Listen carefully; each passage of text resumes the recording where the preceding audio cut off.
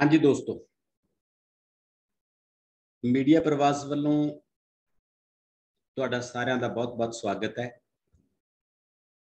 ਸੰਵਾਦ head to head ਦੀ ਇਸ ਲੜੀ ਦੇ ਵਿੱਚ ਆਪਾਂ ਅੱਜ ਇੱਕ ਬਹੁਤ ਮਹੱਤਵਪੂਰਨ ਮਸਲੇ ਤੇ ਗੱਲਬਾਤ ਕਰਨ ਜਾ ਰਹੇ ਹਾਂ। ਸੰਵਾਦ ਦਾ ਇਹ 33ਵਾਂ ਐਪੀਸੋਡ ਹੈ। ਤੇ ਅਸੀਂ ਪਿਛਲੇ ਸਾਰੇ ਇਹਨਾਂ ਲੜੀਵਾਰਾਂ ਦੇ ਵਿੱਚ ਕਿਸਾਨ ਸੰਘਰਸ਼ ਨਾਲ ਜੁੜੇ, ਜੁੜ ਕੇ ਤੇ ਸਮਾਜ ਦੇ ਹੋਰ ਬਹੁਤ ਸਾਰੇ ਮਸਲਿਆਂ ਦੇ ਨਾਲ ਜੁੜ ਕੇ ਸੰਵਾਦ ਵੀ ਰਚਾਇਆ ਹੈ ਸ਼ਾਇਰਾਂ ਨੂੰ ਵੀ ਪੇਸ਼ ਕੀਤਾ ਹੈ, ਅਲੱਗ-ਅਲੱਗ ਵੰਨਗੀਆਂ ਦੇ ਪ੍ਰੋਗਰਾਮ ਪੇਸ਼ ਕੀਤੇ ਨੇ ਤੇ ਅੱਜ ਅੱਜ ਦੇ ਦੌਰ ਦੇ ਸਭ ਤੋਂ ਗੰਭੀਰ ਤੇ ਮਹੱਤਵਪੂਰਨ ਮਸਲੇ ਤੇ ਆਪਾਂ ਗੱਲਬਾਤ ਕਰ ਰਹੇ ਹਾਂ। ਅੱਜ ਦੀ ਗੱਲਬਾਤ ਦਾ ਸਰਲੇਖ ਹੈ ਕਰੋਨਾ ਮਹਾਮਾਰੀ ਸੰਕਟਾਂ ਦੇ ਦੌਰ ਵਿੱਚੋਂ ਲੰਘ ਰਿਹਾ ਭਾਰਤ।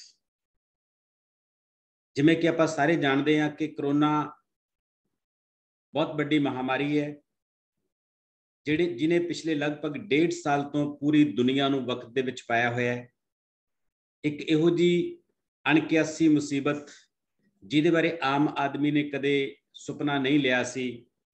ਇਹੋ ਜੀ ਬਿੱਜ ਜਿਹੜੀ ਡਿੱਗੀ ਹੈ ਇਹਦੇ ਕੀ ਕਾਰਨ ਨੇ, ਕੀ ਇਹ ਮੈਨ ਮੇਡ ਹੈ, ਕੀ ਇਹ ਨੇਚਰ ਮੇਡ ਹੈ ਜਾਂ ਹੋਰ ਬਹੁਤ ਸਾਰੀਆਂ ਗੱਲਾਂ ਨੇ ਇਹਦੇ ਪਿੱਛੇ ਬੜੇ ਵੱਡੇ ਮਸਲੇ ਨੇ ਜਿਨ੍ਹਾਂ ਤੇ ਡਾਇਲੌਗ ਕਰਨਾ ਬਣਦਾ ਹੈ। ਉਹਨਾਂ ਦੇ ਵਿੱਚੋਂ ਕੁਝ ਗੱਲਾਂ ਤੇ ਅੱਜ ਆਪਾਂ ਸੰਵਾਦ ਰਚਾਵਾਂਗੇ ਤੇ ਇਸ ਸੰਵਾਦ ਦੇ ਵਿੱਚ ਸਾਡੇ ਨਾਲ ਸ਼ਾਮਲ ਨੇ ਦੋ ਪ੍ਰਸਿੱਧ ਸ਼ਖਸੀਅਤਾਂ, ਜਿਨ੍ਹਾਂ ਦੇ ਵਿੱਚੋਂ ਪਹਿਲੀ ਸ਼ਖਸੀਅਤ ਜੋ ਸਾਡੇ ਨਾਲ ਨੇ, ਉਹ ਨੇ ਡਾਕਟਰ ਪਿਆਰੇ ਲਾਲ ਗਰਗ ਡਾਕਟਰ ਪਿਆਰੇ ਲਾਲ ਗਰਗ ਕਿਸੇ ਜਾਣ ਪਹਿਚਾਣ ਦੇ ਮੁਹਤਾਜ ਨਹੀਂ। ਮਸਲੇ ਚਾਹੇ ਸਿਆਸੀ ਹੋਣ, ਚਾਹੇ ਆਰਥਿਕ ਹੋਣ, ਚਾਹੇ ਸਮਾਜਿਕ ਹੋਣ ਤੇ ਚਾਹੇ ਵਿਦਿਅਕ ਹੋਣ, ਡਾਕਟਰ ਪਿਆਰੇ ਲਾਲ ਗਰਗ ਲਗਭਗ ਲੰਮੇ ਸਮੇਂ ਤੋਂ ਹਰ ਮਸਲੇ ਤੇ ਸੰਵਾਦ ਰਚਾਉਂਦੇ ਆਏ ਨੇ। ਭਾਵੇਂ ਇਹਨਾਂ ਦਾ ਆਪਣਾ ਖੇਤਰ ਮੈਡੀਕਲ ਤੇ ਸਿਹਤ ਸੇਵਾਵਾਂ ਦਾ ਹੈ, ਜਿਹਦੇ ਵਿੱਚ ਇਹਨਾਂ ਨੇ ਆਪ ਵੱਡੀਆਂ ਡਿਗਰੀਆਂ ਪ੍ਰਾਪਤ ਕੀਤੀਆਂ ਤੇ ਉਸ ਤੋਂ ਬਾਅਦ ਫਰੀਦਕੋਟ, ਅੰਮ੍ਰਿਤਸਰ, ਪਟਿਆਲਾ ਹੋਰ ਕਈ ਮੈਡੀਕਲ ਕਾਲਜਾਂ ਦੇ ਵਿੱਚ ਪੜਾਇਆ ਉਸ ਤੋਂ ਬਾਅਦ ਬਾਬਾ ਫਰੀਦ ਮੈਡੀਕਲ ਯੂਨੀਵਰਸਿਟੀ ਦੇ ਵਿੱਚ ਰਜਿਸਟਰਾਰ ਦੇ ਤੌਰ ਤੇ ਕੰਮ ਕੀਤਾ। ਨੈਸ਼ਨਲ ਹੈਲਥ ਮਿਸ਼ਨ ਦੇ ਵਿੱਚ ਬਹੁਤ ਵੱਡਾ ਕੰਮ ਕੀਤਾ। ਕੈਂਸਰ ਤੇ ਬਹੁਤ ਵੱਡੀ ਰਿਸਰਚ ਕੀਤੀ। ਬਾਲਗ ਸਿੱਖਿਆ ਤੇ ਬਹੁਤ ਜ਼ਿਆਦਾ ਕੰਮ ਕੀਤਾ। ਕਹਿਣ ਦਾ ਭਾਵ ਇਹ ਹੈ ਕਿ ਸਮਾਜ ਦਾ ਕੋਈ ਵੀ ਇਹੋ ਜਿਹਾ ਖੇਤਰ ਨਹੀਂ ਜਿੱਥੇ ਡਾਕਟਰ ਪਿਆਰੇ ਲਾਲ ਗਰਗ ਹੋਰਾਂ ਨੇ ਕੰਮ ਨਾ ਕੀਤਾ ਹੋਵੇ। ਤੇ ਸਭ ਤੋਂ ਵੱਡੀ ਗੱਲ ਬੇਬਾਕ ਸ਼ਖਸੀਅਤ ਨੇ ਜਿਵੇਂ ਇਹ ਸੋਚਦੇ ਨੇ, ਉਵੇਂ ਹੀ ਆਪਣੇ ਆਪ ਨੂੰ ਪ੍ਰੈਜ਼ੈਂਟ ਕਰਦੇ ਨੇ। ਇਸ ਕਰਕੇ ਇਹਨਾਂ ਦਾ ਜਿਹੜਾ ਸੰਵਾਦ ਹੈ, ਇਹਨਾਂ ਦਾ ਜਿਹੜਾ ਡਿਸਕੋਰਸ ਹੈ, ਉਹ ਆਪਣੇ ਆਪ ਦੇ ਵਿੱਚ ਬਹੁਤ ਮਹੱਤਵਪੂਰਨ ਡਿਸਕੋਰਸ ਹੈ। ਤੇ ਮੈਂ ਡਾਕਟਰ ਪਿਆਰੀ ਲਾਲ ਗਰਗ ਜੀ ਦਾ ਇਸ ਪ੍ਰੋਗਰਾਮ ਦੇ ਵਿੱਚ ਬਹੁਤ-ਬਹੁਤ ਸਵਾਗਤ ਕਰਦਾ। ਸਵਾਗਤ ਹੈ ਸਰ ਤੁਹਾਡਾ ਬਹੁਤ-ਬਹੁਤ। ਆਪਣਾ ਮਾਈਕ ਔਨ ਕਰ ਲਓ ਸਰ, ਤੁਹਾਡਾ ਮਾਈਕ ਬੰਦ ਹੈ। ਜੀ। ਇਸ ਤੋਂ ਬਾਅਦ ਦੂਜੇ ਜੋ ਵਿਦਵਾਨ ਨੇ ਸਾਡੇ ਨਾਲ ਉਹਨੇ ਡਾਕਟਰ ਸ਼ਾਮ ਸੁੰਦਰ ਦੀਪਤੀ ਜੀ, ਡਾਕਟਰ ਸ਼ਾਮ ਸੁੰਦਰ ਦੀਪਤੀ ਹੋਰਾਂ ਦਾ ਵੀ ਪਿਛਲੇ ਸਮੇਂ ਤੋਂ ਵੱਖ-ਵੱਖ ਸਮਾਜਿਕ, ਸਾਹਿਤਕ ਤੇ ਹੋਰ ਖੇਤਰਾਂ ਦੇ ਮੁੱਦਿਆਂ ਤੇ ਬਹੁਤ ਵੱਡਾ ਕੰਮ ਹੈ। ਜੇ ਮੈਂ ਸਾਹਿਤਿਕ ਤੌਰ ਤੇ ਕਹਾਂ ਤਾਂ ਬਹੁਤ ਅੱਛੇ ਸਾਹਿਤਕਾਰ ਨੇ ਮਿੰਨੀ ਕਹਾਣੀਆਂ ਦੇ ਖੇਤਰ ਦੇ ਵਿੱਚ ਖਾਸ ਤੌਰ ਤੇ ਇਹਨਾਂ ਦਾ ਗਿਣ ਜੋ ਕਾਰਜ ਹੈ, ਉਸ ਤੋਂ ਬਾਅਦ ਇਹਨਾਂ ਨੇ ਬਾਲ ਮਨੋਵਿਗਿਆਨ ਦੇ ਖੇਤਰ ਦੇ ਵਿੱਚ ਬਹੁਤ ਸਾਰਾ ਕੰਮ ਕੀਤਾ ਹੈ। ਸਮਾਜ ਦੇ ਹਰ ਪੱਖ ਦੇ ਮੁੱਦੇ ਤੇ ਇਹਨਾਂ ਨੇ ਸਾਹਿਤ ਲਿਖਿਆ ਹੈ। ਤੇ ਨਾਲ-ਨਾਲ ਮੈਡੀਕਲ ਖੇਤਰ ਦੇ ਵਿੱਚ ਜਿੰਨੀਆਂ ਵੀ ਸਮਾਜਿਕ ਮਨੋਵਿਗਿਆਨਕ ਤੇ ਹੋਰ ਬਹੁਤ ਕਿਸਮ ਦੀਆਂ ਬਿਮਾਰੀਆਂ ਨੇ, ਉਹਨਾਂ ਤੇ ਬਹੁਤ ਸਾਰਾ ਕੁਝ ਲਿਖਿਆ ਹੈ। ਤੇ ਕਰੋਨਾ ਤੇ ਤਾਂ ਇਹਨਾਂ ਨੇ ਲਗਾਤਾਰ ਪਿਛਲੇ 1 ਸਾਲ ਤੋਂ ਲਗਭਗ ਕੰਟੀਨਿਊਟੀ ਦੇ ਵਿੱਚ, ਲੜੀਵਾਰ ਰੂਪ ਦੇ ਵਿੱਚ ਕੰਮ ਕੀਤਾ ਕਰੋਨਾ ਦਾ ਕੋਈ ਇਹੋ ਜਿਹਾ ਐਸਪੈਕਟ ਨਹੀਂ ਹੋਣਾ ਜਿੱਤੇ ਡਾਕਟਰ ਸ਼ਾਮ ਸੁੰਦਰ ਦੀਪ ਤੇ ਹੋਰਾਂ ਦਾ ਵਰਜ਼ਨ ਨਾ ਆਇਆ ਹੋਵੇ। ਪੰਜਾਬੀ ਟ੍ਰਿਬਿਊਨ ਦੇ ਵਿੱਚ ਲਗਭਗ ਇਹਨਾਂ ਦੀ ਲੰਮੀ ਲੜੀ ਹੈ ਲੇਖਾਂ ਦੀ। ਜੇ ਆਪਾਂ ਉਹ ਸਾਰੀ ਲੜੀ ਨੂੰ ਪੜ੍ਹ ਲਈਏ, ਤਾਂ ਮੇਰੇ ਖਿਆਲ ਦੇ ਵਿੱਚ ਕਰੋਨਾ ਦਾ ਕੋਈ ਪੱਖ ਇਹੋ ਜਿਹਾ ਬਚਦਾ ਨਹੀਂ ਜਿੱਤੇ ਡਿਸਕਸ਼ਨ ਨਾ ਕੀਤੀ ਹੋਵੇ ਡਾਕਟਰ ਸ਼ਾਮ ਸੁੰਦਰ ਦੀਪਤੀ ਹੋਰਾਂ ਨੇ। ਦੀਪਤੀ ਸਾਹਿਬ, ਤੁਹਾਡਾ ਵੀ ਇਸ ਪ੍ਰੋਗਰਾਮ ਦੇ ਵਿੱਚ ਬਹੁਤ-ਬਹੁਤ ਸਵਾਗਤ ਹੈ। ਬਹੁਤ ਬਹੁਤ ਧੰਨਵਾਦ ਜੀ, ਇਸ ਤੋਂ ਇਲਾਵਾ ਦੋ ਸ਼ਖਸੀਅਤਾਂ ਅਸੀਂ ਇਸ ਪ੍ਰੋਗਰਾਮ ਦੇ ਵਿੱਚ ਹੋਰ ਸ਼ਾਮਲ ਕੀਤੀਆਂ ਨੇ। ਜਿਵੇਂ ਕਿ ਆਪਾਂ ਨੂੰ ਪਤਾ ਹੈ ਕਿ ਜਦੋਂ ਕਰੋਨਾ ਦੀ ਫਰਸਟ ਵੇਵ ਆਈ ਸੀ ਤਾਂ ਉਹ ਦੂਰ ਦੂਰ ਦੂਰ ਸੀ। ਕਦੇ ਅਸੀਂ ਰੂਸ ਦੇ ਵਿੱਚ ਸੁਣਦੇ ਹੁੰਦੇ ਸੀ, ਫਿਰ ਅਸੀਂ ਇਟਲੀ ਦੇ ਵਿੱਚ ਸੁਣਨ ਲੱਗੇ, ਫਿਰ ਅਸੀਂ ਕੈਨੇਡਾ, ਅਮਰੀਕਾ ਦੇ ਵਿੱਚ ਸੁਣਨ ਲੱਗੇ ਕਿ ਫਲਾਣੀ ਥਾਂ ਤੇ ਮਰੀਜ਼ ਵੱਡੀ ਗਿਣਤੀ 'ਚ ਆ ਰਹੇ ਨੇ ਜਾਂ ਮੌਤਾਂ ਹੋ ਰਹੀਆਂ ਨੇ। ਫਿਰ ਅਸੀਂ ਭਾਰਤ ਦੇ ਵਿੱਚ ਵੀ ਜਦੋਂ ਕਰੋਨਾ ਨੇ ਇੰਟਰ ਕੀਤਾ, ਫਿਰ ਵੀ ਬਹੁਤ ਦੂਰ ਦੂਰ ਕਿਤੇ ਖਬਰਾਂ ਸੁਣਦੇ ਸੁਣਦੇ ਹੁੰਦੇ ਸੀ। ਪਰ ਇਸ ਸੈਕੰਡ ਵੇਵ ਦੇ ਵਿੱਚ ਕਰੋਨਾ ਘਰ ਘਰ ਤੱਕ ਪਹੁੰਚ ਗਿਆ ਤੇ ਇਸ ਕਰੋਨਾ ਨੇ ਸਾਡੇ ਕੋਲੋਂ ਬਹੁਤ ਸਾਰੀਆਂ ਜਿਹੜੀਆਂ ਹਸਤੀਆਂ ਖੋਲੀਆਂ, ਪਰਿਵਾਰਾਂ ਦੇ ਪਰਿਵਾਰਾਂ ਦੇ ਚਿਰਾਗ ਬੁਝ ਗਏ ਇਸ ਕਰੋਨਾ ਕਰਕੇ। ਰੋਜ਼ ਕਿਸੇ ਨਾ ਕਿਸੇ ਬੰਦੇ ਦੀ ਇਸ ਕਰੋਨਾ ਕਰਕੇ ਸਾਡੇ ਕੋਲੋਂ ਉਹਦਾ ਜਿਹੜਾ ਜਾਣਾ ਤੈਅ ਹੋ ਜਾਂਦਾ ਤੇ ਉਹ ਬੰਦਾ ਸਾਡੇ ਕੋਲੋਂ ਚੁੱਪ ਚਪੀਤੇ ਤੁਰ ਜਾਂਦਾ ਹੈ ਤੇ ਬਹੁਤ ਸਾਰੇ ਬੰਦੇ, ਬੰਦਿਆਂ ਨੇ ਸੰਘਰਸ਼ ਕੀਤਾ, ਉਹ ਆਪਣੇ ਪਰਿਵਾਰਾਂ ਨੂੰ ਬਚਾ ਸਕੇ, ਪਰ ਬਹੁਤ ਸਾਰੇ ਬੰਦੇ ਲੱਖ ਸੰਘਰਸ਼ ਕਰਨ ਦੇ ਬਾਵਜੂਦ ਵੀ ਆਪਣੇ ਪਰਿਵਾਰਾਂ ਦੀ ਜੀਆਂ ਨੂੰ ਨਹੀਂ ਬਚਾ ਸਕੇ। ਇਹ ਤਰਾਸਦੀ ਸਾਡਾ ਦੌਰ ਹੰਡਾ ਰਿਹਾ ਹੈ ਤੇ ਇਹ ਤਰਾਸਦੀ ਘਰ ਘਰ ਦੀ ਤਰਾਸਦੀ ਹੈ। ਸਾਡੇ ਆਪਣੇ ਸਰਕਲ ਦੇ ਵਿੱਚ ਨੇੜੇ ਤੇੜੇ ਬਹੁਤ ਕੁਝ ਅਜਿਹਾ ਵਾਪਰ ਗਿਆ ਜਿਹੜਾ ਨਹੀਂ ਵਾਪਰਨਾ ਚਾਹੀਦਾ ਸੀ। ਉਹਦੇ ਵਿੱਚੋਂ ਦੋ ਵਿਅਕਤੀਆਂ ਦੀ ਅਸੀਂ ਚੋਣ ਕੀਤੀ ਹੈ। ਇੱਕ ਨੇ ਮੈਡਮ ਕਿਰਨ ਸਿੱਧੂ ਜਿਨ੍ਹਾਂ ਦੀ ਅਸੀਂ ਇਹ ਅੱਜ ਉਹਨਾਂ ਦੇ ਦੁੱਖ ਦੇ ਵਿੱਚ ਵੀ ਸ਼ਰੀਕ ਆ ਉਹਨਾਂ ਦੇ ਲੱਖ ਯਤਨ ਕਰਨ ਦੇ ਬਾਵਜੂਦ ਉਹ ਆਪਣੇ ਹਮਸਫਰ ਰੁਪਿੰਦਰ ਸਿੰਘ ਜਿਹੜੇ ਬਹੁਤ ਅੱਛੇ ਅਧਿਆਪਕ ਸੀ, ਉਹਨਾਂ ਨੂੰ ਨਹੀਂ ਬਚਾ ਸਕੇ ਹੈਗੇ। ਤੇ ਦੂਜੇ ਨੇ ਸਾਡੇ ਨਾਲ ਬੂਟਾ ਸਿੰਘ ਦੁੰਨੇ ਵਾਲਾ ਜਿਹੜੇ ਬਹੁਤ ਜ਼ਿਆਦਾ ਸਵੀਅਰ ਬਿਮਾਰੀ ਦੇ ਵਿੱਚੋਂ ਵਾਪਸ ਪਰਤ ਕੇ ਆਏ ਨੇ। ਸਿਰਫ ਅਸੀਂ ਇਹ ਜਾਨਣਾ ਚਾਹੁੰਦੇ ਸੀ ਕਿ ਉਹਨਾਂ ਦੇ ਆਪਣੇ ਤਜਰਬੇ ਕੀ ਨੇ ਇਸ ਮਾਮਲੇ 'ਚ? ਤੇ ਉਹ ਕੀ ਸੋਚਦੇ ਨੇ ਹੁਣ ਇਸ ਮਾਮਲੇ 'ਚ? ਕਿਉਂਕਿ ਜਿੰਨੀ ਦੇਰ ਤੱਕ ਬਿਮਾਰੀ ਦੂਰ ਰਹਿੰਦੀ ਹੈ, ਉਦੋਂ ਸਾਡੇ ਕਰੋਨਾ ਪ੍ਰਤੀ ਵਿਊ ਹੋਰ ਹੁੰਦੇ ਨੇ। ਜਦੋਂ ਬਿਮਾਰੀ ਸਾਡੇ ਘਰ ਤੱਕ ਪਹੁੰਚ ਜਾਂਦੀ ਹੈ, ਉਦੋਂ ਕਰੋਨਾ ਪ੍ਰਤੀ ਸਾਡੇ ਵਿਊ ਬਦਲਦੇ ਨੇ। ਸੋ ਇਹਨਾਂ ਕਿਰਨ ਸਿੱਧੂ ਮੈਡਮ ਦਾ ਤੇ ਬੂਟਾ ਦੁੰਨੇ ਵਾਲੇ ਦਾ ਵੀ ਅਸੀਂ ਬਹੁਤ-ਬਹੁਤ ਸਵਾਗਤ ਕਰਦੇ ਹਾਂ ਤੇ ਬਾਕੀ ਸਾਰੇ ਦੋਸਤਾਂ ਦਾ ਵੀ ਸਵਾਗਤ ਕਰਦੇ ਹਾਂ, ਜਿਹੜੇ ਸਾਡੇ ਨਾਲ ਜੁੜੇ ਹੋਏ ਨੇ, ਉਹਨਾਂ ਦੇ ਨਾਮ ਵੀ ਅਸੀਂ ਲਗਾਤਾਰ ਲੈਂਦੇ ਰਹਾਂਗੇ। ਪਰ ਪ੍ਰੋਗਰਾਮ ਦਾ ਆਗਾਜ਼ ਆਪਾਂ ਕਰਦੇ ਹਾਂ ਇਹਨਾਂ ਦੋ ਸ਼ਖਸੀਅਤਾਂ ਤੋਂ ਕਰਦੇ ਆ ਪਹਿਲਾਂ ਅਸੀਂ 5-5 ਮਿੰਟ ਲਈ ਉਹਨਾਂ ਨੂੰ ਬੇਨਤੀ ਕਰਾਂਗੇ ਕਿ ਉਹ ਕੀ ਕਹਿਣਾ ਚਾਹੁੰਦੇ ਨੇ, ਬੂਟਾ ਦੁੰਨੇ ਵਾਲਾ ਤੇ ਮੈਡਮ ਕਿਰਨ ਸਿੱਧੂ। ਆਪਾਂ ਪਹਿਲਾਂ ਬੂਟਾ ਦੁੰਨੇ ਵਾਲੇ ਤੋਂ ਸ਼ੁਰੂ ਕਰਦੇ ਆ ਜਿਨ੍ਹਾਂ ਨੇ ਕਰੋਨਾ ਤੋਂ ਬਚਣ ਲਈ ਕਾਫੀ ਵੱਡਾ ਸਟਰਗਲ ਕੀਤਾ ਪਹਿਲਾਂ ਇੱਕ ਹੋਰ ਸਟਰਗਲ ਦੇ ਵਿੱਚ ਸੀ, ਕਿਸਾਨੀ ਦੇ ਵਿੱਚ ਬਹੁਤ ਵੱਡਾ ਰੋਲ ਸੀ। ਜਦੋਂ ਕਰੋਨਾ ਇਹਨਾਂ ਨੂੰ ਹੋਇਆ, ਉਦੋਂ ਵੀ ਉੱਥੇ ਸੀ ਬਾਈ ਚਾਂਸ ਲਗਾਤਾਰ ਪਿਛਲੇ 3-4 ਮਹੀਨਿਆਂ ਤੋਂ ਲਗਾਤਾਰ ਉੱਥੇ ਸੀ। ਪਰ ਉਸ ਤੋਂ ਬਾਅਦ ਜਿਵੇਂ ਇੱਥੇ ਆਏ, ਮੈਂ ਬੇਨਤੀ ਕਰੂੰਗਾ ਕਿ 5 ਮਿੰਟਾਂ ਦੇ ਵਿੱਚ ਜੋ ਉਹ ਕਹਿਣਾ ਚਾਹੁੰਦੇ ਨੇ, ਜਿਹੜਾ ਉਹਨਾਂ ਦਾ ਤਜਰਬਾ ਹੈ, ਉਹ ਸਾਡੇ ਨਾਲ ਸਾਂਝਾ ਕਰਨ। ਇਹਨਾਂ ਦੋ ਸ਼ਖਸੀਅਤਾਂ ਤੋਂ ਬਾਅਦ ਫਿਰ ਅਸੀਂ ਆਪਣੇ ਐਕਸਪਰਟਸ ਦੇ ਵਿਊ ਲਵਾਂਗੇ। ਇਸ ਪ੍ਰਸੰਗ ਦੇ ਵਿੱਚ ਵੀ ਤੇ ਬਾਕੀ ਪ੍ਰਸੰਗਾਂ ਦੇ ਵਿੱਚ ਵੀ ਬੂਟਾ ਦੁੰਨੇ ਵਾਲਾ ਜੀ ਪ੍ਰਵਾਲ ਮੀਡੀਆ ਦੀ ਪੂਰੀ ਟੀਮ ਡਾਕਟਰ ਕੁਲਦੀਪ ਦੀਪ ਜੀ ਤੇ ਸੁਣਨ ਵਾਲੇ ਸਾਰੇ ਹੀ ਸੂਝਵਾਨ ਸਰੋਤਿਆਂ ਤੇ ਦਰਸ਼ਕਾਂ ਨੂੰ ਮੇਰੇ ਵੱਲੋਂ ਪਿਆਰ ਸਤਿਕਾਰ ਸਤਿ ਸ੍ਰੀ ਅਕਾਲ ਜੀ। ਜੀ ਸਰ ਮੈਂ ਬੂਟਾ ਦੁੰਨੇ ਵਾਲਾ ਆਪ ਜੀ ਦੇ ਰੂਬਰੂ ਆ ਔਰ ਸ਼ੁਕਰਗੁਜ਼ਾਰ ਆ ਅਕਾਲ ਪੁਰਖ ਪਰਮਾਤਮਾ ਦਾ ਵੈਗੁਰੂ ਜੀ ਦਾ ਜਿਨ੍ਹਾਂ ਦੀ ਬਦੌਲਤ ਅੱਜ ਤੁਹਾਡੇ ਸਾਹਮਣੇ ਆ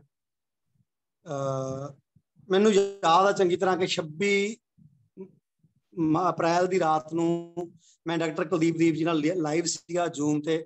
ਅਸੀਂ ਇੱਕ ਗੀਤਾਂ ਦਾ ਪ੍ਰੋਗਰਾਮ ਕੀਤਾ ਸੀ ਸੰਘਰਸ਼ਾਂ ਦਾ। ਮੈਂ ਬਿਲਕੁਲ ਤੰਦਰੁਸਤ ਤੇ ਫਿੱਟ ਸੀਗਾ ਪਰ ਉਸੇ ਰਾਤ ਸਵੇਰੇ 4 ਵਜੇ ਮੈਨੂੰ ਬੁਖਾਰ ਹੁੰਦਾ ਮੈਂ ਸਵੇਰੇ 4 ਵਜੇ ਉੱਠ ਕੇ ਮੇਰੇ ਕੋਲੇ ਆਪਣੇ ਦਿੱਲੀ ਜਦੋਂ ਮੈਂ ਤੰਬੂ ਦੇ ਵਿੱਚ ਸੀਗਾ ਤੰਬੂ ਦੇ ਵਿੱਚ ਮੇਰੇ ਕੋਲ ਹਰ ਸਹੂਲਤ ਅਸੀਂ ਆਪਣੀਆਂ ਲੋੜ ਜੁਗੀਆਂ ਉੱਥੇ ਪੈਦਾ ਕੀਤੀਆਂ ਹੋਈਆਂ ਨੇ ਮੈਡੀਸਿਨਸ ਜਾਂ ਜਿਹੜੀਆਂ ਹੋਰ ਚੀਜ਼ਾਂ ਨੇ। ਮੈਂ ਉੱਠ ਕੇ ਪ੍ਰੈਸਟਾਮੋਲ ਲੈ ਲਈ ਮੇਰਾ ਬੁਖਾਰ ਉਤਰ ਗਿਆ। ਸਾਰਾ ਦਿਨ ਮੈਂ ਫਿਰ ਆਪਣੇ ਸੰਘਰਸ਼ ਰਿਹਾ ਸਟੇਜ ਤੇ ਗਿਆ। ਸ਼ਾਮ ਨੂੰ ਫਿਰ ਥਕਾਵਟ ਮਹਿਸੂਸ ਹੋਈ ਤੇ ਮੈਨੂੰ ਫਿਰ ਬੁਖਾਰ ਹੋਇਆ ਰਾਤ ਨੂੰ 12 1 ਵਜੇ। ਮੈਂ ਫਿਰ ਟੈਬਲੇਟ ਲੈ ਲਈ ਬੁਖਾਰ ਉਤਰ ਗਿਆ। ਇਹ ਸਿਲਸਿਲਾ ਲਗਾਤਾਰ ਇੱਕ ਤਰੀਕ ਤੱਕ ਚੱਲਦਾ ਰਿਹਾ। ਬੁਖਾਰ ਹੁੰਦਾ ਸੀ ਮੈਂ ਟੈਬਲੇਟ ਲੈ ਲੈਂਦਾ ਸੀਗਾ।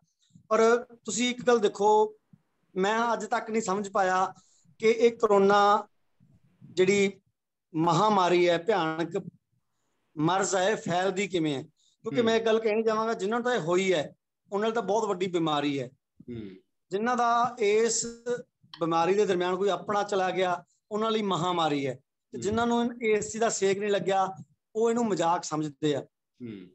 ਤੁਹਾਨੂੰ ਮੈਂ ਇੱਕ ਹਕੀਕਤ ਦੱਸਣੀ ਚਾਹਾਂਗਾ ਕਿ ਇੱਕ ਦੀ ਰਾਤ ਨੂੰ ਮੈਨੂੰ ਬਹੁਤ ਬੁਖਾਰ ਸੀ ਤੇ ਮੈਂ ਆਪਣੇ ਗਵਾਂਢੀ ਤੰਬੂ ਜੋ ਰਾਜਸਥਾਨ ਦਾ ਸੀ ਉਹਨਾਂ ਨੂੰ ਬੇਨਤੀ ਕੀਤੀ ਕਿ ਮੈਂ ਯਾਰ ਦੋਸਤੋ ਮੇਰੇ ਕੋਲੇ ਸੌਂ ਜਾਓ ਅੱਜ ਮੈਂ ਬਿਮਾਰ ਹਾਂ ਤੇ ਤੁਸੀਂ ਮੇਰਾ ਖਾਣਾ ਬਣਾ ਲਓ। ਉਹਨਾਂ ਨੇ ਮੇਰੇ ਤੰਬੂ 'ਚ ਖਾਣਾ ਬਣਾਇਆ। ਅਸੀਂ ਇਕੱਠਿਆਂ ਨੇ ਇੱਕੋ ਭਾਂਡੇ 'ਚ ਇੱਕੋ ਚਮਚੇ ਨਾਲ ਖਾਣਾ ਖਾਦਾ ਮੈਨੂੰ ਨਹੀਂ ਸੀ ਪਤਾ ਮੈਨੂੰ ਕਰੋਨਾ ਹੈਗਾ। ਬਟ ਸਵੇਰੇ ਜਦੋਂ ਅਸੀਂ ਉੱਠੇ ਤੇ ਉਹਨਾਂ ਨੇ ਕਿਹਾ ਵੀ ਯਾਰ ਚਾਹ ਨਾਲ ਕੁਝ ਬਣਾ ਲਗੇ ਮੈਂ ਕਿਹਾ ਯਾਰ ਫ੍ਰਿਜ 'ਚ ਆਂਡੇ ਪਏ ਆ ਤੁਸੀਂ ਆਮਲੇਟ ਬਣਾ ਲਓ। ਉਹ ਦੋਸਤ ਨੇ ਆਂਡਿਆਂ ਦੀ ਮਤਲਬ ਵਿੱਚ ਹਰੀਆਂ ਮਿਰਚਾਂ ਪਾ ਲੀਆਂ ਦੋ ਮੁੰਡੇ ਸੀ ਉਹ ਇੱਕ ਮੈਂ ਤੀਜਾ ਮੈਸੇਜ ਹੋ ਗਿਆ ਤੰਬੂ 'ਚ ਮੈਂ ਇਕੱਲਾ ਸੀਗਾ। ਉਹਨੇ ਮਿਰਚਾਂ ਜ਼ਿਆਦਾ ਪਾਤੀਆਂ ਤੇ ਨਾਲ ਦਾ ਤੀਜਾ ਮੁੰਡਾ ਕਹਿੰਦਾ ਤੂੰ ਮਿਰਚਾਂ ਬਹੁਤ ਪਾਈਆਂ ਆਮਲੇਟ ਦੇ ਵਿੱਚ। ਮੈਂ ਰਿਪਲਾਈ ਕੀਤਾ ਕਿ ਮਹਾ ਮਿਰਚ ਤਾਂ ਹੈ ਨਹੀਂ ਭੋਰਾ ਵੀ ਯਾਰ। ਜਦੋਂ ਮੈਂ ਇਹ ਗੱਲ ਕੀਤੀ ਤੇ ਮੈਂ ਆਪਣੇ ਆਪ ਦਾ ਐਨਾਲਿਸਿਸ ਕੀਤਾ ਮੇਰੇ ਅੰਦਰ ਆਪਣੇ ਆਪ ਇੱਕ ਸਾਈਕੋ ਪੈਦਾ ਹੋਈ। ਮੈਂ ਕੁਝ ਗੜਬੜ ਯਾਰ।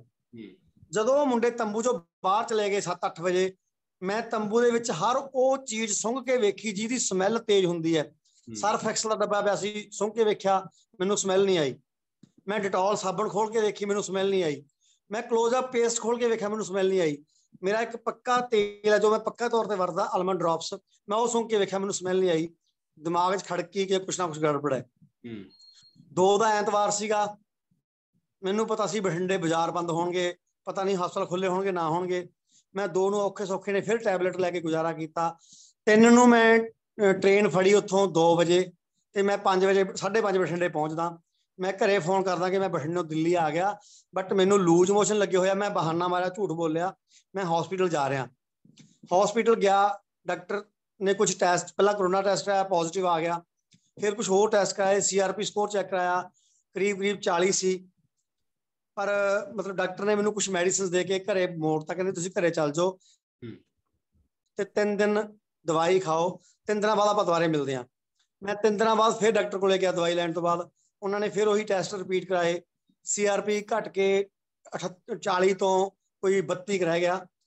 ਡਾਕਟਰ ਸਾਹਿਬ ਮੈਨੂੰ ਕਹਿੰਦੇ ਵੀ ਜੇ ਤਾਂ ਤੁਸੀਂ ਦਾਖਲ ਹੋ ਕੇ ਐਡਮਿਟ ਹੋ ਕੇ ਆਪਣਾ ਟ੍ਰੀਟਮੈਂਟ ਕਰਵਾ ਲਓਗੇ ਤਾਂ 6 ਦਿਨਾਂ ਚ ਕਵਰ ਕਰ ਜਾਓਗੇ ਜੇ ਤੁਸੀਂ ਘਰ ਜਾਣਾ ਚਾਹੁੰਦੇ ਹੋ ਤੁਹਾਡੇ ਕੋਲ ਵੀ ਤੁਹਾਡੇ ਬਜਟ ਦੀ ਪ੍ਰੋਬਲਮ ਹੈ ਤਾਂ ਤੁਸੀਂ ਦਵਾਈ ਲੈ ਲਓ ਪਰ ਉਹਦੇ ਨਾਲ ਲੰਬਾ ਸਮਾਂ ਚੱਲੂਗਾ।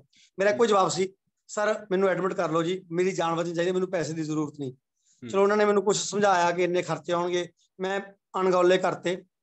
ਮੈਂ ਐਡਮਿਟ ਹੋ ਗਿਆ। 6 ਨੂੰ ਠੀਕ ਰਿਹਾ 7 ਨੂੰ ਠੀਕ ਰਿਹਾ ਜਿਵੇਂ ਜਿਵੇਂ ਮੈਡੀਸਿਨ ਲੱਗੀ ਗਈ ਮੇਰਾ ਮਰਜ਼ ਵੱਧਦਾ ਗਿਆ। ਔਰ 9 ਦੀ ਰਾਤ ਇੰਨੀ ਕੁ ਭਿਆਨਕ ਸੀ ਮੇਰੇ ਬਿਆਨ ਤੋਂ ਬਾਹਰ ਦੀ ਗੱਲ ਹੈ ਅੱਜ ਵੀ ਮੇਰੇ ਅੱਖਾਂ 'ਚ ਹੰਝੂ ਆ ਜਾਂਦਾ ਉਸ ਚੀਜ਼ ਨੂੰ ਯਾਦ ਕਰਕੇ। ਮੇਰਾ ਮੈਨੂੰ ਸ਼ਾਮ ਨੂੰ 7 ਵਜੇ ਬਹੁਤ ਤੇਜ਼ ਖੰਘ ਛਿੜਦੀ ਹੈ ਔਰ ਬਲਗਮ ਇੰਨੀ ਕੁ ਭੈੜੀ ਨਿਕਲਦੀ ਅੰਦਰੋਂ ਮੈਂ ਅੱਧਾ ਟਿਸ਼ੂ ਪੇਪਰ ਦਾ ਪੈਕੇਟ ਖਤਮ ਕਰਤਾ ਉਹਦੇ ਤੇ। ਡਸਟਬਿਨ ਭਰਤਾ ਅੱਖਾਂ 'ਚੋਂ ਪਾਣੀ ਆ ਗਿਆ ਸਾਹ ਰੁਕ ਗਿਆ ਮੈਂ ਸਟਾਫ ਨੂੰ ਕਿਹਾ ਕਿ ਮੇਰਾ ਸਾਹ ਰੁਕ ਰਿਹਾ ਜੀ ਮੈਨੂੰ ਆਕਸੀਜਨ ਦੀ ਜ਼ਰੂਰਤ ਹੈ। ਉਹਨਾਂ ਨੇ ਮੇਰਾ ਬੈੱਡ ਸ਼ਿਫਟ ਕਰਕੇ ਬਾਰਡ ਦੇ ਵਿੱਚੋਂ ਸਿੰਗਲ ਰੂਮ ਸ਼ਿਫਟ ਕਰਤਾ ਔਰ ਆਕਸੀਜਨ ਲਾਤੀ। ਜਿੰਨੀ ਆਕਸੀਜਨ ਡਾਕਟਰ ਨੇ ਕਹੀ ਸੀ ਮੈਨੂੰ ਲਾਉਣ ਵਾਸਤੇ ਮੈਨੂੰ ਉਹਦੇ ਨਾਲ ਤਸੱਲੀ ਨਹੀਂ ਸੀ ਹੋਈ ਤੇ ਮੈਂ ਆਪ ਖੁਦ ਰੈਗੂਲੇਟਰ ਨੂੰ ਮਤਲਬ ਮੂਵ ਕਰਕੇ ਆਕਸੀਜਨ ਦੀ ਮਿਕਦਾਰ ਵਧਾ ਲਈ। ਅਨਫੋਰਚੂਨੇਟਲੀ ਸੇਮ ਟਾਈਮ 10 ਵਜੇ ਮੇਰੇ ਸਾਹਮਣੇ ਵਾਲੇ ਵਾਰਡ ਚੋਂ ਮੈਨੂੰ ਸ਼ੀਸ਼ਾ 'ਚ ਦਿਖ ਰਿਹਾ ਸੀ ਇੱਕ ਔਰਤ ਦੀ ਡੈਥ ਹੁੰਦੀ ਹੈ ਧੜਕ ਧੜਕ ਕੇ। ਉਹਨੇ ਦਿਮਾਗ ਤੇ ਇੰਨਾ ਅਸਰ ਪਾਇਆ ਮੋਰਲ ਜਿਹੜਾ ਮੇਰਾ ਲੈਵਲ ਸੀ ਡਿੱਗ ਗਿਆ। ਮੈਨੂੰ ਲੱਗਦਾ ਸੀ ਕਿ ਮੈਂ ਨਹੀਂ ਬਚਦਾ। ਚਲੋ ਮੈਂ ਡਾਕਟਰ ਨੂੰ ਕਿਹਾ ਉਹਨਾਂ ਨੇ ਮੇਰੇ ਕੋਈ ਇੰਜੈਕਸ਼ਨ ਦਿੱਤੇ ਜਿਨ੍ਹਾਂ ਨਾਲ ਮੇਰਾ ਬੀਪੀ ਸੈੱਟ ਹੋ ਗਿਆ। ਮੈਨੂੰ ਰਾਤ ਨੂੰ ਨੀਂਦ ਆਈ ਰਹੀ ਔਰ 10 ਨੂੰ ਡਾਕਟਰ ਕਹਿੰਦੇ ਵੀ ਤੈਨੂੰ ਪਲਾਜ਼ਮਾ ਲੱਗੂਗਾ ਤੇਰੀ ਬਾਡੀ ਰਿਸਪੌਂਡ ਨਹੀਂ ਕਰ ਰਹੀ ਮੈਡੀਕਲ ਵਾਸਤੇ। 10 ਨੂੰ ਪਲਾਜ਼ਮਾ ਲੱਗਦਾ ਹੈ 10 ਨੂੰ ਰਾਤ ਦੀ ਫੇਰ ਉਹੀ ਭਿਆਨ ਕਰਾਤਾ ਮੇਰੇ ਸਾਹਮਣੇ। 11 ਨੂੰ ਫੇਰ ਪਲਾਜ਼ਮਾ ਲੱਗਦਾ ਹੈ ਤੇ 11 ਦੀ ਸ਼ਾਮ ਨੂੰ ਜਿਹੜੀ ਮੇਰੀ ਰਿਪੋਰਟ ਆਉਂਦੀ ਹੈ ਉਹਦੇ ਵਿੱਚ ਮੇਰੀ ਸੀਆਰਪੀ ਸਕੋਰ ਘਟ ਕੇ 14 15 ਰਹਿ ਜਾਂਦਾ ਹੈਗਾ। ਸ਼ਾਮ ਨੂੰ ਡਾਕਟਰ ਰਾਉਂਡ ਤੇ ਆਉਂਦੇ ਆ ਮੈਨੂੰ ਕਹਿੰਦੇ ਵੀ ਤੇਰੀ ਬਾਡੀ ਰਿਸਪੌਂਡ ਕਰਨ ਲੱਗ ਪਈ ਹੁਣ ਤੇਰੀ ਹਾਲਤ ਖਤਰੇ ਤੋਂ ਬਾਹਰ ਹੈ। ਸੋ ਦੋਸਤੋ ਇਹ ਬਿਮਾਰੀ ਪਤਾ ਨਹੀਂ ਟੱਚ ਕਰਨ ਨਾਲ ਫੈਲਦੀ ਹੈ ਜੇ ਟੱਚ ਕਰਨ ਨਾਲ ਫੈਲਦੀ ਹੋਵੇ ਤਾਂ ਉਹ ਜਿਹੜੇ ਦੋ ਦੋਸਤ ਮੇਰੇ ਕੋਲ ਤੰਬੂ 'ਚ ਰਹੇ ਆ ਉਹਨਾਂ ਨੇ ਸਾਰੇ ਸਮਾਨ ਨੂੰ ਹੱਥ ਲਾਏ ਆ ਜਿੱਥੇ ਮੇਰੇ ਹੱਥ ਲੱਗੇ ਸੀਗੇ। ਉਹਨਾਂ ਨੂੰ ਕੁਝ ਨਹੀਂ ਹੋਇਆ ਨਾ ਉਹਨਾਂ ਨੂੰ ਖੰਘ ਹੋਈ ਨਾ ਜ਼ੁਕਾਮ ਹੋਇਆ। ਅਸੀਂ ਇੱਕੋ ਭਾਂਡੇ 'ਚ ਇੱਕੋ ਚਮਚੇ ਨਾਲ ਫੁਲਕਾ ਤੇ ਰੋਟੀ ਖਾਧੀ ਹੈ ਉਹਨਾਂ ਨੂੰ ਕੁਝ ਨਹੀਂ ਹੋਇਆ। ਰਾਤ ਨੂੰ ਮੈਂ ਕੂਲਰ ਦੇ ਅੱਗੇ ਪਿਆ ਤੰਬੂ ਦੇ ਵਿੱਚ, ਉਹ ਮੇਰੇ ਪਿਛਲੇ ਬੰਨੇ ਪਏ ਆ। ਸਾਰੀ ਰਾਤ ਹਵਾ ਮੇਰੇ ਉੱਤੋਂ ਲੰਘ ਲੰਘ ਕੇ ਉਹਨਾਂ ਨਾਲ ਜਾਂਦੀ ਰਹੀ ਹੈ। ਉਹਨਾਂ ਨੂੰ ਕੁਝ ਨਹੀਂ ਹੋਇਆ। ਔਰ ਇੱਥੋਂ ਤੱਕ ਕਿ ਜਿਹੜੇ ਬਾੜ 'ਚ ਮੈਂ ਦਾਖਲ ਸੀ ਪਹਿਲੇ 3 ਦਿਨ, ਉਸ ਬਾੜ ਦੇ ਵਿੱਚ ਮਰੀਜ਼ਾਂ ਦੇ ਜਿਹੜੇ ਵਾਰਸ ਸੀਗੇ, ਉਹ ਆਉਂਦੇ ਸੀਗੇ। ਆਪਣੇ ਮਰੀਜ਼ਾਂ ਨੂੰ ਰੋਟੀ ਖਵਾਉਂਦੇ ਸੀਗੇ ਤੇ ਉੱਥੇ ਬਿਨਾ ਮਾਸਕ ਤੋਂ ਰਾਤ ਨੂੰ ਸੌਂਦੇ ਸੀਗੇ ਸਾਡੇ ਬਾੜ ਦੇ ਵਿੱਚ। ਮੈਂ ਉਹਨਾਂ ਨਾਲ ਅਕਸਰ ਹੁਣ ਟੱਚ ਦੇ ਵਿੱਚ ਰਹਿਣਾ ਉਹ ਬਿਲਕੁਲ ਤੰਦਰੁਸਤ ਨੇ। ਉਹਨਾਂ ਤੇ ਵਾਇਰਸ ਨੇ ਕਿਸੇ ਪ੍ਰਕਾਰ ਦਾ ਅਸਰ ਨਹੀਂ ਕੀਤਾ। ਸੋ ਮੈਨੂੰ ਇਸ ਗੱਲ ਦੀ ਅਜੇ ਤੱਕ ਸਮਝ ਨਹੀਂ ਪਈ ਕਿ ਵਾਇਰਸ ਟੱਚ ਕਰਨ ਨਾਲ ਫੈਲਦਾ ਹੈ ਹਵਾ ਨਾਲ ਫੈਲਦਾ ਜਾਂ ਕਿੱਦਾਂ ਫੈਲਦਾ ਹੈ। ਬਟ ਜਿਹਦੇ ਅੰਦਰ ਚਲਾ ਜਾਂਦਾ ਹੈਗਾ ਉਹਦੀ ਸੰਗੀ ਘੁੱਟਦਾ ਦੋਸਤੋ। ਸੋ ਆਪਣਾ ਬਚਾਅ ਰੱਖੋ। ਮੈਂ ਅੱਜ ਵੀ ਮਾਸਕ ਪਾ ਕੇ ਰੱਖਦਾਗਾ। ਔਰ ਤੁਸੀਂ ਯਕੀਨ ਮੰਨਿਓ ਮੈਨੂੰ ਅੱਜ ਪੂਰੇ ਮਹੀਨਾ ਹੋ ਚੱਲਿਆ ਬਿਮਾਰ ਹੋਏ ਨੂੰ। ਮੈਂ ਅੱਜ ਵੀ ਕੁਆਰੰਟਾਈਨ ਆ ਮੈਂ ਅੱਜ ਵੀ ਚਾਰਜ ਪੈਣਾ ਸਿਰਫ ਇਸ ਕਰਕੇ ਕਿ ਮਤਲਬ ਮੇਰੇ ਰਾਹੀਂ ਵਾਇਰਸ ਕਿਸੇ ਹੋਰ ਤੱਕ ਨਾ ਚਲਾ ਜਾਵੇ। ਸੋ ਇਹ ਬੜੀ ਚੰਦਰੀ ਬਿਮਾਰੀ ਹੈ ਬੜਾ ਭਿਆਨਕ ਦੌਰ ਹੈ। ਮੈਂ ਆਪਣੀ ਜੋ ਮੇਰੇ ਨਾਲ ਹੱਡ ਬੀਤੀ ਸੀਗੀ ਉਹ ਮੈਂ ਸਾਰੀ ਕਵਿਤਾ ਦੇ ਵਿੱਚ ਵੀ ਲਿਖੀ ਸੀਗੀ ਮੈਂ ਕਵਿਤਾ ਫੇਸਬੁੱਕ ਤੇ ਪੋਸਟ ਕੀਤੀ ਹੈ। ਜੇ। ਡਾਕਟਰ ਕੁਲਦੀਪ ਜੀ ਦੀ ਇਜਾਜ਼ਤ ਹੋਵੇ ਤਾਂ ਮੈਂ ਉਹ ਚੰਦ ਸ਼ਬਦ 2 ਮਿੰਟਾਂ 'ਚ ਬੋਲਣਾ ਚਾਹਾਂਗਾ ਜੇ। ਇਜਾਜ਼ਤ ਹੈ ਤਾਂ। ਹਾਂ ਇੱਕ ਦੋ ਸ਼ੇਰ ਬਿਲਕੁਲ ਜੀ। ਮੈਂ ਉਹ ਸਾਂਝੀ ਕਰਨੀ ਚਾਹਾਂਗਾ ਕਵਿਤਾ ਆਪਣੀ। ਜੀ ਜੀ।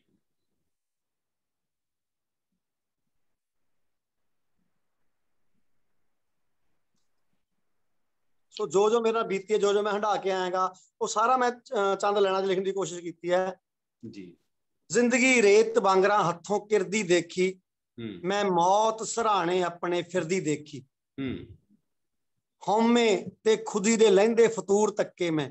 ਦਿਮਾਗ ਚ ਹੁੰਦਾ ਨਾ ਮੈਂ ਸੋਹਣਾ ਬਹੁਤ ਆ ਮੇਰੇ ਕੋਲੇ ਪੈਸਾ ਬਹੁਤ ਆ ਮੇਰੇ ਸਰੀਰ 'ਚ ਜਾਨ ਬਹੁਤ ਹੈਗੀ। ਹੰਕਾਰ ਹੁੰਦਾ ਹੈਗਾ। ਹਉਮੈ ਤੇ ਖੁਦੀ ਦੇ ਲਹਿੰਦੇ ਫਤੂਰ ਤੱਕੇ ਮੈਂ। ਬਸ ਦੋ ਸਾਹ ਕੀਮਤ ਇਸ ਸਿਰ ਦੀ ਤੱਕੀ। ਹੂੰ। ਦੋ ਸਾਹਾਂ ਤੋਂ ਬਾਅਦ ਸਾਡੇ ਸਰੀਰ ਦੀ ਸਾਡੇ ਸਿਰ ਦੀ ਕੋਈ ਕੀਮਤ ਨਹੀਂ ਗਈ ਸਾਹ ਆਊਗਾ ਤਾਂ ਸਾਡੇ ਸਿਰ ਦੀ ਕੀਮਤ ਹੈ। ਨਹੀਂ ਕਿਸੇ ਕੰਮ ਨਹੀਂ। ਹੂੰ। ਹਉਮੈ ਤੇ ਖੁਦੀ ਦੇ ਲਹਿੰਦੇ ਫਤੂਰ ਤੱਕੇ ਮੈਂ। ਬਸ ਦੋ ਸਾਹ ਕੀਮਤ ਇਸ ਸਿਰ ਦੀ ਤੱਕੀ। ਹੂੰ। ਕਮਲ ਭੰਗੂ ਧਰਮ ਭੰਗੂ ਧਰਮ ਦੇ ਭਰਾ ਦੇਖੇ। ਰੂਹਦਾਰੀ ਯਾਰੀ ਤੇ ਹਮਦਰਦ ਸੱਚੀ ਹਮਦਰਦੀ ਦੇਖੀ। ਉਹ ਦੋ ਬੰਦੇ ਮੇਰੇ ਕੋਲੇ ਬਿਨਾਂ ਡਰ ਆਉਂਦੇ ਸੀਗੇ ਮੈਨੂੰ ਫੁਲਕਾ ਖਵਾ ਕੇ ਦੇ ਕਿਉਂਕਿ ਮੈਂ ਪਰਿਵਾਰ ਨੂੰ ਮਨਾ ਕਰਤਾ ਸੀ ਆਉਣ ਤੋਂ ਬਟ ਉਹਨਾਂ ਨੇ ਕਦੇ ਮਨਾ ਨਹੀਂ ਕੀਤਾ ਆਉਣ ਤੋਂ। ਆਉਂਦੇ ਸੀ ਮੇਰੇ ਕੋਲੇ ਪਲਾਜ਼ਮਾ ਉਹ ਲੈ ਕੇ ਆਏ ਮੇਰੀਆਂ ਮੈਡੀਸਨ ਉਹ ਲੈ ਕੇ ਆਉਂਦੇ ਸੀਗੇ। ਜੀ। ਨਾ ਸ਼ੁਕਰੇ ਤੇ ਬੇਮੁਖ ਹੋ ਗਏ ਆ ਕੁਦਰਤ ਤੋਂ।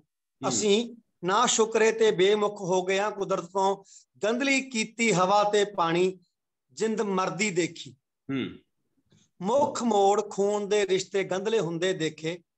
ਮੁੱਖ ਮੋੜ ਖੂਨ ਦੇ ਰਿਸ਼ਤੇ ਗੰਦਲੇ ਹੁੰਦੇ ਦੇਖੇ। ਇਸ ਦੌਰ 'ਚ ਮਨੁੱਖਤਾ ਐਨੀ ਗਿਰਦੀ ਦੇਖੀ ਜਿਹੜੀ ਉਹ ਮਾਤਾ ਮੇਰੇ ਨਾਲ ਐਕਸਪਾਇਰ ਹੋਈ ਸੀ ਨਾ ਉਹਦੀ ਕੋਈ ਡੈਡ ਬੋਡੀ ਲੈਣ ਨਹੀਂ ਆਇਆ। ਸਹਾਰਾ ਲੈ ਕੇ ਗਏ ਸੀ। ਹੂੰ ਹੂੰ ਕਿਉਂਕਿ ਰਿਸ਼ਤੇਦਾਰਾਂ ਜਵਾਬ ਤਾਂ ਅਸੀਂ ਅਸੀਂ ਨਹੀਂ ਆਉਣਾ ਮੁੱਖ ਮੋੜ ਖੂਨ ਦੇ ਰਿਸ਼ਤੇ ਗੰਦਲੇ ਹੁੰਦੇ ਦੇਖੇ।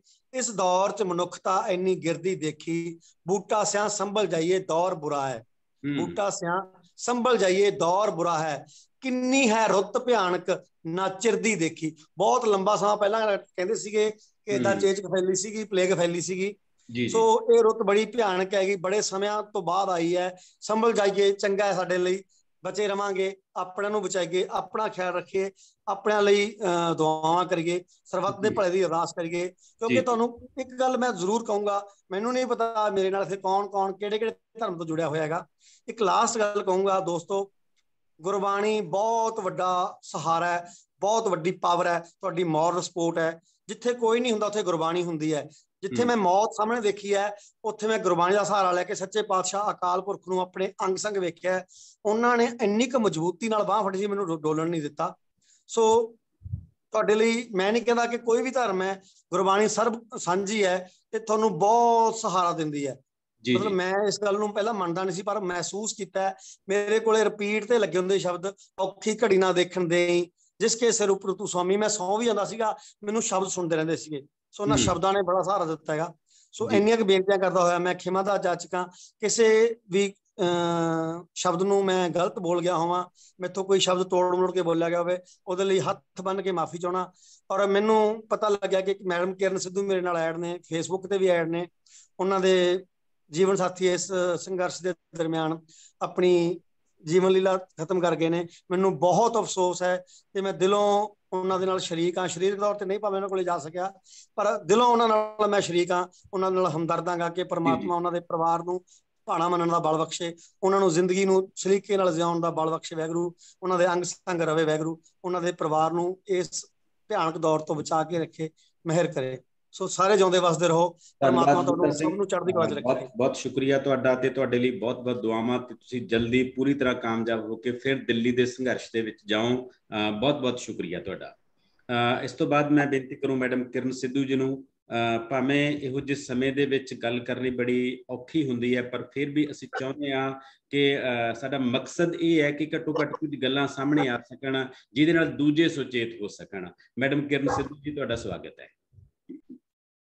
ਹਾਂਜੀ ਸਾਰਿਆਂ ਨੂੰ ਸਤਿ ਸ਼੍ਰੀ ਅਕਾਲ। ਜੀ ਸਤਿ ਸ਼੍ਰੀ ਅਕਾਲ।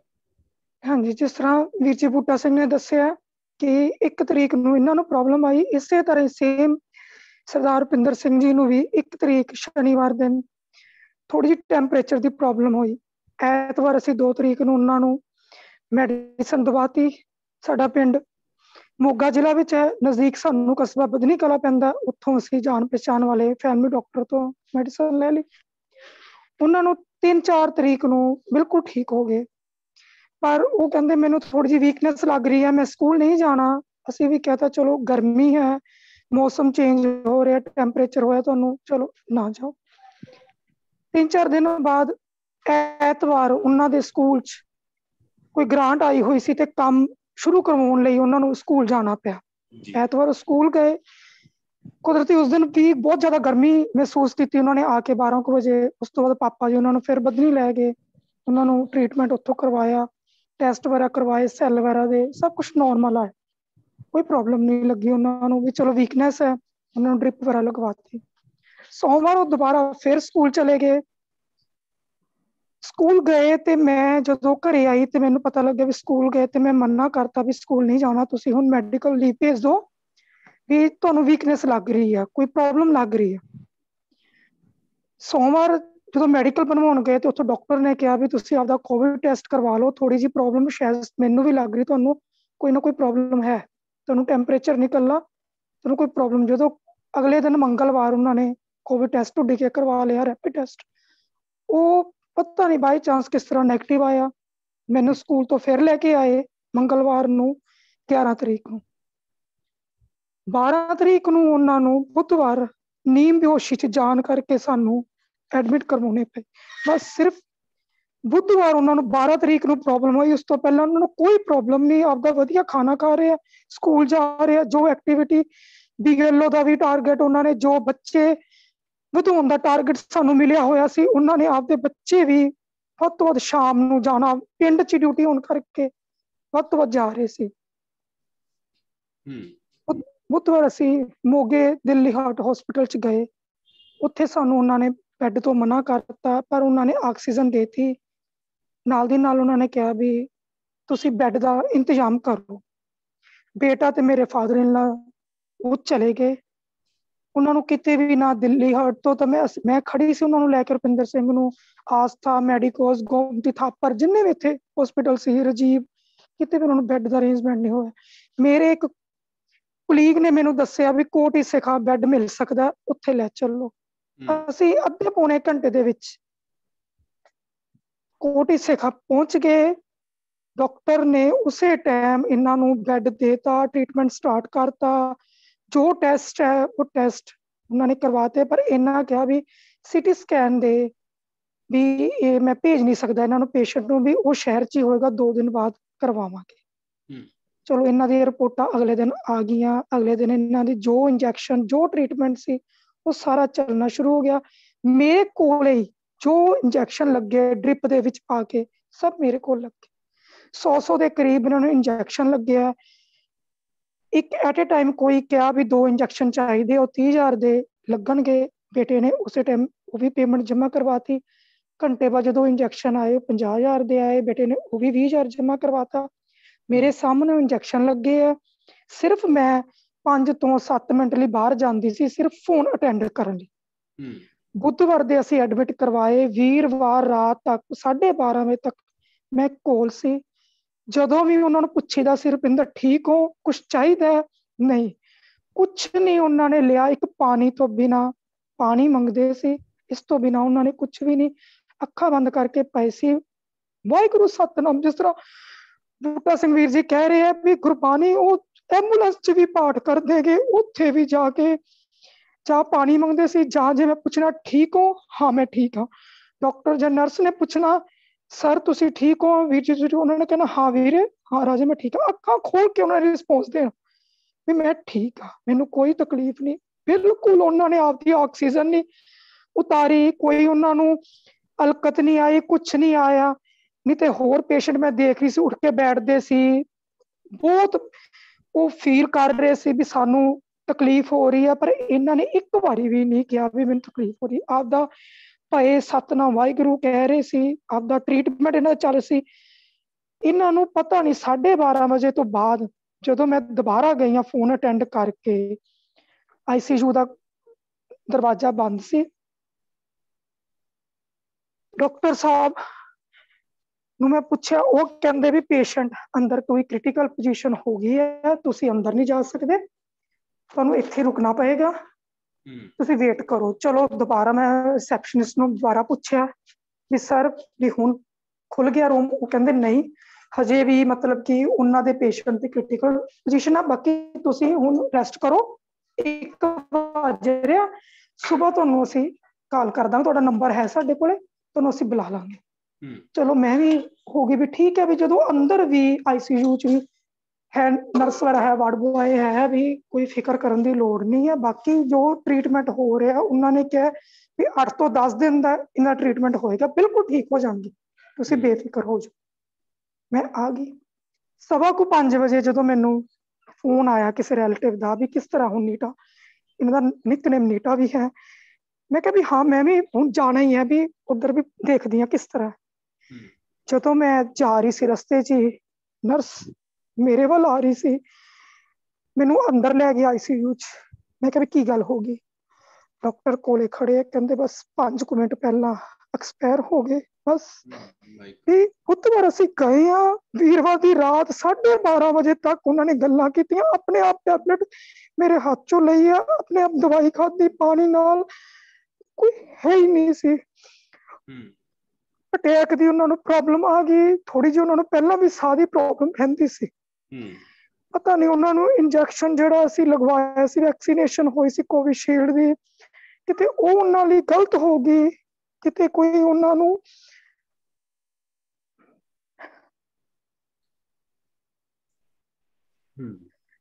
ਸੌਰੀ ਕੋਈ ਨਹੀਂ ਕੋਈ ਨਹੀਂ। ਪਤਾ ਨਹੀਂ ਵੀ ਉੱਥੇ ਕਿਸੇ ਪੇਸ਼ੈਂਟ ਦੀ ਵੀ ਡੈਥ ਹੋਈ ਹੋ ਉਸੇ ਰਾਤ ਇਹਨਾਂ ਤੋਂ ਪਹਿਲਾਂ ਪਤਾ ਨਹੀਂ ਉਸ ਪੇਸ਼ੈਂਟ ਕਰਕੇ ਕੋਈ ਫਤਿਆਬਾਦ ਹਰਿਆਣੇ ਤੋਂ ਪੇਸ਼ੈਂਟ ਸੀ 25 ਕੁ ਸਾਲ ਦਾ ਗੁਰਸਿੱਖ ਲੜਕਾ। ਜੀ। ਉਹਦੀ ਕੋਈ ਪ੍ਰੋਬਲਮ ਦੇ ਨਾਲ ਇਹਨਾਂ ਨੂੰ ਕੋਈ ਕ੍ਰੀਏਟ ਹੋਈ ਕੁਝ ਸਾਡੇ ਹੱਥ ਪੱਲੇ ਵੀ ਕੁਝ ਨਹੀਂ ਪਿਆ ਖਰਚਾ ਵੀ ਕੀਤਾ ਪੂਰਾ ਸਾਡੇ ਵੱਲੋਂ ਸੀ ਵੀ 8 ਤੋਂ 10 ਦਿਨ ਡੇਲੀ ਭਾਵੇਂ ਲੱਖ ਰੁਪਏ ਲੱਗ ਜੇ ਸਾਨੂੰ ਕੋਈ ਪ੍ਰੋਬਲਮ ਨਹੀਂ ਅਸੀਂ ਜਿਵੇਂ ਮਰਜ਼ੀ ਕਰਾਂਗੇ।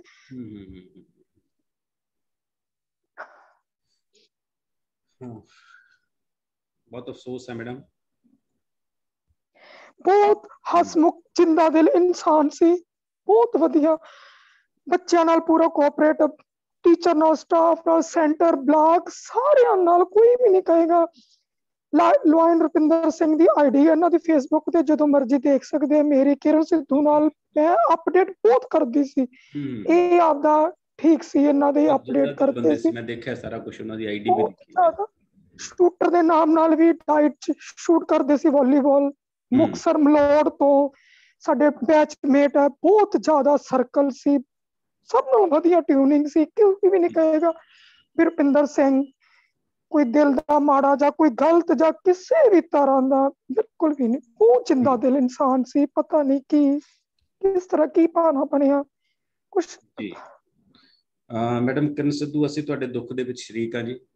ਬੰਦੇ ਨੂੰ ਕਦੇ ਵੀ ਮੋੜ ਕੇ ਨਹੀਂ ਲਿਆਂਦਾ ਜਾ ਸਕਦਾ ਬਸ ਬੰਦੇ ਦੀਆਂ ਯਾਦਾਂ ਰਹਿੰਦੀਆਂ ਨੇ। ਪਰ ਇਹ ਹੈ ਕਿ ਘਟੋ ਘਟ ਤੁਹਾਨੂੰ ਇਸ ਗੱਲ ਦੀ ਸੰਤੁਸ਼ਟੀ ਹੈ ਕਿ ਤੁਸੀਂ ਆਪਣੇ ਵੱਲੋਂ ਮੈਕਸਿਮਮ ਐਫਰਟਸ ਕੀਤੇ।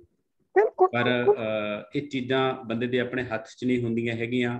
ਬੰਦਾ ਸਿਰਫ ਯਤਨ ਹੀ ਕਰ ਸਕਦਾ ਤੇ ਤੁਸੀਂ ਇੰਨੇ ਯਤਨ ਕਰਨ ਦੇ ਬਾਵਜੂਦ ਵੀ ਰੁਪਿੰਦਰ ਸਿੰਘ ਸਾਡੇ ਕੋਲ ਨਹੀਂ ਰਹਿ ਸਕੇ ਇਸ ਗੱਲ ਦਾ ਬਹੁਤ ਅਫਸੋਸ ਹੈ ਤੇ ਅਸੀਂ ਇਸ ਦੁੱਖ ਦੀ ਘੜੀ 'ਚ ਤੁਹਾਡੇ ਨਾਲ ਆ ਇੱਕ ਗੱਲ ਮੈਂ ਹੋਰ ਕਹਿਣਾ ਚਾਹਾਂਗੀ। ਜੀ ਜੀ।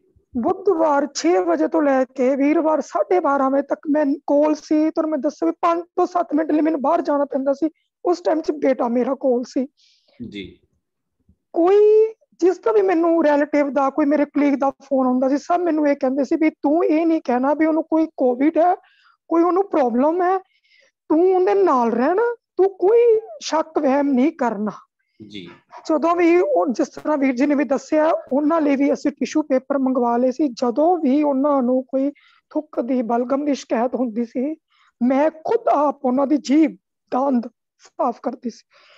14 14 ਮਈ ਦੀ ਡੈਥ ਹੋਈ ਹੈ। ਮੈਨੂੰ ਨਾ ਪਹਿਲਾਂ 19 ਮਾਰਚ ਨੂੰ ਅਸੀਂ ਵੈਕਸੀਨੇਸ਼ਨ ਇਕੱਠਿਆਂ ਨਹੀਂ ਕਰਵਾਈ ਸੀ। ਉਸ ਤੋਂ ਬਾਅਦ ਵੀ ਸਾਨੂੰ ਕੋਈ ਟੈਂਪਰੇਚਰ ਕੋਈ ਪ੍ਰੋਬਲਮ ਕੁਝ ਨਹੀਂ ਸੀ।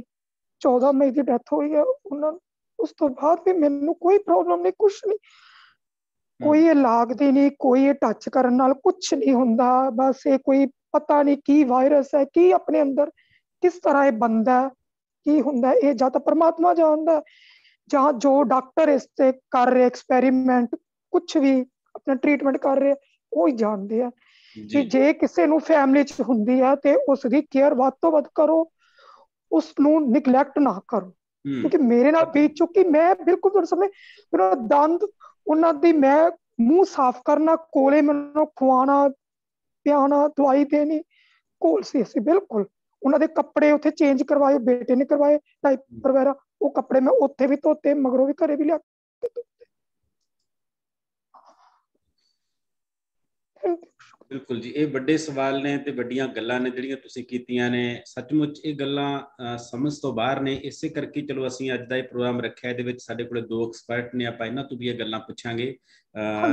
ਤੁਹਾਡਾ ਕਿਰਨ ਸਿੱਧੂ ਮੈਡਮ ਬਹੁਤ-ਬਹੁਤ ਸ਼ੁਕਰੀਆ। ਤੁਸੀਂ ਇਸ ਦੁੱਖ ਦੀ ਘੜੀ ਦੇ ਵਿੱਚ ਵੀ ਸਾਡੇ ਨਾਲ ਜੁੜੇ ਹੋ ਤੇ ਮੈਨੂੰ ਲੱਗਦਾ ਹੈ ਕਿ ਤੁਹਾਡੇ ਰਾਹੀਂ ਤੇ ਬੂਟਾ ਸਿੰਘ ਦੇ ਕੇਸ ਰਾਹੀਂ ਆਪਾਂ ਜਿਹੜੀਆਂ ਜਿਹੜਾ ਸੱਚ ਹੈ ਸਮੇਂ ਦਾ ਸੱਚ ਹੈ ਉਹਨੂੰ ਸਾਹਮਣੇ ਲਿਆ ਸਕੇ ਆ ਤੇ ਜਿਹੜੀਆਂ ਇਹ ਤੋਂ ਬਾਅਦ ਆਪਾਂ ਗੱਲਾਂ ਬਾਤਾਂ ਕਰਨੀਆਂ ਨੇ ਉਹਦੇ ਵਿੱਚੋਂ ਕੋਸ਼ਿਸ਼ ਕਰਾਂਗੇ ਕਿ ਕੁਝ ਮੁੱਦਿਆਂ ਨੂੰ ਟੱਚ ਕੀਤਾ ਜਾ ਸਕੇ। ਸੋ ਬੂਟਾ ਸਿੰਘ ਦੁੰਨੇਵਾਲਾ ਤੇ ਕਿਰਨ ਸਿੱਧੂ ਮੈਡਮ ਤੁਹਾਡਾ ਬਹੁਤ-ਬਹੁਤ ਸ਼ੁਕਰੀਆ ਤੇ ਉਮੀਦ ਹੈ ਤੁਸੀਂ ਸਾਡੇ ਨਾਲ ਜੁੜੇ ਰਹੋਗੇ ਇਸ ਪ੍ਰੋਗਰਾਮ ਦੇ ਵਿੱਚ।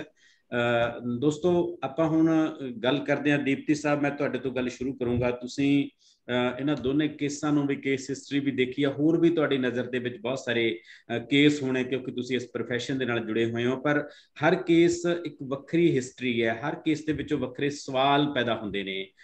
ਤੇ ਮੈਂ ਤੁਹਾਡੇ ਤੋਂ ਜਾਣਨਾ ਇਹ ਚਾਹਣਾ ਕਿ ਭਾਵੇਂ ਸੈਕੰਡ ਵੇਵ ਥਰਡ ਵੇਵ ਦੁਨੀਆ ਦੇ ਸਾਰੇ ਹਿੱਸਿਆਂ 'ਚ ਆਈਆਂ ਨੇ, ਪਰ ਜਿੰਨੀ ਮਤਲਬ ਹਾਲਾਤ ਮਾੜੇ ਹਿੰਦੁਸਤਾਨ ਦੇ ਵਿੱਚ ਹੋਏ ਨੇ ਇੰਨੇ ਮਾੜੇ ਸ਼ਾਇਦ ਸੈਕੰਡ ਵੇਵ ਦੇ ਵਿੱਚ ਜਾਂ ਥਰਡ ਵੇਵ ਦੇ ਵਿੱਚ ਹੋਰ ਕਿਸੇ ਮੁਲਕ ਦੇ ਵਿੱਚ ਨਹੀਂ ਹੋਏ ਹੈਗੇ।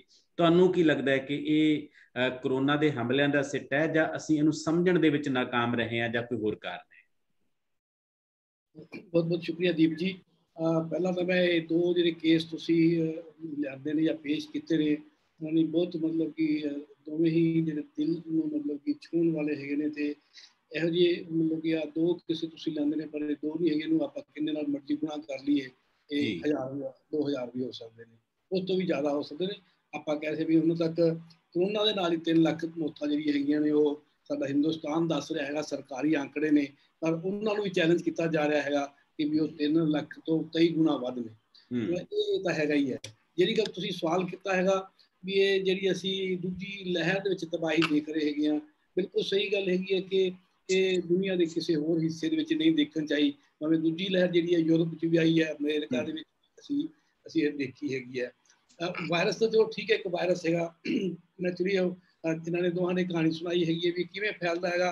ਅਜੇ ਤੱਕ ਸਾਡੇ ਵਾਸਤੇ ਮਤਲਬ ਕਹਿ ਸਕਦੇ ਕਿ ਸਵਾਲ ਹੈਗਾ। ਮੈਡੀਕਲ ਵਿਗਿਆਨ ਦੇ ਵਾਸਤੇ ਵੀ। ਪਰ ਵਾਇਰਸ ਦਾ ਇੱਕ ਖਾਸੀਅਤ ਹੈਗੀ ਹੈ ਕਿ ਕੋਈ ਵੀ ਵਾਇਰਸ ਹੋਵੇ ਇਹਨਾਂ ਦੀ ਜਿਹੜੀ ਹਿਸਟਰੀ ਹੈਗੀ ਹੈ ਵਾਇਰਸ ਦੀ ਆਪਣੀ ਇਹ ਰੂਪ ਬਦਲਣ ਦੇ ਵਿੱਚ ਪੂਰੇ ਮਾਹਰ ਨੇ। ਇਹ ਰੂਪ ਬਦਲ ਬਦਲ ਕੇ ਆਉਂਦੇ ਹੈਗੇ ਨੇ ਤੇ ਬੜੀ ਛੇਤੀ ਰੂਪ ਬਦਲਦੇ ਨੇ। ਜੇ ਮੈਂ ਕਹਾਂ ਨਾ ਤੇ ਜੀਵ ਜੀਵ ਵਿਗਿਆਨ ਤੋਂ ਵੀ ਨਾ ਇਹ ਆਪਣੇ ਆਪ ਦੇ ਵਿੱਚ ਕੋਈ ਪੂਰਾ ਜੀਵ ਨਹੀਂ ਹੈਗਾ। ਬੈਕਟੀਰੀਆ ਪੂਰਾ ਜੀਵ ਹੈਗਾ ਜਾਂ ਪੈਰਾਸਾਈਟ ਨੇ ਉਹ ਪੂਰੇ ਜੀਵ ਨੇ।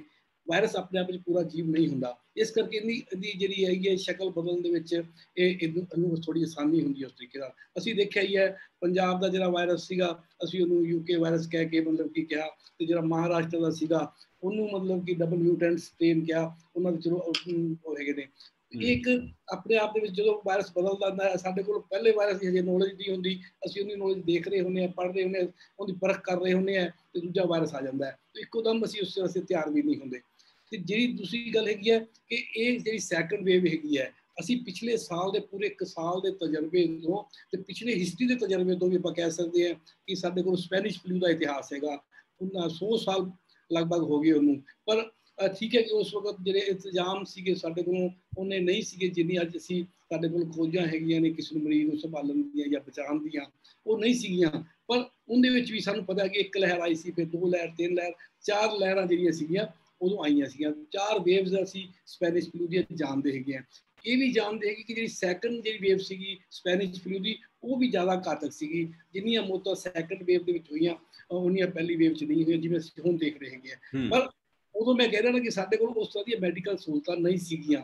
ਪਰ ਆਪਾਂ ਜੇ ਮੈਂ ਨਾਲ ਇਹ ਵੀ ਕਹਿ ਰਿਹਾ ਕਿ ਦੂਜੀ ਵੇਵ ਜਿਹੜੀ ਅਮਰੀਕਾ ਵਿੱਚ ਵੀ ਆਈ ਹੈਗੀ ਹੈ ਯੂਰਪ 'ਚ ਵੀ ਆਈ ਹੈ ਉੱਥੇ ਮਤਲਬ ਕਿ ਇਸ ਤਰ੍ਹਾਂ ਦੀ ਵੇਵ ਨਹੀਂ ਦੇਖਣ ਚਾਹੀਦੀ ਜਿਹੜੀ ਅਸੀਂ ਦੇਖੀ ਹੈਗੀ ਆ। ਸਭ ਤੋਂ ਵੱਡਾ ਕਾਰਨ ਹੈਗਾ ਕਿ ਅਸੀਂ ਮਤਲਬ ਕਿ ਇੰਤਜ਼ਾਮ ਮਤਲਬ ਕਿ ਸਾਡੇ ਕੋਲ ਕੋਈ ਨਹੀਂ ਸੀਗਾ ਜੇ ਮੈਂ ਕਹਿੰਦਾ ਇੰਤਜ਼ਾਮ ਕੀ ਵੱਧ ਇੰਤਜ਼ਾਮੀ ਸਗੋਂ ਵੱਧ ਸੀਗੀ ਜੇ ਆਪਾਂ ਇਹ ਕਹੀਏ ਕਿ ਸਾਡੇ ਕੋਲ ਇੱਕ ਪੂਰਾ ਇਸ ਵਾਇਰਸ ਦੀ ਬਾਰੇ ਸਟੱਡੀ ਸੀਗੀ ਪ੍ਰੀਖਿਆ ਸੀਗੀ ਸਾਡੇ ਕੋਲ ਇਤਿਹਾਸ ਸੀਗਾ ਤੇ ਸਮੇਂ-ਸਮੇਂ ਤੇ ਅਸੀਂ ਇਸ ਦਾ ਰੂਪ ਬਦਲਦੇ ਹੋਏ ਵੀ ਦੇਖ ਰਹੇ ਸੀਗੇ ਪਿਛਲੇ ਸਾਲ ਹੀ ਰੂਪ ਬਦਲਣ ਲੱਗ ਪਏ ਸੀਗੇ ਨਵੇਂ ਸਟ੍ਰੇਨ ਆਉਣ ਲੱਗ ਪਏ ਸੀਗੇ ਤੇ ਸਾਡੇ ਮਹਾਰਾ ਨੇ ਇਹ ਕਿਹਾ ਵੀ ਸੀਗਾ ਕਿ ਇੱਕ ਸੈਕੰਡ ਵੇਵ ਆਊਗੀ ਇਹ ਵੀ ਕਿਹਾ ਸੀਗਾ ਕਿ ਇਹ ਜਿਹੜੀ ਵੇਵ ਹੈਗੀ ਹੈ ਇਸ ਤੋਂ ਵੱਧ ਮਤਲਬ ਕਿ ਥੋੜੀ ਜਿਹੀ ਘਾਤਕ ਹੋਗੀ ਸਾਨੂੰ ਵੱਧ ਇੰਤਜ਼ਾਮ ਦੀ ਲੋੜ ਹੈਗੀ ਹੈ।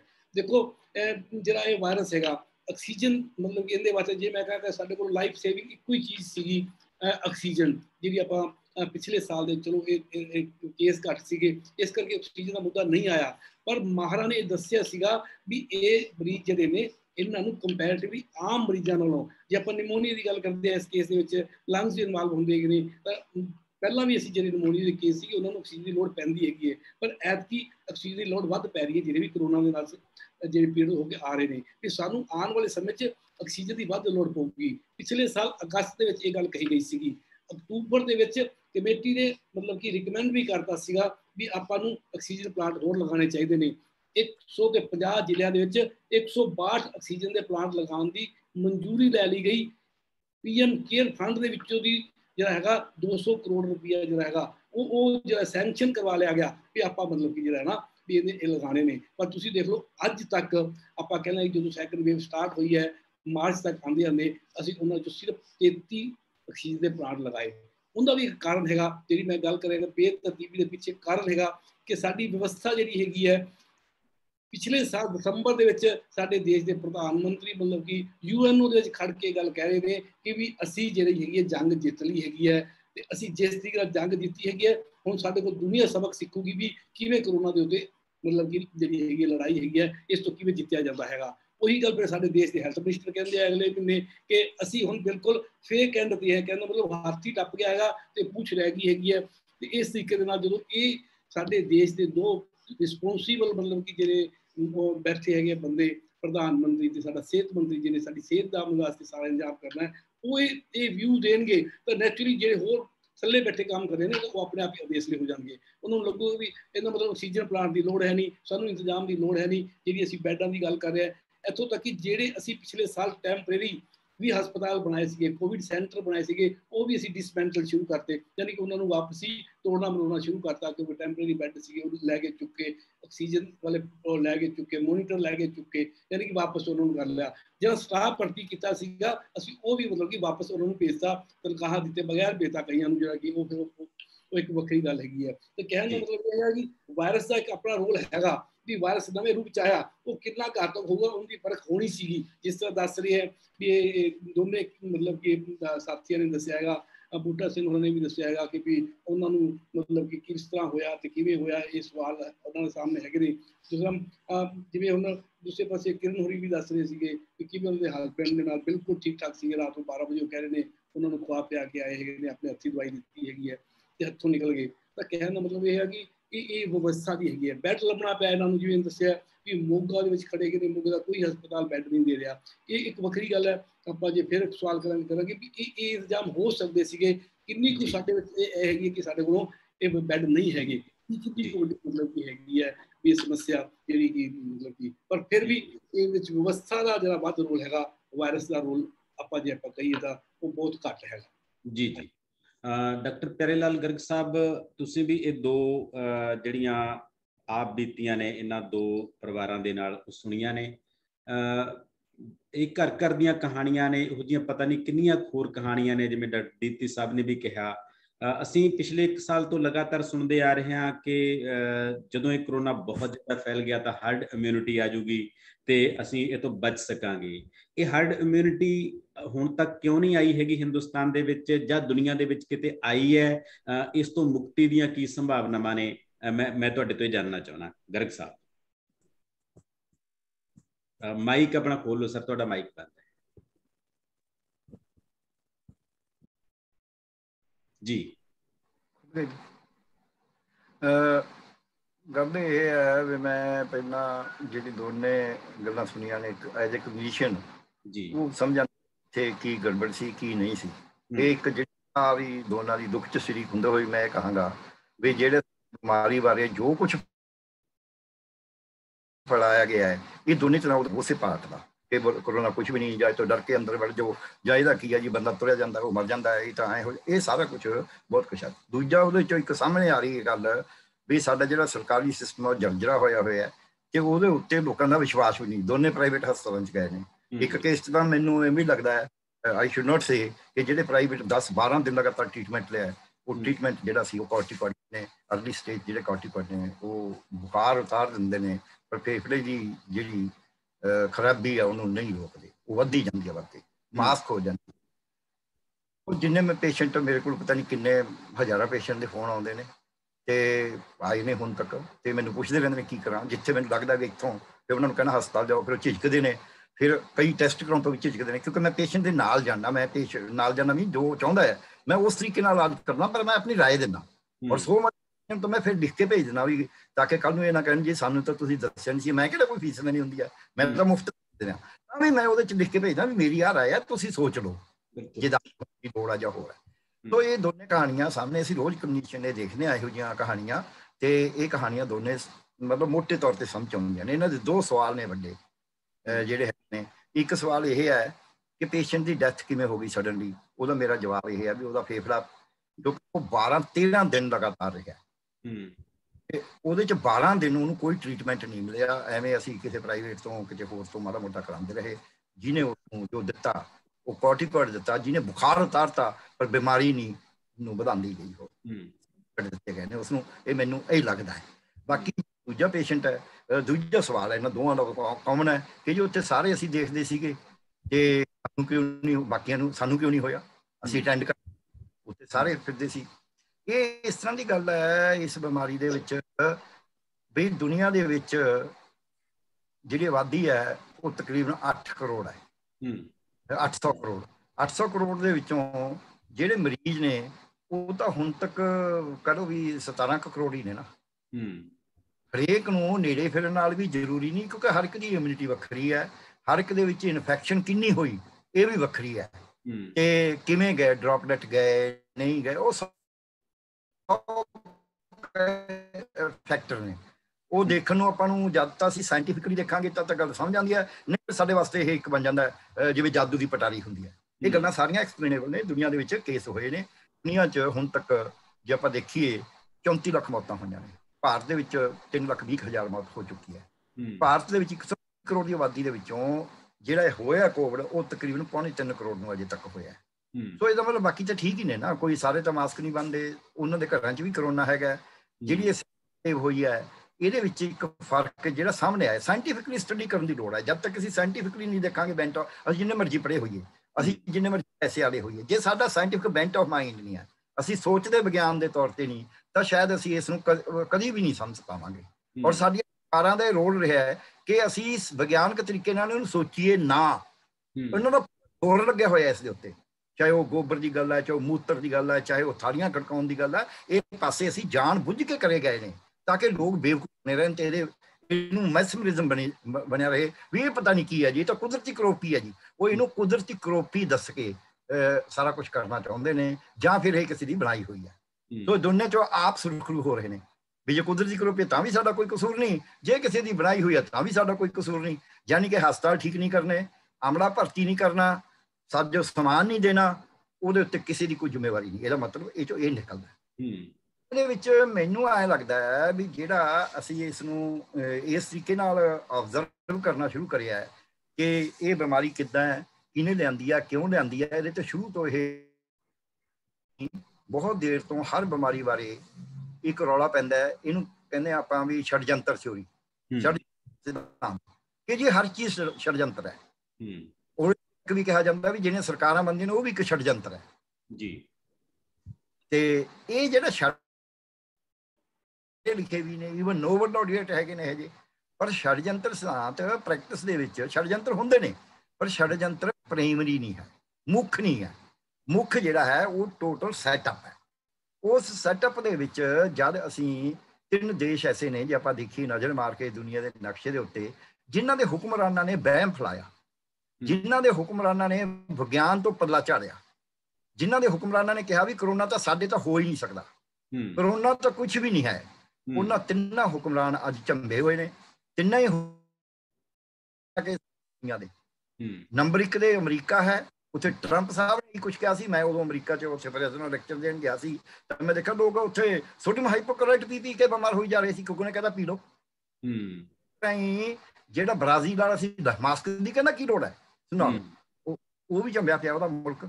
ਡੈਥ ਉਹਦੇ ਚ 2 ਨੰਬਰ ਤੇ ਆ ਜੇ ਅਮਰੀਕਾ ਚ 6 ਲੱਖ ਡੈਥ ਹੋਈ ਹੈ ਤਾਂ ਇੱਥੇ ਸਨਾਰੋ ਇਹਦੇ ਬ੍ਰਾਜ਼ੀਲ ਦੇ ਵਿੱਚ 4 ਲੱਖ ਹੋਈ ਹੈ। ਜੇ ਤੀਜਾ ਮੁਲਕ ਹੈ ਉਹ ਭਾਰਤ ਹੈ ਜਿਹੜਾ ਕੇਸਾਂ ਦੀ ਗਿਣਤੀ ਚ 2 ਨੰਬਰ ਤੇ ਹੈ ਮੌਤਾਂ ਦੀ ਗਿਣਤੀ ਚ ਨਾ ਤੋਂ 3 ਨੰਬਰ ਤੇ ਹੈ। ਉਹ ਵੀ ਚੰਬਿਆ ਸਾਡੇ ਸਾਹਮਣੇ ਹੈ। ਸੋ ਇਹ ਕੀ ਹੁੰਦੀ ਹੈ ਜੈਸਾ ਰਾਜਾ ਤੈਸੀ ਪ੍ਰਜਾ ਇਹਦੇ ਵਿੱਚ ਜਿਹੜਾ ਵੱਡਾ ਸਾਡੇ ਸਮੱਸਿਆ ਕੀ ਆਈ ਹੈ ਅਸੀਂ ਪਿਛਲੇ 30 ਸਾਲ ਚ ਲੋਕਾਂ ਨੂੰ ਭੀੜ ਤੰਤਰ ਬਣਾਇਆ। ਉਹ ਜਿੰਨੇ ਮਰਜ਼ੀ ਪੜ੍ਹੇ ਲਿਖੇ ਨੇ। ਉਹਨਾਂ ਨੇ ਪੀਐਚਡੀਆਂ ਕਰੀਆਂ ਹੋ ਸਕਦੀਆਂ ਪਰ ਉਹਨਾਂ ਦਾ ਨਜ਼ਰੀਆ ਵਿਗਿਆਨਕ ਨਹੀਂ ਉਹਨਾਂ ਦਾ ਨਜ਼ਰੀਆ ਜਿਹੜਾ ਭੀੜ ਤੰਤਰ ਵਾਲਾ ਹੈ ਚਾਹੇ ਉਹ ਸੋਸ਼ਲ ਮੀਡੀਆ ਰਾਹੀਂ ਕਰਨ ਚਾਹੇ ਅਖਬਾਰ 'ਚ ਦੇਖ ਲੈਣ ਮੈਂ ਰੋਜ਼ ਅਬਜ਼ਰਵ ਕਰਦਾ ਰਹਿਣਾ ਵੀ ਕਰਦੇ ਕੀ ਨੇ ਲੋਕ? ਲੋਕਾਂ ਨੂੰ ਭੀੜ ਤੰਤਰ ਜਦ ਤੁਸੀਂ ਬਣਾ ਲੈਂਦੇ ਹੋ ਫਿਰ ਉਹ ਤੁਹਾਡੇ ਤੇ ਡਿਪੈਂਡੈਂਟ ਕਿਸਮਤ ਤੇ ਡਿਪੈਂਡੈਂਟ ਕਰਦੇ ਨੇ ਤੁਹਾਡੇ ਤੇ ਡਿਪੈਂਡੈਂਟ ਹੋ ਜਾਂਦੇ ਨੇ। ਉਹ ਕਹਿੰਦੇ ਤੁਸੀਂ ਮਸੀਹਾ ਹੋ। ਇਸੇ ਕਰਕੇ ਜੇ ਤੁਸੀਂ ਇੰਡੀਆ 'ਚ ਦੇਖੋਗੇ ਪੰਜਾਬ 'ਚ ਦੇਖੋਗੇ ਕੌਣ ਹੋਏਗਾ ਮੁੱਖ ਮੰਤਰੀ? ਕੌਣ ਹੋਏਗਾ ਪ੍ਰਧਾਨ? ਜਿਵੇਂ ਸਿਰਫ ਪ੍ਰਧਾਨ ਮੰਤਰੀ ਜਾਂ ਮੁੱਖ ਮੰਤਰੀ ਦੇਸ਼ ਨੂੰ ਚਲਾਉਂਦੇ ਨੇ ਹੋਰ ਕੋਈ ਦੁਨੀਆ 'ਚ ਹੈ ਨਹੀਂ। ਸੋ ਇਸ ਕਰਕੇ ਸਾਡਾ ਜਿਹੜਾ ਕੋਵਿਡ ਵੱਧ ਵੀ ਜਿਹੜਾ ਕਰੋਨਾ ਇਨਫੈਕਸ਼ਨ ਵੱਧ ਵੀ ਕਰੋਨਾ ਵਾਇਰਸ ਵੀ ਜਿਹੜਾ ਸਾਡਾ ਨਜ਼ਰੀਆ ਹੈ ਉਹ ਬ੍ਰਾਹਮਣੀਕਲ ਨਜ਼ਰੀਆ ਉਹ ਵਿਗਿਆਨਕ ਨਜ਼ਰੀਆ ਹੈ ਹੀ ਨਹੀਂ। ਨਾ ਹੋਣ ਕਰਕੇ ਛੋਟੀ ਜਿਹੀ ਵਿਗਿਆਨਕ ਨਜ਼ਰੀਏ ਨਾਲ ਲੋਕ ਦੇਖ ਸਕਦੇ ਸੀ। ਇਹ ਇਹਨਾਂ ਨੇ ਜੋ ਕਿਹਾ ਵੀ ਸਾਨੂੰ ਹੋਇਆ ਨਹੀਂ ਇਹ ਵਿਗਿਆਨਕ ਨਜ਼ਰੀਏ ਦੀ ਨਿਸ਼ਾਨੀ ਹੈ ਕਿ ਜੇ ਸਾਨੂੰ ਕਿਉਂ ਨਹੀਂ ਹੋਇਆ ਫਿਰ? ਜੇ ਕੋਵਿਡ ਇੰਨਾ ਇਨਫੈਕਟਿਵ ਹੈ ਇੰਨੇ ਤਰੀਕੇ ਨਾਲ ਨੇੜੇ ਵੀ ਨਹੀਂ ਜਾਣਾ ਤੁਸੀਂ ਲੋਕਾਂ ਨੂੰ ਇੱਕ ਦੂਜੇ ਤੋਂ ਦੂਰ ਕਰਤਾ। ਮੈਂ ਆਪਣੇ ਹਸਬੰਡ ਨੂੰ ਸਾਹਮਣੀ ਰਹੀ ਆ ਕੋ ਨੂੰ ਸਾਹਮਣੀ ਰਹੀ ਆ ਮੈਂ ਆਪਣੇ ਦੋਸਤਾਂ ਦੇ ਨਾਲ ਖਾਣਾ ਖਾਦਾ ਇੱਕੋ ਪਲੇਟ ਦੇ ਵਿੱਚ। ਕਿ ਉਹ ਮੇਰੇ ਨਾਲ ਪਏ ਰਹੇ ਨੇ। ਕੋਈ ਡਿਸਟੈਂਸ ਨਹੀਂ ਸੀ ਕੋਈ ਮਾਸਕ ਨਹੀਂ ਬੰਨਿਆ ਸੀ ਫਿਰ ਉਹਨਾਂ ਨੂੰ ਕਿਉਂ ਨਹੀਂ ਹੋਇਆ? ਇਹ ਵੈਲਿਡ ਸਵਾਲ ਹੈ ਇਹ ਵਿਗਿਆਨਕ ਨਜ਼ਰੀਏ ਦਾ ਸਵਾਲ ਹੈ ਪਰ ਇਹਦਾ ਜਿਹੜਾ ਮੈਂ ਕਹਾਂਗਾ ਇਹਦਾ ਸਮਾਧਾਨ ਵੀ ਆ ਉਹ ਵੀ ਵਿਗਿਆਨਕ ਨਜ਼ਰੀਏ ਨੂੰ ਸੁਣਨ ਚਾਹੇ ਅਡਾਪਟ ਕਰਨ ਚਾਹੇ ਉਹ ਵਿਗਿਆਨਕ ਨਜ਼ਰੀਆ ਰੱਖਦੇ ਹੋਏ ਉਹਨੂੰ ਵਹਿਮ ਚ ਲੈ ਜੋ ਵੀ ਇਹਦਾ ਮਤਲਬ ਕਰੋਨਾ ਹੈ ਕੁਝ ਨਹੀਂ ਇਹ ਤਾਂ ਐਵੇਂ ਕੋਈ ਖੇਡ ਹੈ। ਇਹ ਇਹ ਫਿਰ ਵਿਗਿਆਨਕ ਨਜ਼ਰੀਏ ਵਿੱਚੋਂ ਹੀ ਅਸੀਂ ਗੈਰ ਵਿਗਿਆਨਕ ਚਲੇ ਜਾਵਾਂਗੇ। ਇਹ ਦੋਨੇ ਕੇਸ ਐਕਸਪਲੇਨ ਕਰੇ ਜਾ ਸਕਦੇ ਨੇ ਕੋਈ ਬਾਕੀ ਤਾਂ ਦੁਨੀਆ 'ਚ ਬਹੁਤ ਕੁਝ ਹੁੰਦਾ। ਜੀ ਜੀ ਦੂਜੀ ਗੱਲ ਮੈਂ ਇਹ ਕਹਾਂਗਾ ਵੀ ਜਿਹੜਾ ਕਰੋਨਾ ਵਾਇਰਸ ਦੀ ਅਸੀਂ ਗੱਲ ਕਰਦੇ ਹਾਂ ਸੈਕੰਡ ਲੇਅਰ ਦੀ ਸੈਕੰਡ ਵੇਵ ਦੀ ਜਾਂ ਅਸੀਂ ਕਹਿੰਦੇ ਆ ਇਹਦਾ ਵੱਡਾ ਕਾਰਨ ਕੀ ਹੈ? ਇਹ ਵਾਇਰਸ ਮੈਨ ਮੇਡ ਹੈ ਜਾਂ ਇਹ ਵਾਇਰਸ ਹੈ ਜਿਹੜਾ ਬਾਇਓਲੋਜੀਕਲ ਵਾਰਫੇਅਰ ਦਾ ਯਾਨੀ ਕਿ ਜੈਵਿਕ ਜੰਗ ਦਾ ਹਿੱਸਾ ਹੈ? ਇਹ ਵਾਇਰਸ ਚਾਈਨਾ ਨੇ ਫੈਲਾਇਆ ਹੈ ਜਾਂ ਇਹ ਅਮਰੀਕਾ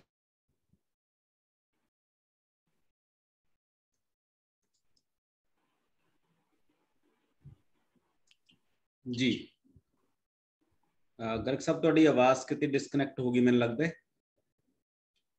ਆਪਾਂ ਉਨੀ ਦੇਰ ਤੱਕ ਦੀਪਤੀ ਸਾਹਿਬ ਹੋਰਾਂ ਤੋਂ ਅਗਲਾ ਸਵਾਲ ਲੈਨੇ ਆ ਦੀਪਤੀ ਸਾਹਿਬ, ਜਦੋਂ ਸਾਰੇ ਦੇਸ਼ ਦਾ ਜ਼ੋਰ ਇਸ ਗੱਲ ਤੇ ਲੱਗਿਆ ਹੋਇਆ ਕਿ ਵੈਕਸੀਨੇਸ਼ਨ ਕਰਾਓ ਹਸਪੀਟਲਸ ਦਾਖਲ ਹੋ, ਤਾਂ ਦੂਜੇ ਪਾਸੇ ਬਾਬਾ ਰਾਮਦੇਵ ਵਰਗੇ ਇਸ ਮੁਹਿੰਮ ਨੂੰ ਤਾਰਪੀਡੋ ਕਰ ਰਹੇ ਨੇ।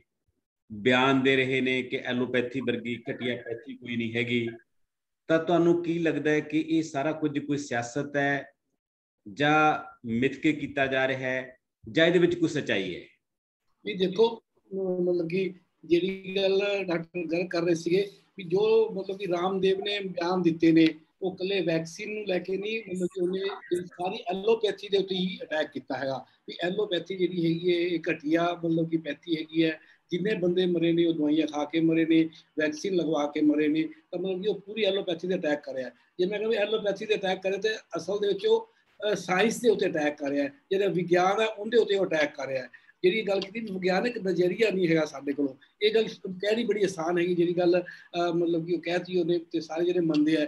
ਰਾਮਦੇਵ ਨੂੰ ਇਸ ਕਰਕੇ, ਕਿਉਂਕਿ ਉਹਦੇ ਇੱਕ, ਮੈਂ ਕਹਿੰਦਾ ਕਿ ਅਸਲ ਦੇ ਵਿੱਚ ਉਹ, ਆਪਾਂ ਜਦੋਂ ਸਾਰੀ ਉਹਦੀ ਸ਼ੁਰੂ ਤੋਂ ਲੈ ਕੇ ਹੁਣ ਤੱਕ ਦੀ ਕਾਰਗੁਜ਼ਾਰੀ ਦੇਖ ਲਈਏ, ਉਹ ਇੱਕ ਵਪਾਰੀ ਹੈਗਾ। ਤੇ ਉਹ ਵਪਾਰੀ ਹੈਗਾ ਤੇ ਜਿਹੜੀ ਸਭ ਤੋਂ ਮਤਲਬ ਕੀ ਗੱਲ ਹੈਗੀ ਹੈ ਜਿਹੜੀ ਮਤਲਬ ਕਿ ਫਰੀਬੀ ਵਾਲੀ ਗੱਲ ਹੈਗੀ ਹੈ ਕਿ ਉਹ ਜਿਹੜਾ ਸਾਡਾ ਇੱਕ ਬਹੁਤ ਸਾਰੇ ਲੋਕਾਂ ਦੇ ਮਨ ਦੇ ਵਿੱਚ ਸਤਕਾਰ ਹੁੰਦਾ ਜਿਹੜਾ ਭਗਵੇ ਕੱਪੜੇ ਦਾ ਇੱਕ ਸਾਧੂ ਦਾ ਉਹ ਸਾਧੂ ਦਾ ਜਿਹੜਾ ਭਗਵੇ ਕੱਪੜਿਆਂ ਦਾ ਇਸਤੇਮਾਲ ਕਰਕੇ ਉਹ ਆਪਣਾ ਮਾਲ ਵੇਚਦਾ ਹੈਗਾ ਤੇ ਉਹ ਇਹੋ ਜਿਹੇ ਬਿਆਨ ਇਸ ਕਰਕੇ ਦੇ ਪਾ ਰਿਹਾ ਕਿ ਉਹਨੂੰ ਪਤਾ ਹੈ ਕਿ ਇਹ ਸਾਡੇ ਹਿੰਦੁਸਤਾਨ ਦਾ ਮਾਹੌਲ ਇਹੋ ਜਿਹਾ ਹੈਗਾ। ਜਦੋਂ ਤੁਸੀਂ ਗੋਮੂਤਰ ਤੇ ਕੋਈ ਕੁਐਸਚਨ ਨਹੀਂ ਕਰ ਰਹੇ ਜਦੋਂ ਤੁਸੀਂ ਗੋਬਰ ਮਤਲਬ ਕੀ ਦੀ ਗੱਲ ਕਰ ਰਹੇ ਹੈਗਾ ਤਾਂ ਕੋਈ ਦੇਸ਼ ਦਾ ਮਤਲਬ ਕਿ ਜਿਹੜਾ ਹੈਲਥ ਮਿਨਿਸਟਰ ਕਹਿ ਲਈਏ, ਚਾਹੇ ਦੇਸ਼ ਦਾ ਆਪਣਾ ਪ੍ਰਾਈਮ ਮਿਨਿਸਟਰ ਕਹਿ ਲਈਏ ਜਾਂ ਜਿੱਥੇ ਵੀ ਕਿਤੇ, ਕਿਸੇ ਨੇ ਇਹ ਨਹੀਂ ਕਿਹਾ ਵੀ ਆ ਤੁਸੀਂ ਗੱਲਾਂ ਨਾ ਕਰੋ, ਆਪਾਂ ਇੱਕ ਵੱਡੀ ਲੜਾਈ ਲੜ ਰਹੇ ਹੈਗੇ ਆ, ਇਸ ਤਰ੍ਹਾਂ ਭਰਮ ਫੈਲੂਗਾ। ਉਹਨਾਂ ਨੇ ਉਹਨੂੰ ਛੋਟ ਦਿੱਤੀ ਹੈਗੀ ਹੈ ਵੀ ਤੁਸੀਂ ਇੱਕ ਇਹ ਸਭ ਕਰੋ, ਕੋਈ ਗੱਲ ਨਹੀਂ ਹੈਗੀ। ਤੇ ਇਸੇ ਦੇ ਮਤਲਬ ਕਿ ਵਿੱਚ ਜਦੋਂ ਮਤਲਬ ਕਿ ਲੱਗਦਾ ਕਿ ਉਹ ਇਹ ਗੱਲ ਕਹਿ ਸਕਦੇ ਤਾਂ ਮੈਂ ਵੀ ਕਹਿ ਸਕਦਾ, ਤਾਂ ਉਹਨੇ ਫਿਰ ਇਸ ਇਸ ਪੱਖ ਤੋਂ ਗੱਲ ਕੀਤੀ ਹੈਗੀ ਹੈ। ਜੇ ਦੂਜੇ ਨੂੰ ਆਪਾਂ ਮਤਲਬ ਕਿ ਸਿਆਸਤ ਨਾਲ ਜੋੜੀਏ, ਤਾਂ ਸਾਨੂੰ ਪਤਾ ਹੈ ਵੀ ਕੋਈ ਵੀ ਵਪਾਰ ਜਿਹੜਾ ਹੈਗਾ ਉਹ ਸਿਆਸਤ ਦੀ ਜਿਹੜੀ ਹੈਗੀ ਹੈ ਥਾਪੜੇ ਤੋਂ ਬਗੈਰ ਨਹੀਂ ਚੱਲਦਾ। ਜਦੋਂ ਉਹ ਕਹਿ ਰਿਹਾ ਹੈਗਾ ਵੀ ਆਕਸੀਜਨ ਨਾਲ ਜਿਹੜੇ ਨੇ ਬੰਦੇ ਘੱਟ, ਮਤਲਬ ਕਿ ਮਰੇ ਨੇ ਤੇ ਦਵਾਈਆਂ ਨਾਲ ਵੱਧ ਬੰਦੇ ਮਰੇ ਨੇ, ਦਵਾਈਆਂ ਖਾ ਕੇ ਵੱਧ ਬੰਦੇ ਮਰੇ ਨੇ, ਤਾਂ ਇੱਕ ਤਰੀਕੇ ਦੇ ਨਾਲ ਉਹ ਜਿਹੜੀ ਦੇਸ਼ ਦੇ ਵਿੱਚ ਵਿਵਸਥਾ ਦੇ, ਜਿਹੜੀ ਆਕਸੀਜਨ ਦੀ ਮੈਂ ਗੱਲ ਕੀਤੀ ਸੀ ਪਹਿਲੀ ਵਾਰੀ ਵੀ ਜਿਹੜਾ ਆਕਸੀਜਨ ਦਾ ਇੰਤਜ਼ਾਮ ਕਰਨਾ ਸੀ ਉਹ ਨਹੀਂ ਕੀਤਾ ਤੇ ਹੁਣ ਸਵਾਲ ਉੱਠ ਰਹੇ ਨੇ ਵੀ ਇਹ ਤੁਸੀਂ ਕਿਉਂ ਨਹੀਂ ਕੀਤਾ, ਜਦੋਂ ਤੁਹਾਨੂੰ ਇਹ ਆਗਾਹ ਕਰਤਾ ਸੀਗਾ ਕਮੇਟੀ ਨੇ, ਜਿਹੜੇ ਮਾਹਰਾਂ ਨੇ ਤੁਹਾਨੂੰ ਆਗਾਹ ਕਰਤਾ ਸੀਗਾ, ਤੁਸੀਂ ਉਹ ਜਿਹੜੇ ਸੈਂਟਰ ਸੀਗੇ ਆਕਸੀਜਨ ਦੇ ਨਹੀਂ ਮਤਲਬ ਕਿ ਤੁਸੀਂ ਲਗਾਏ, ਤਾਂ ਉਹ ਇਸ ਦਾ ਮਤਲਬ ਸਾਫ਼ ਹੈਗਾ ਕਿ ਵੀ ਉਹ ਉਹਨਾਂ ਨੂੰ ਵੀ ਇੱਕ ਤਰ੍ਹਾਂ ਦਾ ਮਤਲਬ ਕਹਿ ਰਿਹਾ ਵੀ ਇਹ ਇਹਨਾਂ ਦੇ ਉੱਤੇ ਤੁਹਾਡਾ, ਉਹਨਾਂ ਦਾ ਕੋਈ ਕਸੂਰ ਨਹੀਂ ਹੈ, ਸਰਕਾਰ ਦਾ ਕੋਈ ਕਸੂਰ ਨਹੀਂ ਹੈ। ਬਾਕੀ ਜਿਹੜੀ ਗੱਲ ਕਰੀਏ ਜੋ ਇਹ ਕਹਿ ਰਿਹਾ ਕਿ ਵੀ ਇਹ ਇੱਕ ਦਵਾਈ ਕਦੇ ਕਲੋ, ਕਦੇ ਕਲੋਰੋਕੁਇਨ ਵਰਤ ਲਈ, ਕਦੇ ਰੈਮਡੀਸਿਵਿਰ ਵਰਤ ਲਈ, ਕਦੇ ਪਲਾਜ਼ਮਾ ਥੈਰੇਪੀ ਵਰਤ ਲਈ ਮੈਂ ਕਿਸੇ ਇਹ ਵਿਗਿਆਨ ਜਿਹੜਾ ਹੈਗਾ ਨਾ ਇਹ ਵਿਗਿਆਨ ਦੀ ਖੂਬੀ ਹੈਗੀ ਹੈ ਕਿ ਉਹ ਤਜਰਬੇ ਕਰਦਾ ਹੈਗਾ ਆਪਣੇ ਤਜਰਬੇ ਰੱਦ ਵੀ ਕਰਦਾ ਹੈਗਾ ਆਪਣੇ ਸਾਹਮਣੇ ਕੀਤੀ ਹੋਈ ਗੱਲ ਨੂੰ ਵੀ ਉਹ ਨਕਾਰਦਾ ਹੈਗਾ। ਉਹਦਾ ਕੋਈ ਇਹ ਨਹੀਂ ਮਤਲਬ ਕਿ ਇੱਕ ਅਟੈਚਮੈਂਟ ਹੁੰਦੀ ਆਪਣੀ ਇਮੋਸ਼ਨਲ ਅਟੈਚਮੈਂਟ ਵੀ ਇਹ ਇਹ ਗ੍ਰੰਥ ਵਿੱਚ ਲਿਖਿਆ ਹੋਇਆ ਇਹ ਝੂਠ ਹੋ ਹੀ ਨਹੀਂ ਸਕਦਾ। ਤਾਂ ਉਹ ਉਹਨੂੰ ਇਸ ਦਾ ਪਤਾ ਹੀ ਨਹੀਂ ਵੀ ਇਹ ਪਰਖ ਹੁੰਦੀ ਕਿਵੇਂ ਹੈ ਜਿਹੜਾ ਵਿਗਿਆਨਿਕ ਵਿਗਿਆਨਿਕ ਨਜ਼ਰੀਆ ਹੈਗਾ ਅਸੀਂ 100 ਬੰਦਿਆਂ ਦੇ ਤਜਰਬਾ ਕਰਦੇ ਆਂ ਫਿਰ ਅਸੀਂ ਦੇਖਦੇ ਆਂ ਇਹ ਵੀ ਨਹੀਂ ਕਿ ਸੋਚ ਦੋ ਠੀਕ ਹੋ ਗਏ ਤਾਂ ਮੰਨ ਲਈਏ ਵੀ ਠੀਕ ਹੋ ਗਿਆ 100 ਦੇ ਵਿੱਚੋਂ ਦੀ ਤਾਂ ਇੱਕ ਇੱਕ ਕ੍ਰਾਈਟੇਰੀਆ ਹੈਗਾ ਸਟੈਟਿਸਟਿਕਲੀ ਕ੍ਰਾਈਟੇਰੀਆ ਹੈਗਾ ਵੀ ਲਗਭਗ 95% ਲੋਕ ਜਿਹੜੇ ਨੇ ਜੇ ਉਹਨਾਂ ਦੇ ਉੱਤੇ ਉਹ 95% ਵੀ ਕਿਉਂ ਕਹਿੰਦੇ ਆ ਵੀ ਹਰੇਕ ਦਾ ਸਰੀਰ ਇੱਕੋ ਜਿਹਾ ਹੈਗਾ ਸਾਰੇ ਸਰੀਰ ਦੇ ਉੱਤੇ ਇੱਕੋ ਜਿਹਾ ਕਿਉਂ ਨਹੀਂ ਮਤਲਬ ਕਿ ਆਪਣੇ ਆਪ ਲਾਗੂ ਹੋ ਰਿਹਾ ਜੇ ਕਲੋਰੋਕੁਇਨ ਜੇ ਮੰਨ ਲਓ ਕਰੋਸੀਨ ਦੀ ਗੱਲ ਕਰੀਏ ਕਰੋਸੀਨ ਬੁਖਾਰ ਉਤਾਰਦੀ ਹੈ ਇਹ ਤੁਸੀਂ 100 ਬੰਦਿਆਂ ਨੂੰ ਦਿਓਗੇ 95% ਲੋਕਾਂ ਦਾ ਬੁਖਾਰ ਉਤਰੂਗਾ, ਪੱਕਾ ਉਤਰੂਗਾ, ਫਿਰ ਜਾ ਕੇ ਪਰਮਿਸ਼ਨ ਮਿਲਦੀ ਹੈ, ਫਿਰ ਸਰਟੀਫਿਕੇਟ ਮਿਲਦਾ ਹੈਗਾ। ਨਹੀਂ ਤਾਂ ਮਤਲਬ ਕਿ ਹੌਲੀ ਹੌਲੀ ਹੌਲੀ ਹੌਲੀ ਜਦੋਂ ਰੱਦ ਕੀਤੀ ਜਾਂਦੀਆਂ ਚੀਜ਼ਾਂ, ਤੇ ਉਹਨਾਂ ਨੂੰ ਪਰਮਿਸ਼ਨ ਨਹੀਂ ਮਿਲਦੀ। ਵੈਕਸੀਨੇਸ਼ਨ ਦੀ ਜਿਹੜੀ ਗੱਲ ਹੈਗੀ ਹੈ ਵੈਕਸੀਨੇਸ਼ਨ ਜਿਹੜੀ ਆਪਣੇ ਆਪ ਦੇ ਜਿਹੜਾ ਇੱਕ ਵਿਗਿਆਨ ਹੈ, ਇਹ ਬੰਬਲ ਗੁੱਸਾ ਵੀ ਜਿਹੜਾ ਹੈਗਾ ਨਾ, ਤੁਸੀਂ ਦੇਖੋ ਵੀ ਸ਼ੁਰੂ ਤੋਂ ਲੈ ਕੇ ਹੁਣ ਤੱਕ ਅਸੀਂ ਪਿਛਲੇ ਸਾਰਾ ਸਾਲ ਵੈਕਸੀਨ ਵੈਕਸੀਨ ਕਰਦੇ ਰਹੇ। ਵੀ ਵੈਕਸੀਨ ਆਊਗੀ ਤਾਂ ਸਾਰਾ ਮਸਲਾ ਹੱਲ ਹੋਊਗਾ। ਤੁਸੀਂ ਮਾਸਕ ਪਾ ਕੇ ਰੱਖੋ, ਤੁਸੀਂ ਇਹ ਕਰਕੇ ਰੱਖੋ, ਜਦ ਤੱਕ ਵੈਕਸੀਨ ਨਹੀਂ ਆਂਦੀ ਜਦੋਂ ਵੈਕਸੀਨ ਆਈ, ਫਿਰ ਮਤਲਬ ਕਿ ਅਸੀਂ ਇੱਕ ਵੱਡੀ ਹੈਡਲਾਈਨ ਬਣਾ ਲਈ ਵੀ ਅਸੀਂ 30 ਕਰੋੜ ਮਤਲਬ ਕਿ ਲੋਕਾਂ ਨੂੰ ਇੱਕ ਬਹੁਤ ਵੱਡੀ ਇੱਕ ਟੀਕਾਕਰਨ ਦੀ ਮੁਹਿੰਮ ਚਲਾ ਰਿਹਾ ਦੁਨੀਆ ਭਰ ਦੀ ਸਭ ਤੋਂ ਵੱਡੀ ਮੁਹਿੰਮ। ਜਦੋਂ ਵੱਡੀ ਮੁਹਿੰਮ ਤਾਂ ਆਪੇ ਬਣੂਗੀ, ਜਦੋਂ ਸਾਡੇ ਕੋਲ ਆਬਾਦੀ 135 ਕਰੋੜ ਹੈਗੀ ਹੈ, ਤੇ ਅਸੀਂ ਉਹਦੇ ਚ ਕੁਝ ਪਰਸੈਂਟ ਲੋਕਾਂ ਨੂੰ ਹੀ ਜੇ ਪਹਿਲੀ ਪੜਾਅ ਦੇ ਵਿੱਚ ਟੀਕਾ ਲਗਾਉਣਾ ਹੈ ਤਾਂ ਵੱਡੀ ਜਿਹੜੀ ਕਹਿਣ ਦਾ ਮਤਲਬ ਆਪਣੇ ਉਹਦੇ ਵਿੱਚ ਸਿਆਸਤ ਜਿਹੜੀ ਹੈਗੀ ਹੈ ਵੈਕਸੀਨੇਸ਼ਨ ਦੇ ਵਿੱਚ ਇੱਕ ਭੰਬਲ ਪੂਸਾ ਫਲਾਇਆ ਗਿਆ, ਮਤਲਬ ਕਿ ਸ਼ੁਰੂ ਤੋਂ ਲੈ ਕੇ ਅਖੀਰ ਤੱਕ ਕੋਈ ਵੀ ਮਤਲਬ ਕਿ ਤੁਸੀਂ ਦੇਖ ਲਓ, ਮੈਂ ਪਿਛਲੇ ਸਾਲ ਤੋਂ ਮਤਲਬ ਕਿ ਹੁਣ ਤੱਕ ਦੇਖ ਰਿਹਾ ਵੀ ਕੋਈ ਵੀ ਮੈਡੀਕਲ ਦਾ ਬੰਦਾ, ਚਾਹੇ ਪੰਜਾਬ ਸਰਕਾਰ ਹੈ, ਚਾਹੇ ਮਤਲਬ ਕਿ ਕੇਂਦਰ ਦੀ ਸਰਕਾਰ ਹੈਗੀ ਹੈ, ਹੋਰ ਸਰਕਾਰਾਂ ਦੇ ਵਿੱਚ ਵੀ ਆਪਾਂ ਜੇ ਗੱਲ ਕਰ ਲਈਏ ਵੀ ਕਿਤੇ ਵੀ ਕੋਈ ਮੈਡੀਕਲ ਦਾ ਬੰਦਾ ਸਾਡੇ ਕੋਲ ਦੋ ਦੋ ਡਾਇਰੈਕਟਰ ਹੈਗੇ ਨੇ ਪੰਜਾਬ ਦੇ ਵਿੱਚ 22 23 ਡਿਸਟ੍ਰਿਕਟ ਦੇ ਸਿਵਲ ਸਰਜਨ ਹੈਗੇ ਨੇ ਜੁਆਇੰਟ ਡਾਇਰੈਕਟਰ ਹੈਗੇ ਨੇ ਡਿਪਟੀ ਡਾਇਰੈਕਟਰ ਹੈਗੇ ਨੇ ਕੋਈ ਬੰਦਾ ਕਦੇ ਆ ਕੇ ਮੈਂ ਕਹਿੰਦਾ ਕਿ ਚੀਫ ਮਿਨਿਸਟਰ ਆਪਣੇ ਨਾਲ ਬਿਠਾ ਲੈਣ ਉਹਨੂੰ ਕਹਿਣ ਵੀ ਆਹ ਗੱਲ ਵੈਕਸੀਨ ਦੇ ਬਾਰੇ ਆ ਸਮਝਾਣਗੇ ਕਿ ਕਿਵੇਂ ਅਸਰ ਕਰੂਗੀ ਤੇ ਆਪ ਕਹਿ ਦੇਣ ਵੀ ਅਸੀਂ ਇਹ ਸ਼ੁਰੂ ਕਰ ਰਹੇ ਹਾਂ ਆਪ ਇੰਪਲੀਮੈਂਟ ਵਾਲਾ ਹਿੱਸਾ ਲੈ ਲੈਣ ਉਹਨੂੰ ਵਿਗਿਆਨਿਕ ਤੱਤ ਸਮਝਾਣ ਦੇਣ ਕਿਸੇ ਨੇ ਨਹੀਂ ਸਮਝਾਉਣ ਦੀ ਕੋਸ਼ਿਸ਼ ਕੀਤੀ ਤੇ ਵਿਵਸਥਾ ਤੇ ਸਾਨੂੰ ਵਿਸ਼ਵਾਸ ਹੈ ਨਹੀਂ ਤਾਂ ਫਿਰ ਲੋਕੀ ਜਦੋਂ ਵੈਕਸੀਨ ਨਹੀਂ ਲਗਵਾਉਣ ਜਾਂਦੇ ਫਿਰ ਤੁਹਾਨੂੰ ਆਰਡਰ ਕੱਢਣੇ ਪੈਂਦੇ ਆ ਵੀ ਜੇ ਕੋਈ ਨਹੀਂ ਲਵਾਊਗਾ ਅਸੀਂ ਇਹ ਕਰ ਦਾਂਗੇ ਉਹ ਕਰ ਦਾਂਗੇ ਤਨਖਾਹ ਬੰਦ ਕਰ ਦਾਂਗੇ ਸਰਕਾਰੀ ਬੰਦਿਆਂ ਤੋਂ ਲਵਾਓ ਤਾਂ ਕਿ ਅਸੀਂ ਵੀ ਕਹਿ ਸਕੀਏ ਵੀ ਅਸੀਂ 5 ਲੱਖ ਮਤਲਬ ਕਿ ਵੈਕਸੀਨੇਸ਼ਨ ਕਰਤੀ ਹੈਗੀ ਹੈ। ਤਾਂ ਤੁਸੀਂ ਸਾਰੇ ਸਿਨੈਰੀਓ ਦੇ ਵਿੱਚ ਦੇਖ ਲਓ ਵੀ ਵਿਗਿਆਨਿਕ ਜਿਹੜਾ ਨਜ਼ਰੀਆ ਹੈਗਾ, ਹੁਣ ਰਾਮਦੇਵ ਜਿਹੜਾ ਬਾਬਾ ਮੈਂ ਕਹਿੰਦਾ ਵੀ ਆਯੁਰਵੈਦਿਕ ਦੀਆਂ ਦਵਾਈਆਂ ਬਣਾ ਰਿਹਾ ਸਾਨੂੰ ਕੋਈ ਵਿਰੋਧ ਨਹੀਂ ਆਯੁਰਵੈਦ ਦੇ ਨਾਲ। ਪਰ ਉਹਨੂੰ ਆਪ ਨੂੰ ਆਯੁਰਵੈਦ ਦਾ ਵੀ ਨਹੀਂ ਪਤਾ ਵੀ ਆਯੁਰਵੈਦ ਦੇ ਵਿੱਚ ਕਿਹੜੀ, ਕਿਉਂਕਿ ਉਹਦੇ ਕੋਲ ਕੋਈ ਡਿਗਰੀ ਨਹੀਂ ਹੈਗੀ। ਉਹਦੇ ਕੋਲ ਆਪ ਕੁਝ ਨਹੀਂ ਹੈਗਾ। ਵੀ ਇਹ ਠੀਕ ਹੈ ਕਿ ਤੁਸੀਂ ਸੁਣ ਸੁਣ ਕੇ ਮੈਂ ਉਹਨਾਂ ਘਰ ਦੀ ਰਸੋਈ ਦੇ ਵਿੱਚ ਮੈਂ ਦੇਖਦਾ ਵੀ ਕਦੇ ਤੁਸੀਂ ਹਲਦੀ ਦਾ ਦੁੱਧ ਪਿਆ ਦੋ, ਬੰਦਾ ਠੀਕ ਹੋ ਜਾਂਦਾ ਤੇ ਮੈਂ ਮਤਲਬ ਕਿ ਮੈਂ ਬੈਠ ਕੇ ਆਪਣੀ ਦੁਕਾਨ ਖੋਲਣਾ ਤੇ ਮੈਂ ਉੱਥੇ ਮਤਲਬ ਕਿ ਕਿਸੇ ਨੂੰ ਹਲਦੀ ਨਾਲ ਠੀਕ ਕਰ ਰਿਹਾ ਕਿਸੇ ਨੂੰ ਮਲੱਠੀ ਨਾਲ ਠੀਕ ਕਰ ਰਿਹਾ ਕਿਸੇ ਨੂੰ ਕਾਲੀ ਮਿਰਚ ਨਾਲ ਠੀਕ ਕਰ ਰਿਹਾ। ਤਾਂ ਉਹ ਇੱਕ ਠੀਕ ਹੈ ਵੀ ਅਸਰ ਹੋ ਸਕਦਾ ਉਹਨਾਂ ਦਾ ਪਰ ਤੁਸੀਂ ਉਸ ਨੂੰ ਇਸ ਤਰੀਕੇ ਦੇ ਨਾਲ ਪਬਲਿਕਲੀ ਮਤਲਬ ਵੀ ਜਦੋਂ ਸਾਹਮਣੇ ਆਉਂਦੇ ਹੋ ਤੁਸੀਂ ਇੱਕ ਆਪਣੀ ਵਪਾਰ ਨੂੰ ਸਾਹਮਣੇ ਰੱਖ ਕੇ ਆਪਣਾ ਤੇ ਦੂਜਾ ਹੈਗਾ ਕਿ ਸਿਆਸਤ ਦੇ ਨਾਲ ਇੱਕ ਗੱਠ ਜੋੜ ਜਿਹੜਾ ਸਾਫ਼ ਦਿਸਦਾ ਹੈਗਾ ਉਹ ਹੈਗਾ। ਤੇ ਉਹ ਤਾਂ ਮਤਲਬ ਤਾਂ ਮਤਲਬ ਕਿ ਇਹ ਜਿਹੜਾ ਹੈਗਾ ਇਹ ਸਕਸੈਸਫੁਲ ਹੁੰਦਾ ਹੈ ਮਾਡਲ ਜਦੋਂ ਦੇਸ਼ ਦਾ ਸਾਰਿਆਂ ਦਾ ਜਿਹੜਾ ਹੈਗਾ ਉਹ ਇੱਕ ਵਿਗਿਆਨਿਕ ਨਜ਼ਰੀਆ ਨਾ ਹੋਵੇ। ਅਸੀਂ ਇਹ ਸ਼ੁਰੂ ਤੋਂ ਹੀ ਕੀਤਾ ਹੈਗਾ ਚਾਹੇ ਤਾਲੀ ਥਾਲੀ ਹੈ ਨੌ ਦਾ ਮਤਲਬ ਕਿ ਅਸੀਂ ਜੋ ਤੁਸੀਂ ਵਿਗਿਆਨ ਕਹਿੰਦੇ ਆ 9 ਦਾ ਜਿਹੜਾ ਨੰਬਰ ਸੀਗਾ ਵੀ 9 ਵਜੇ 9 ਮਿੰਟ ਤੇ 9 ਤਰੀਕ ਇਹ ਸਾਰਾ ਵੀ 9 ਕਿਉਂ ਹੈਗਾ? ਕਿਉਂਕਿ 9 ਜਿਹੜਾ ਹੈਗਾ ਇਹ ਇਹ ਫੇਵਰ ਕਰਦਾ ਹੈ ਮੰਗਲ ਗ੍ਰਹਿ ਦਾ ਹੈਗਾ ਇੱਕ ਰਾਹੂ ਕੇਤੂ ਨੂੰ ਪਜਾਣ ਵਾਸਤੇ ਸ਼ਨੀ ਦੇ ਉੱਤੇ ਪਾਵੀ ਬੰਦਾ ਹੈ। ਇਹੋ ਜਿਹੇ ਜਵਾਬ ਦਿੱਤੇ ਹੈਗੇ ਨੇ ਮਤਲਬ ਮੈਂ ਤਾਂ ਕਹਿ ਰਿਹਾ। ਇਹ ਸਾਰੇ ਆਪਾਂ ਨੇ ਇੱਕ ਮਾਹੌਲ ਬਣਾਇਆ ਹੈਗਾ ਜਿਸ ਕਰਕੇ ਰਾਮਦੇਵ ਵਰਗੇ ਬੰਦੇ ਨੂੰ ਨਾ ਇਹ ਖੁੱਲ ਮਿਲ ਜਾਂਦੀ ਹੈ ਕਿ ਮੈਂ ਜੋ ਮਰਜ਼ੀ ਬੋਲਾਂ ਮੈਨੂੰ ਕੁਝ ਨਹੀਂ ਹੋ ਸਕਦਾ। ਜੀ। ਬਹੁਤ ਵੱਡੀਆਂ ਗੱਲਾਂ ਤੁਸੀਂ ਕਹੀਆਂ ਨੇ ਕਿ ਅਸੀਂ ਦੇਸ਼ ਦਾ ਨਜ਼ਰੀਆ ਵਿਗਿਆਨਕ ਨਹੀਂ ਬਣਾ ਸਕੇ, ਜਿਹੜਾ ਸਭ ਤੋਂ ਵੱਡੀ ਪ੍ਰੋਬਲਮ ਹੈ ਤੇ ਉਹਦੇ, ਉਸ ਬਣਾਉਣ ਦੇ ਵਿੱਚ ਵੀ ਇਹਨਾਂ ਦਾ ਸਿਆਸਤਦਾਨਾਂ ਦਾ ਤੇ ਸਾਰੇ ਸਿਸਟਮ ਦਾ ਹੱਥ ਹੈ ਕਿ ਉਹ ਚਾਹੁੰਦੇ ਹੀ ਨਹੀਂ ਹੈਗੇ ਕਿ ਦੇਸ਼ ਦੇ ਲੋਕਾਂ ਦਾ ਨਜ਼ਰੀਆ ਵਿਗਿਆਨਕ ਬਣ ਸਕੇ। ਤੁਸੀਂ ਵੈਕਸੀਨ ਦੀ ਗੱਲ ਕੀਤੀ ਹੈ, ਮੈਂ ਡਾਕਟਰ ਪੈਰੀਲਾਲ ਗਰਗ ਤੋਂ ਇਸੇ ਸੰਬੰਧ ਦੇ ਵਿੱਚ ਜਾਨਣਾ ਚਾਹੁੰਦਾ। ਗਰਗ ਸਾਹਿਬ ਸਾਡੇ ਨਾਲ ਦੁਬਾਰੇ ਜੁੜ ਚੁੱਕੇ ਨੇ, ਕਿਤੇ ਡਿਸਕਨੈਕਟ ਹੋ ਗਏ ਸੀ। ਗਰਗ ਸਾਹਿਬ ਮਸਲਾ ਇਹ ਹੈ ਕਿ ਬਹੁਤ ਸਾਰੇ ਮੁਲਕਾਂ ਨੇ 2020 ਦੇ ਵਿੱਚ ਵੈਕਸੀਨ ਦੇ ਆਰਡਰ ਕਰਤੇ ਸੀ ਕਿਉਂਕਿ ਉਹਨਾਂ ਨੂੰ ਪਤਾ ਸੀ ਕਿ ਇਹਦਾ ਵੈਕਸੀਨ ਇੱਕੋ ਇੱਕ ਇਲਾਜ ਹੈ। ਜਿਵੇਂ ਆਪਾਂ ਕੈਨੇਡਾ ਦੀ ਗੱਲ ਕਰੀਏ, ਉਹਨੇ 5 ਗੁਣਾ ਵੈਕਸੀਨ ਦੇ ਆਰਡਰ ਕਰਤੇ ਆਪਣੀ ਆਬਾਦੀ ਤੋਂ। ਅਮਰੀਕਾ ਨੇ 2 ਗੁਣਾ ਵੱਧ ਆਰਡਰ ਨੇ ਵੀ ਦੋ ਗੁਣਾ ਵੱਧ ਆਰਡਰ ਕੀਤੇ। ਪਰ ਭਾਰਤ ਦੇ ਵਿੱਚ ਦੋ ਵੈਕਸੀਨਾਂ ਹੋਣ ਦੇ ਬਾਵਜੂਦ ਵੀ ਭਾਰਤ ਨੇ ਅਜਿਹਾ ਨਹੀਂ ਕੀਤਾ ਹੈਗਾ।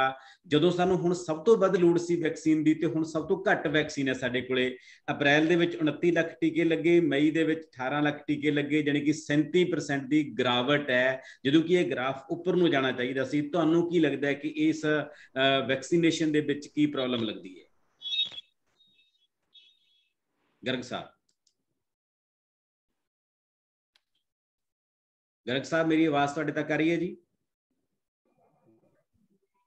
ਸਰ ਡਿਸਕਨੈਕਟ ਹੋ ਗਏ ਸੀ ਦੁਬਾਰਾ ਜੁੜ ਰਹੇ ਨੇ ਓਕੇ ਹਾਂਜੀ ਗਰਗ ਸਾਹਿਬ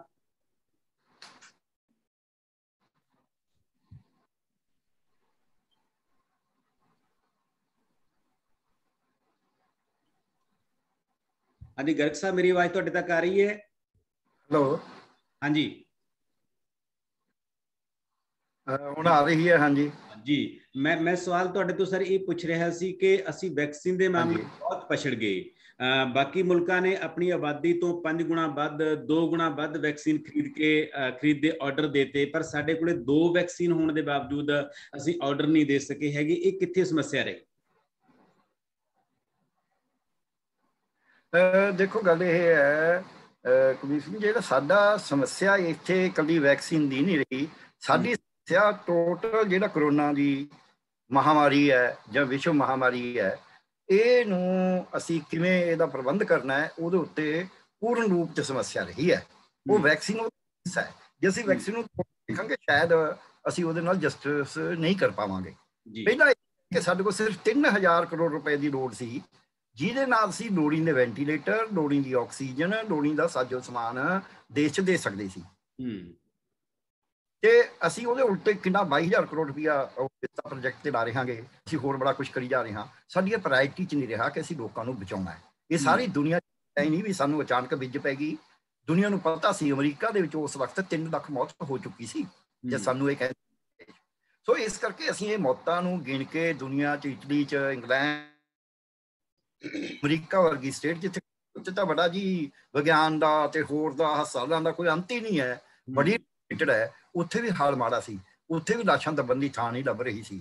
ਸੋ ਇਸ ਕਰਕੇ ਅਸੀਂ ਉਦੋਂ ਉਸ ਤੋਂ ਸਿੱਖਿਆ ਨਹੀਂ ਹੈ। ਅਸੀਂ ਉਸ ਨੂੰ ਬਲਕਿ ਉਲਟੇ ਪਾਸੇ ਲੈ ਕੇ ਗਿਆ ਜਿਵੇਂ ਡਾਕਟਰ ਸਾਹਿਬ ਕਹਿ ਰਹੇ ਸੀ। ਅਸੀਂ ਉਸ ਨੂੰ ਲੋਕਾਂ ਨੂੰ ਵਹਿਮ ਦੇ ਵਿੱਚ ਲੈ ਕੇ ਗਿਆ ਸਾਇੰਸ ਦੀ ਬਜਾਏ।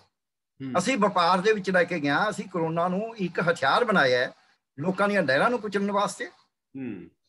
ਅਸੀਂ ਮਿਨੋਰਟੀਜ਼ ਨੂੰ ਕੁਚਲਣ ਵਾਸਤੇ ਜੇ ਤੁਸੀਂ ਐਨ ਪੂਰਾ ਕੱਲਾ ਕੱਲੀ ਗੱਲ ਦੇਖ ਲਓ ਲੋਕਾਂ ਦੇ ਵਿੱਚ ਇੱਕ ਭੀੜ ਤੰਤਰ ਬਣਾਉਣ ਵਾਸਤੇ ਤੇ ਆਪਦੀ ਜ਼ਿੰਮੇਵਾਰੀ ਤੋਂ ਮੁਕਤ ਹੋਣ ਵਾਸਤੇ ਆਪਦੀਆਂ ਤਰਜੀਹਾਂ ਨੇ ਉਹ ਸਹੀ ਸਾਰਾ ਕੁਝ ਕਰਿਆ ਇਹਦੇ ਵਿੱਚ ਬੜੀ ਉਦਾਹਰਨਾਂ ਨੇ ਚਾਹੇ ਚੋਣਾਂ ਦੀ ਗੱਲ ਹੈ ਚਾਹੇ ਕੁੰਭ ਦੇ ਇਸ਼ਨਾਨ ਦੀ ਗੱਲ ਹੈ ਚਾਹੇ ਹੁਣ ਚਾਰ ਧਾਮ ਦੀ ਜਿਹੜੀ ਯਾਤਰਾ ਹੋ ਰਹੀ ਉਹਦੀ ਗੱਲ ਹੈ ਚਾਹੇ ਨਨਕਾਣਾ ਸਾਹਿਬ ਦੇ ਵਿੱਚ ਜਾਣ ਦੀ ਜਿਹੜੀ ਸੀ ਇਜਾਜ਼ਤ ਨਾ ਦੇਣ ਦੀ ਗੱਲ ਹੈ ਚਾਹੇ ਉਹਦੇ ਵਿੱਚ ਆਪਣਾ ਹੋਰੇ ਮਹੱਲੇ ਦੀ ਗੱਲ ਹੈ ਚਾਹੇ ਉਹ ਚ ਤਬਗੀਆਂ ਦੀ ਗੱਲ ਦੀ ਗੱਲ ਹੈ ਚਾਹੇ ਉਹਦੇ ਵਿੱਚ ਆਪਣਾ ਇਹਨਾਂ ਦੀ ਨਵਾਜ਼ ਪੜਨ ਦੀ ਗੱਲ ਹੈ। ਸੋ ਅਸੀਂ ਇਸ ਨੂੰ ਇੱਕ ਵੈਪਨ ਦੇ ਤੌਰ ਤੇ ਇੱਕ ਹਥਿਆਰ ਦੇ ਤੌਰ ਤੇ ਵਰਤਿਆ। ਇਵਨ ਕਿਸਾਨ ਅੰਦੋਲਨ ਚ ਅਸੀਂ ਕਹੀ ਜਾਂਦੇ ਆ ਵੀ ਕਰੋਨਾ ਬਹੁਤ ਫੈਲ ਰਿਹਾ ਜੇ ਅਸੀਂ ਵਿਗਿਆਨਕ ਨਜ਼ਰੀਆ ਜਿੰਨਾ ਉੱਥੇ ਇਕੱਠ ਹੈ ਗੰਗਾ ਤੇ ਲਾਸ਼ਾਂ ਲਕੋਈਆਂ ਤਾਂ ਨਹੀਂ ਨਾ ਜਾ ਸਕੀਆਂ ਕਿ ਫਿਰ ਨਹੀਂ ਜਾ ਸਕਦੀਆਂ ਸੀ ਜੇ ਇੰਨਾ ਹੀ ਫੈਲਦਾ ਕਰੋਨਾ ਉੱਥੇ ਤਾਂ ਉੱਥੇ ਵੀ ਲਾਸ਼ਾਂ ਲੱਗਦੇ ਸੋ ਅਸੀਂ ਇਸ ਗੱਲ ਦੇ ਉੱਤੇ ਪਰ ਅਸੀਂ ਤਾਂ ਰੌਲਾ ਪਾਣ ਦੇ ਆਦੀਆਂ। ਆਪ ਹਰਸ਼ਵਰਧਨ ਜੀ ਨੇ ਕਹਿਤਾ ਹੁਣ ਸਾਡੇ ਮੰਤਰੀ ਨੇ ਵੀ ਕਹਿਤਾ। ਇੱਕ ਤਾਂ ਇਹ ਹੈ। ਦੂਜਾ ਜਿਹੜਾ ਵੈਕਸੀਨ ਦੀ ਗੱਲ ਉਹ ਵੀ ਉਹਦੇ ਵਿੱਚ ਹੀ ਹੈ। ਵੈਕਸੀਨ ਦੀ ਗੱਲ ਇਹ ਹੈ ਕਿ ਜਿਵੇਂ ਅਸੀਂ ਪਹਿਲਾਂ ਕਹਤਾ ਕਿ ਕਰੋਨਾ ਸਾਨੂੰ ਹੋ ਨਹੀਂ ਸਕਦਾ ਅਸੀਂ ਆਪਦੇ ਜਿਹੜੇ ਖਾਸ-ਖਾਸ ਸਾਇੰਸਦਾਨ ਸੀ ਉਹਨਾਂ ਤੋਂ ਰਿਪੋਰਟਾਂ ਵੀ ਛਪਾਤੀਆਂ ਕਿ ਭਾਰਤੀਆਂ ਦੇ ਤਾਂ ਜੀਨ ਹੀ ਬਹੁਤ ਤਕੜੇ ਨੇ।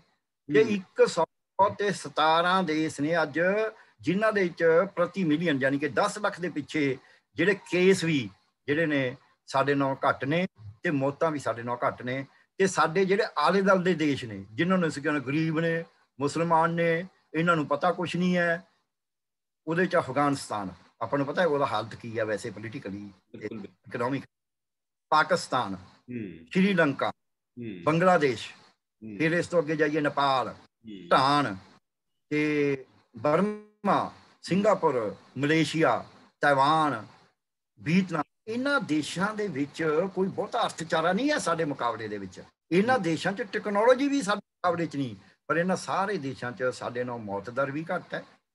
10 ਲੱਖ ਦੇ ਪਿੱਛੇ ਕੇਸ ਵੀ ਬਹੁਤ ਘੱਟ ਨੇ ਔਰ ਇਹਨਾਂ ਨੇ ਐਡਾ ਲੋਕਡਾਊਨ ਵੀ ਨਹੀਂ ਲਾਇਆ ਜਿਹੋ ਜਿਹਾ ਅਸੀਂ ਕਰਿਆ ਸੀ ਲੋਕਾਂ ਨੂੰ ਤੰਗ ਕਰਿਆ। ਇਹ ਤੋਂ ਹੀ ਪਤਾ ਲੱਗਦਾ ਹੈ। ਇੱਕ ਦੂਜੇ ਮੈਂ ਸਾਇੰਟੀਫਿਕਲੀ ਮੈਂ ਸਾਇੰਟੀਫਿਕਲੀ ਇਹ ਹੈ ਵੀ ਪਹਿਲੇ ਵਾਰੀ ਲੋਕਡਾਊਨ ਲਾ ਕੇ ਅਸੀਂ ਕੀ ਕਰਨਾ ਉਦੋਂ ਤਾਂ 499 ਕੇਸ ਸੀ 10 ਮੌਤਾਂ ਹੋਈਆਂ ਸੀ। ਜਿੱਦੇ ਖੁੱਲਿਆ ਉਹਦੇ 1 ਲੱਖ ਹੋ ਰਹੀ ਸੀ।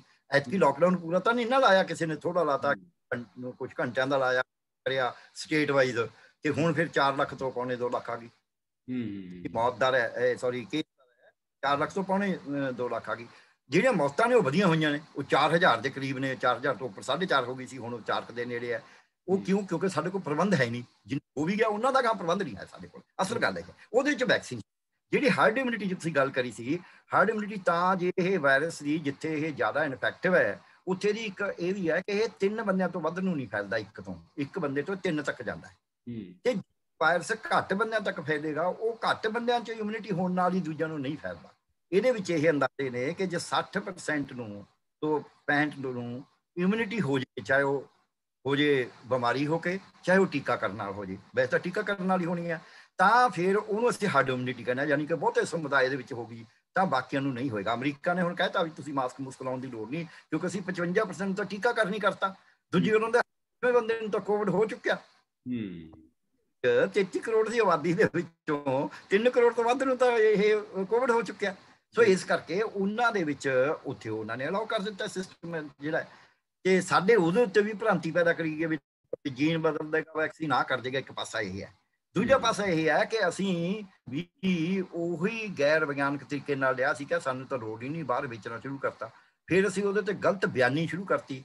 ਅਸੀਂ ਕਿਉਂਕਿ ਸਾਡਾ ਜਿਹੜਾ ਰਾਜ ਕਰਨ ਦਾ ਢੰਗ ਹੈ ਉਹਦੇ ਵਿੱਚ ਨਾ ਤਾਂ ਪਾਰਦਰਸ਼ਤਾ ਹੈ ਫਰੀ ਹੈ ਨਾ ਉਹਦੇ ਚ ਜਵਾਬਦੇਹੀ ਹੈ।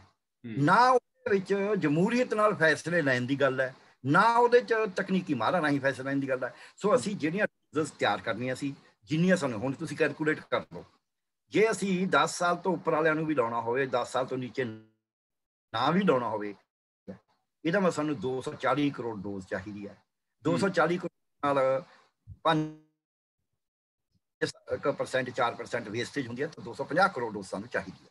250 ਕਰੋੜ ਦੀ ਵਜ੍ਹਾ ਸਾਡੇ ਕੋਲ ਜਿੰਨੀ ਵੰਡੀ ਗਈ ਹੈ ਸਰਕਾਰ ਦੇ ਮੁਤਾਬਕ 21 ਕਰੋੜ ਡੋਜ਼ ਵੰਡੀ ਗਈ ਹੈ। ਇਹਦਾ ਮਤਲਬ ਸਾਨੂੰ 219 ਕਰੋੜ ਹੋਰ ਚਾਹੀਦੀ ਹੈ। ਉਹਦੇ ਵਿੱਚ ਉਹ ਇਹ ਕਹਿੰਦੇ ਨੇ ਕਿ ਅਸੀਂ ਅਜੇ 25 ਲੱਖ ਡੋਜ਼ ਰੋਜ਼ ਤਿਆਰ ਕਰਾਂਗੇ।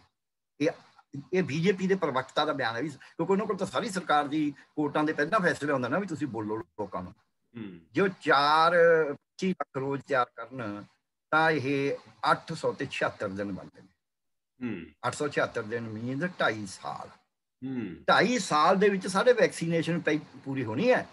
ਜੇ ਅਸੀਂ ਦੂਜਾ ਪਾਸਾ ਲਈਏ ਜਿਹੜੇ ਕਹਿੰਦੇ ਨੇ ਵੀ ਅਸੀਂ 1 ਕਰੋੜ ਸ਼ੁਰੂ ਕਰ ਦਾਂਗੇ ਅਗਲੇ 5-4 ਮਹੀਨਿਆਂ 'ਚ 5-4 ਮਹੀਨੇ ਤੋਂ ਲੰਘ ਗਏ। 1 ਕਰੋੜ ਡੋਜ਼ ਵੀ ਹੋਵੇ ਤਾਂ ਵੀ ਤਾਂ 220 ਦਿਨ ਤਾਂ ਚਾਹੀਦੀ ਨੇ ਨਾ। ਹੂੰ 220 ਦਿਨ ਮਹੀਨੇ ਪਾ ਕੇ ਫਿਰ ਸਾਲ ਹੋ ਗਿਆ। ਸੋ ਅਸੀਂ ਤਿਆਰੀ ਨਾ ਤਾਂ ਵੈਕਸੀਨ ਨੂੰ ਕਿਉਂਕਿ ਅਸੀਂ ਵਪਾਰ ਦੇ ਵਿੱਚ ਫਸ ਗਏ। ਅਸੀਂ ਚਾਹੁੰਦੇ ਆ ਵੀ ਇਹ ਦੋ ਕੰਪਨੀਆਂ ਨੂੰ ਬੈਨੀਫਿਟ ਦੇਣਾ ਅਸੀਂ ਬਾਕੀਆਂ ਨੂੰ ਖੋਲਿਆ ਨਹੀਂ। ਫਿਰ ਉਹ ਤੋਂ ਅਸੀਂ ਤਕਨੀਕੀ ਮਹਾਰ ਜਿਵੇਂ ਦਫ਼ਤਰ ਜਾਂਦੇ ਆ ਨਾ ਆਪਾਂ ਬਾਬੂ ਕਹਿੰਦਾ ਉਹ ਨਹੀਂ ਜੀ ਤੁਹਾਨੂੰ ਨਹੀਂ ਪਤਾ ਉਹ ਐ ਹੋ ਗਿਆ ਐ ਹੋ ਗਿਆ। ਇਹ ਅਸੀਂ ਕਹਾਣੀਆਂ ਬਣਾਉਣੇ ਆ ਸਾਨੂੰ ਚਾਹੀਦਾ ਸੀ ਕਿ ਸਾਡੀ ਆਬਾਦੀ ਬਹੁਤ ਜ਼ਿਆਦਾ ਹੈ। ਵੈਕਸੀਨ ਅਸੀਂ ਆਪ ਤਿਆਰ ਕਰਿਆ ਕਿ ਕੋਵੈਕਸ ਹੈ ਉਹ ਅਸੀਂ ਕੋਵੈਕਸੀਨ ਉਹ ਅਸੀਂ ਆਪ ਤਿਆਰ ਕਰਿਆ ਜਿਹੜੀ ਕੋਵੀਸ਼ੀਲਡ ਹੈ ਉਹ ਅਸੀਂ ਉਹਨਾਂ ਨਾਲ ਠੇਕਾ ਕਰਿਆ ਉਹਦੇ ਨਾਲ ਅਸੀਂ ਉਹਨਾਂ ਨਾਲ ਗੱਲਬਾਤ ਕਰਕੇ ਕੋਵੀ ਕੋਵੈਕਸੀਨ ਨੂੰ ਸਿੱਧਾ ਦਿੰਦੇ ਕੋਈ ਆਈਸੀਐਮਆਰ ਦਾ ਉਹਦੇ ਚ ਲੱਗੀ ਹੋਈ ਹੈ ਜਿਹੜੀ ਮੈਨ ਪਾਵਰ ਨੂੰ ਪੂੰਜੀ ਹੈ।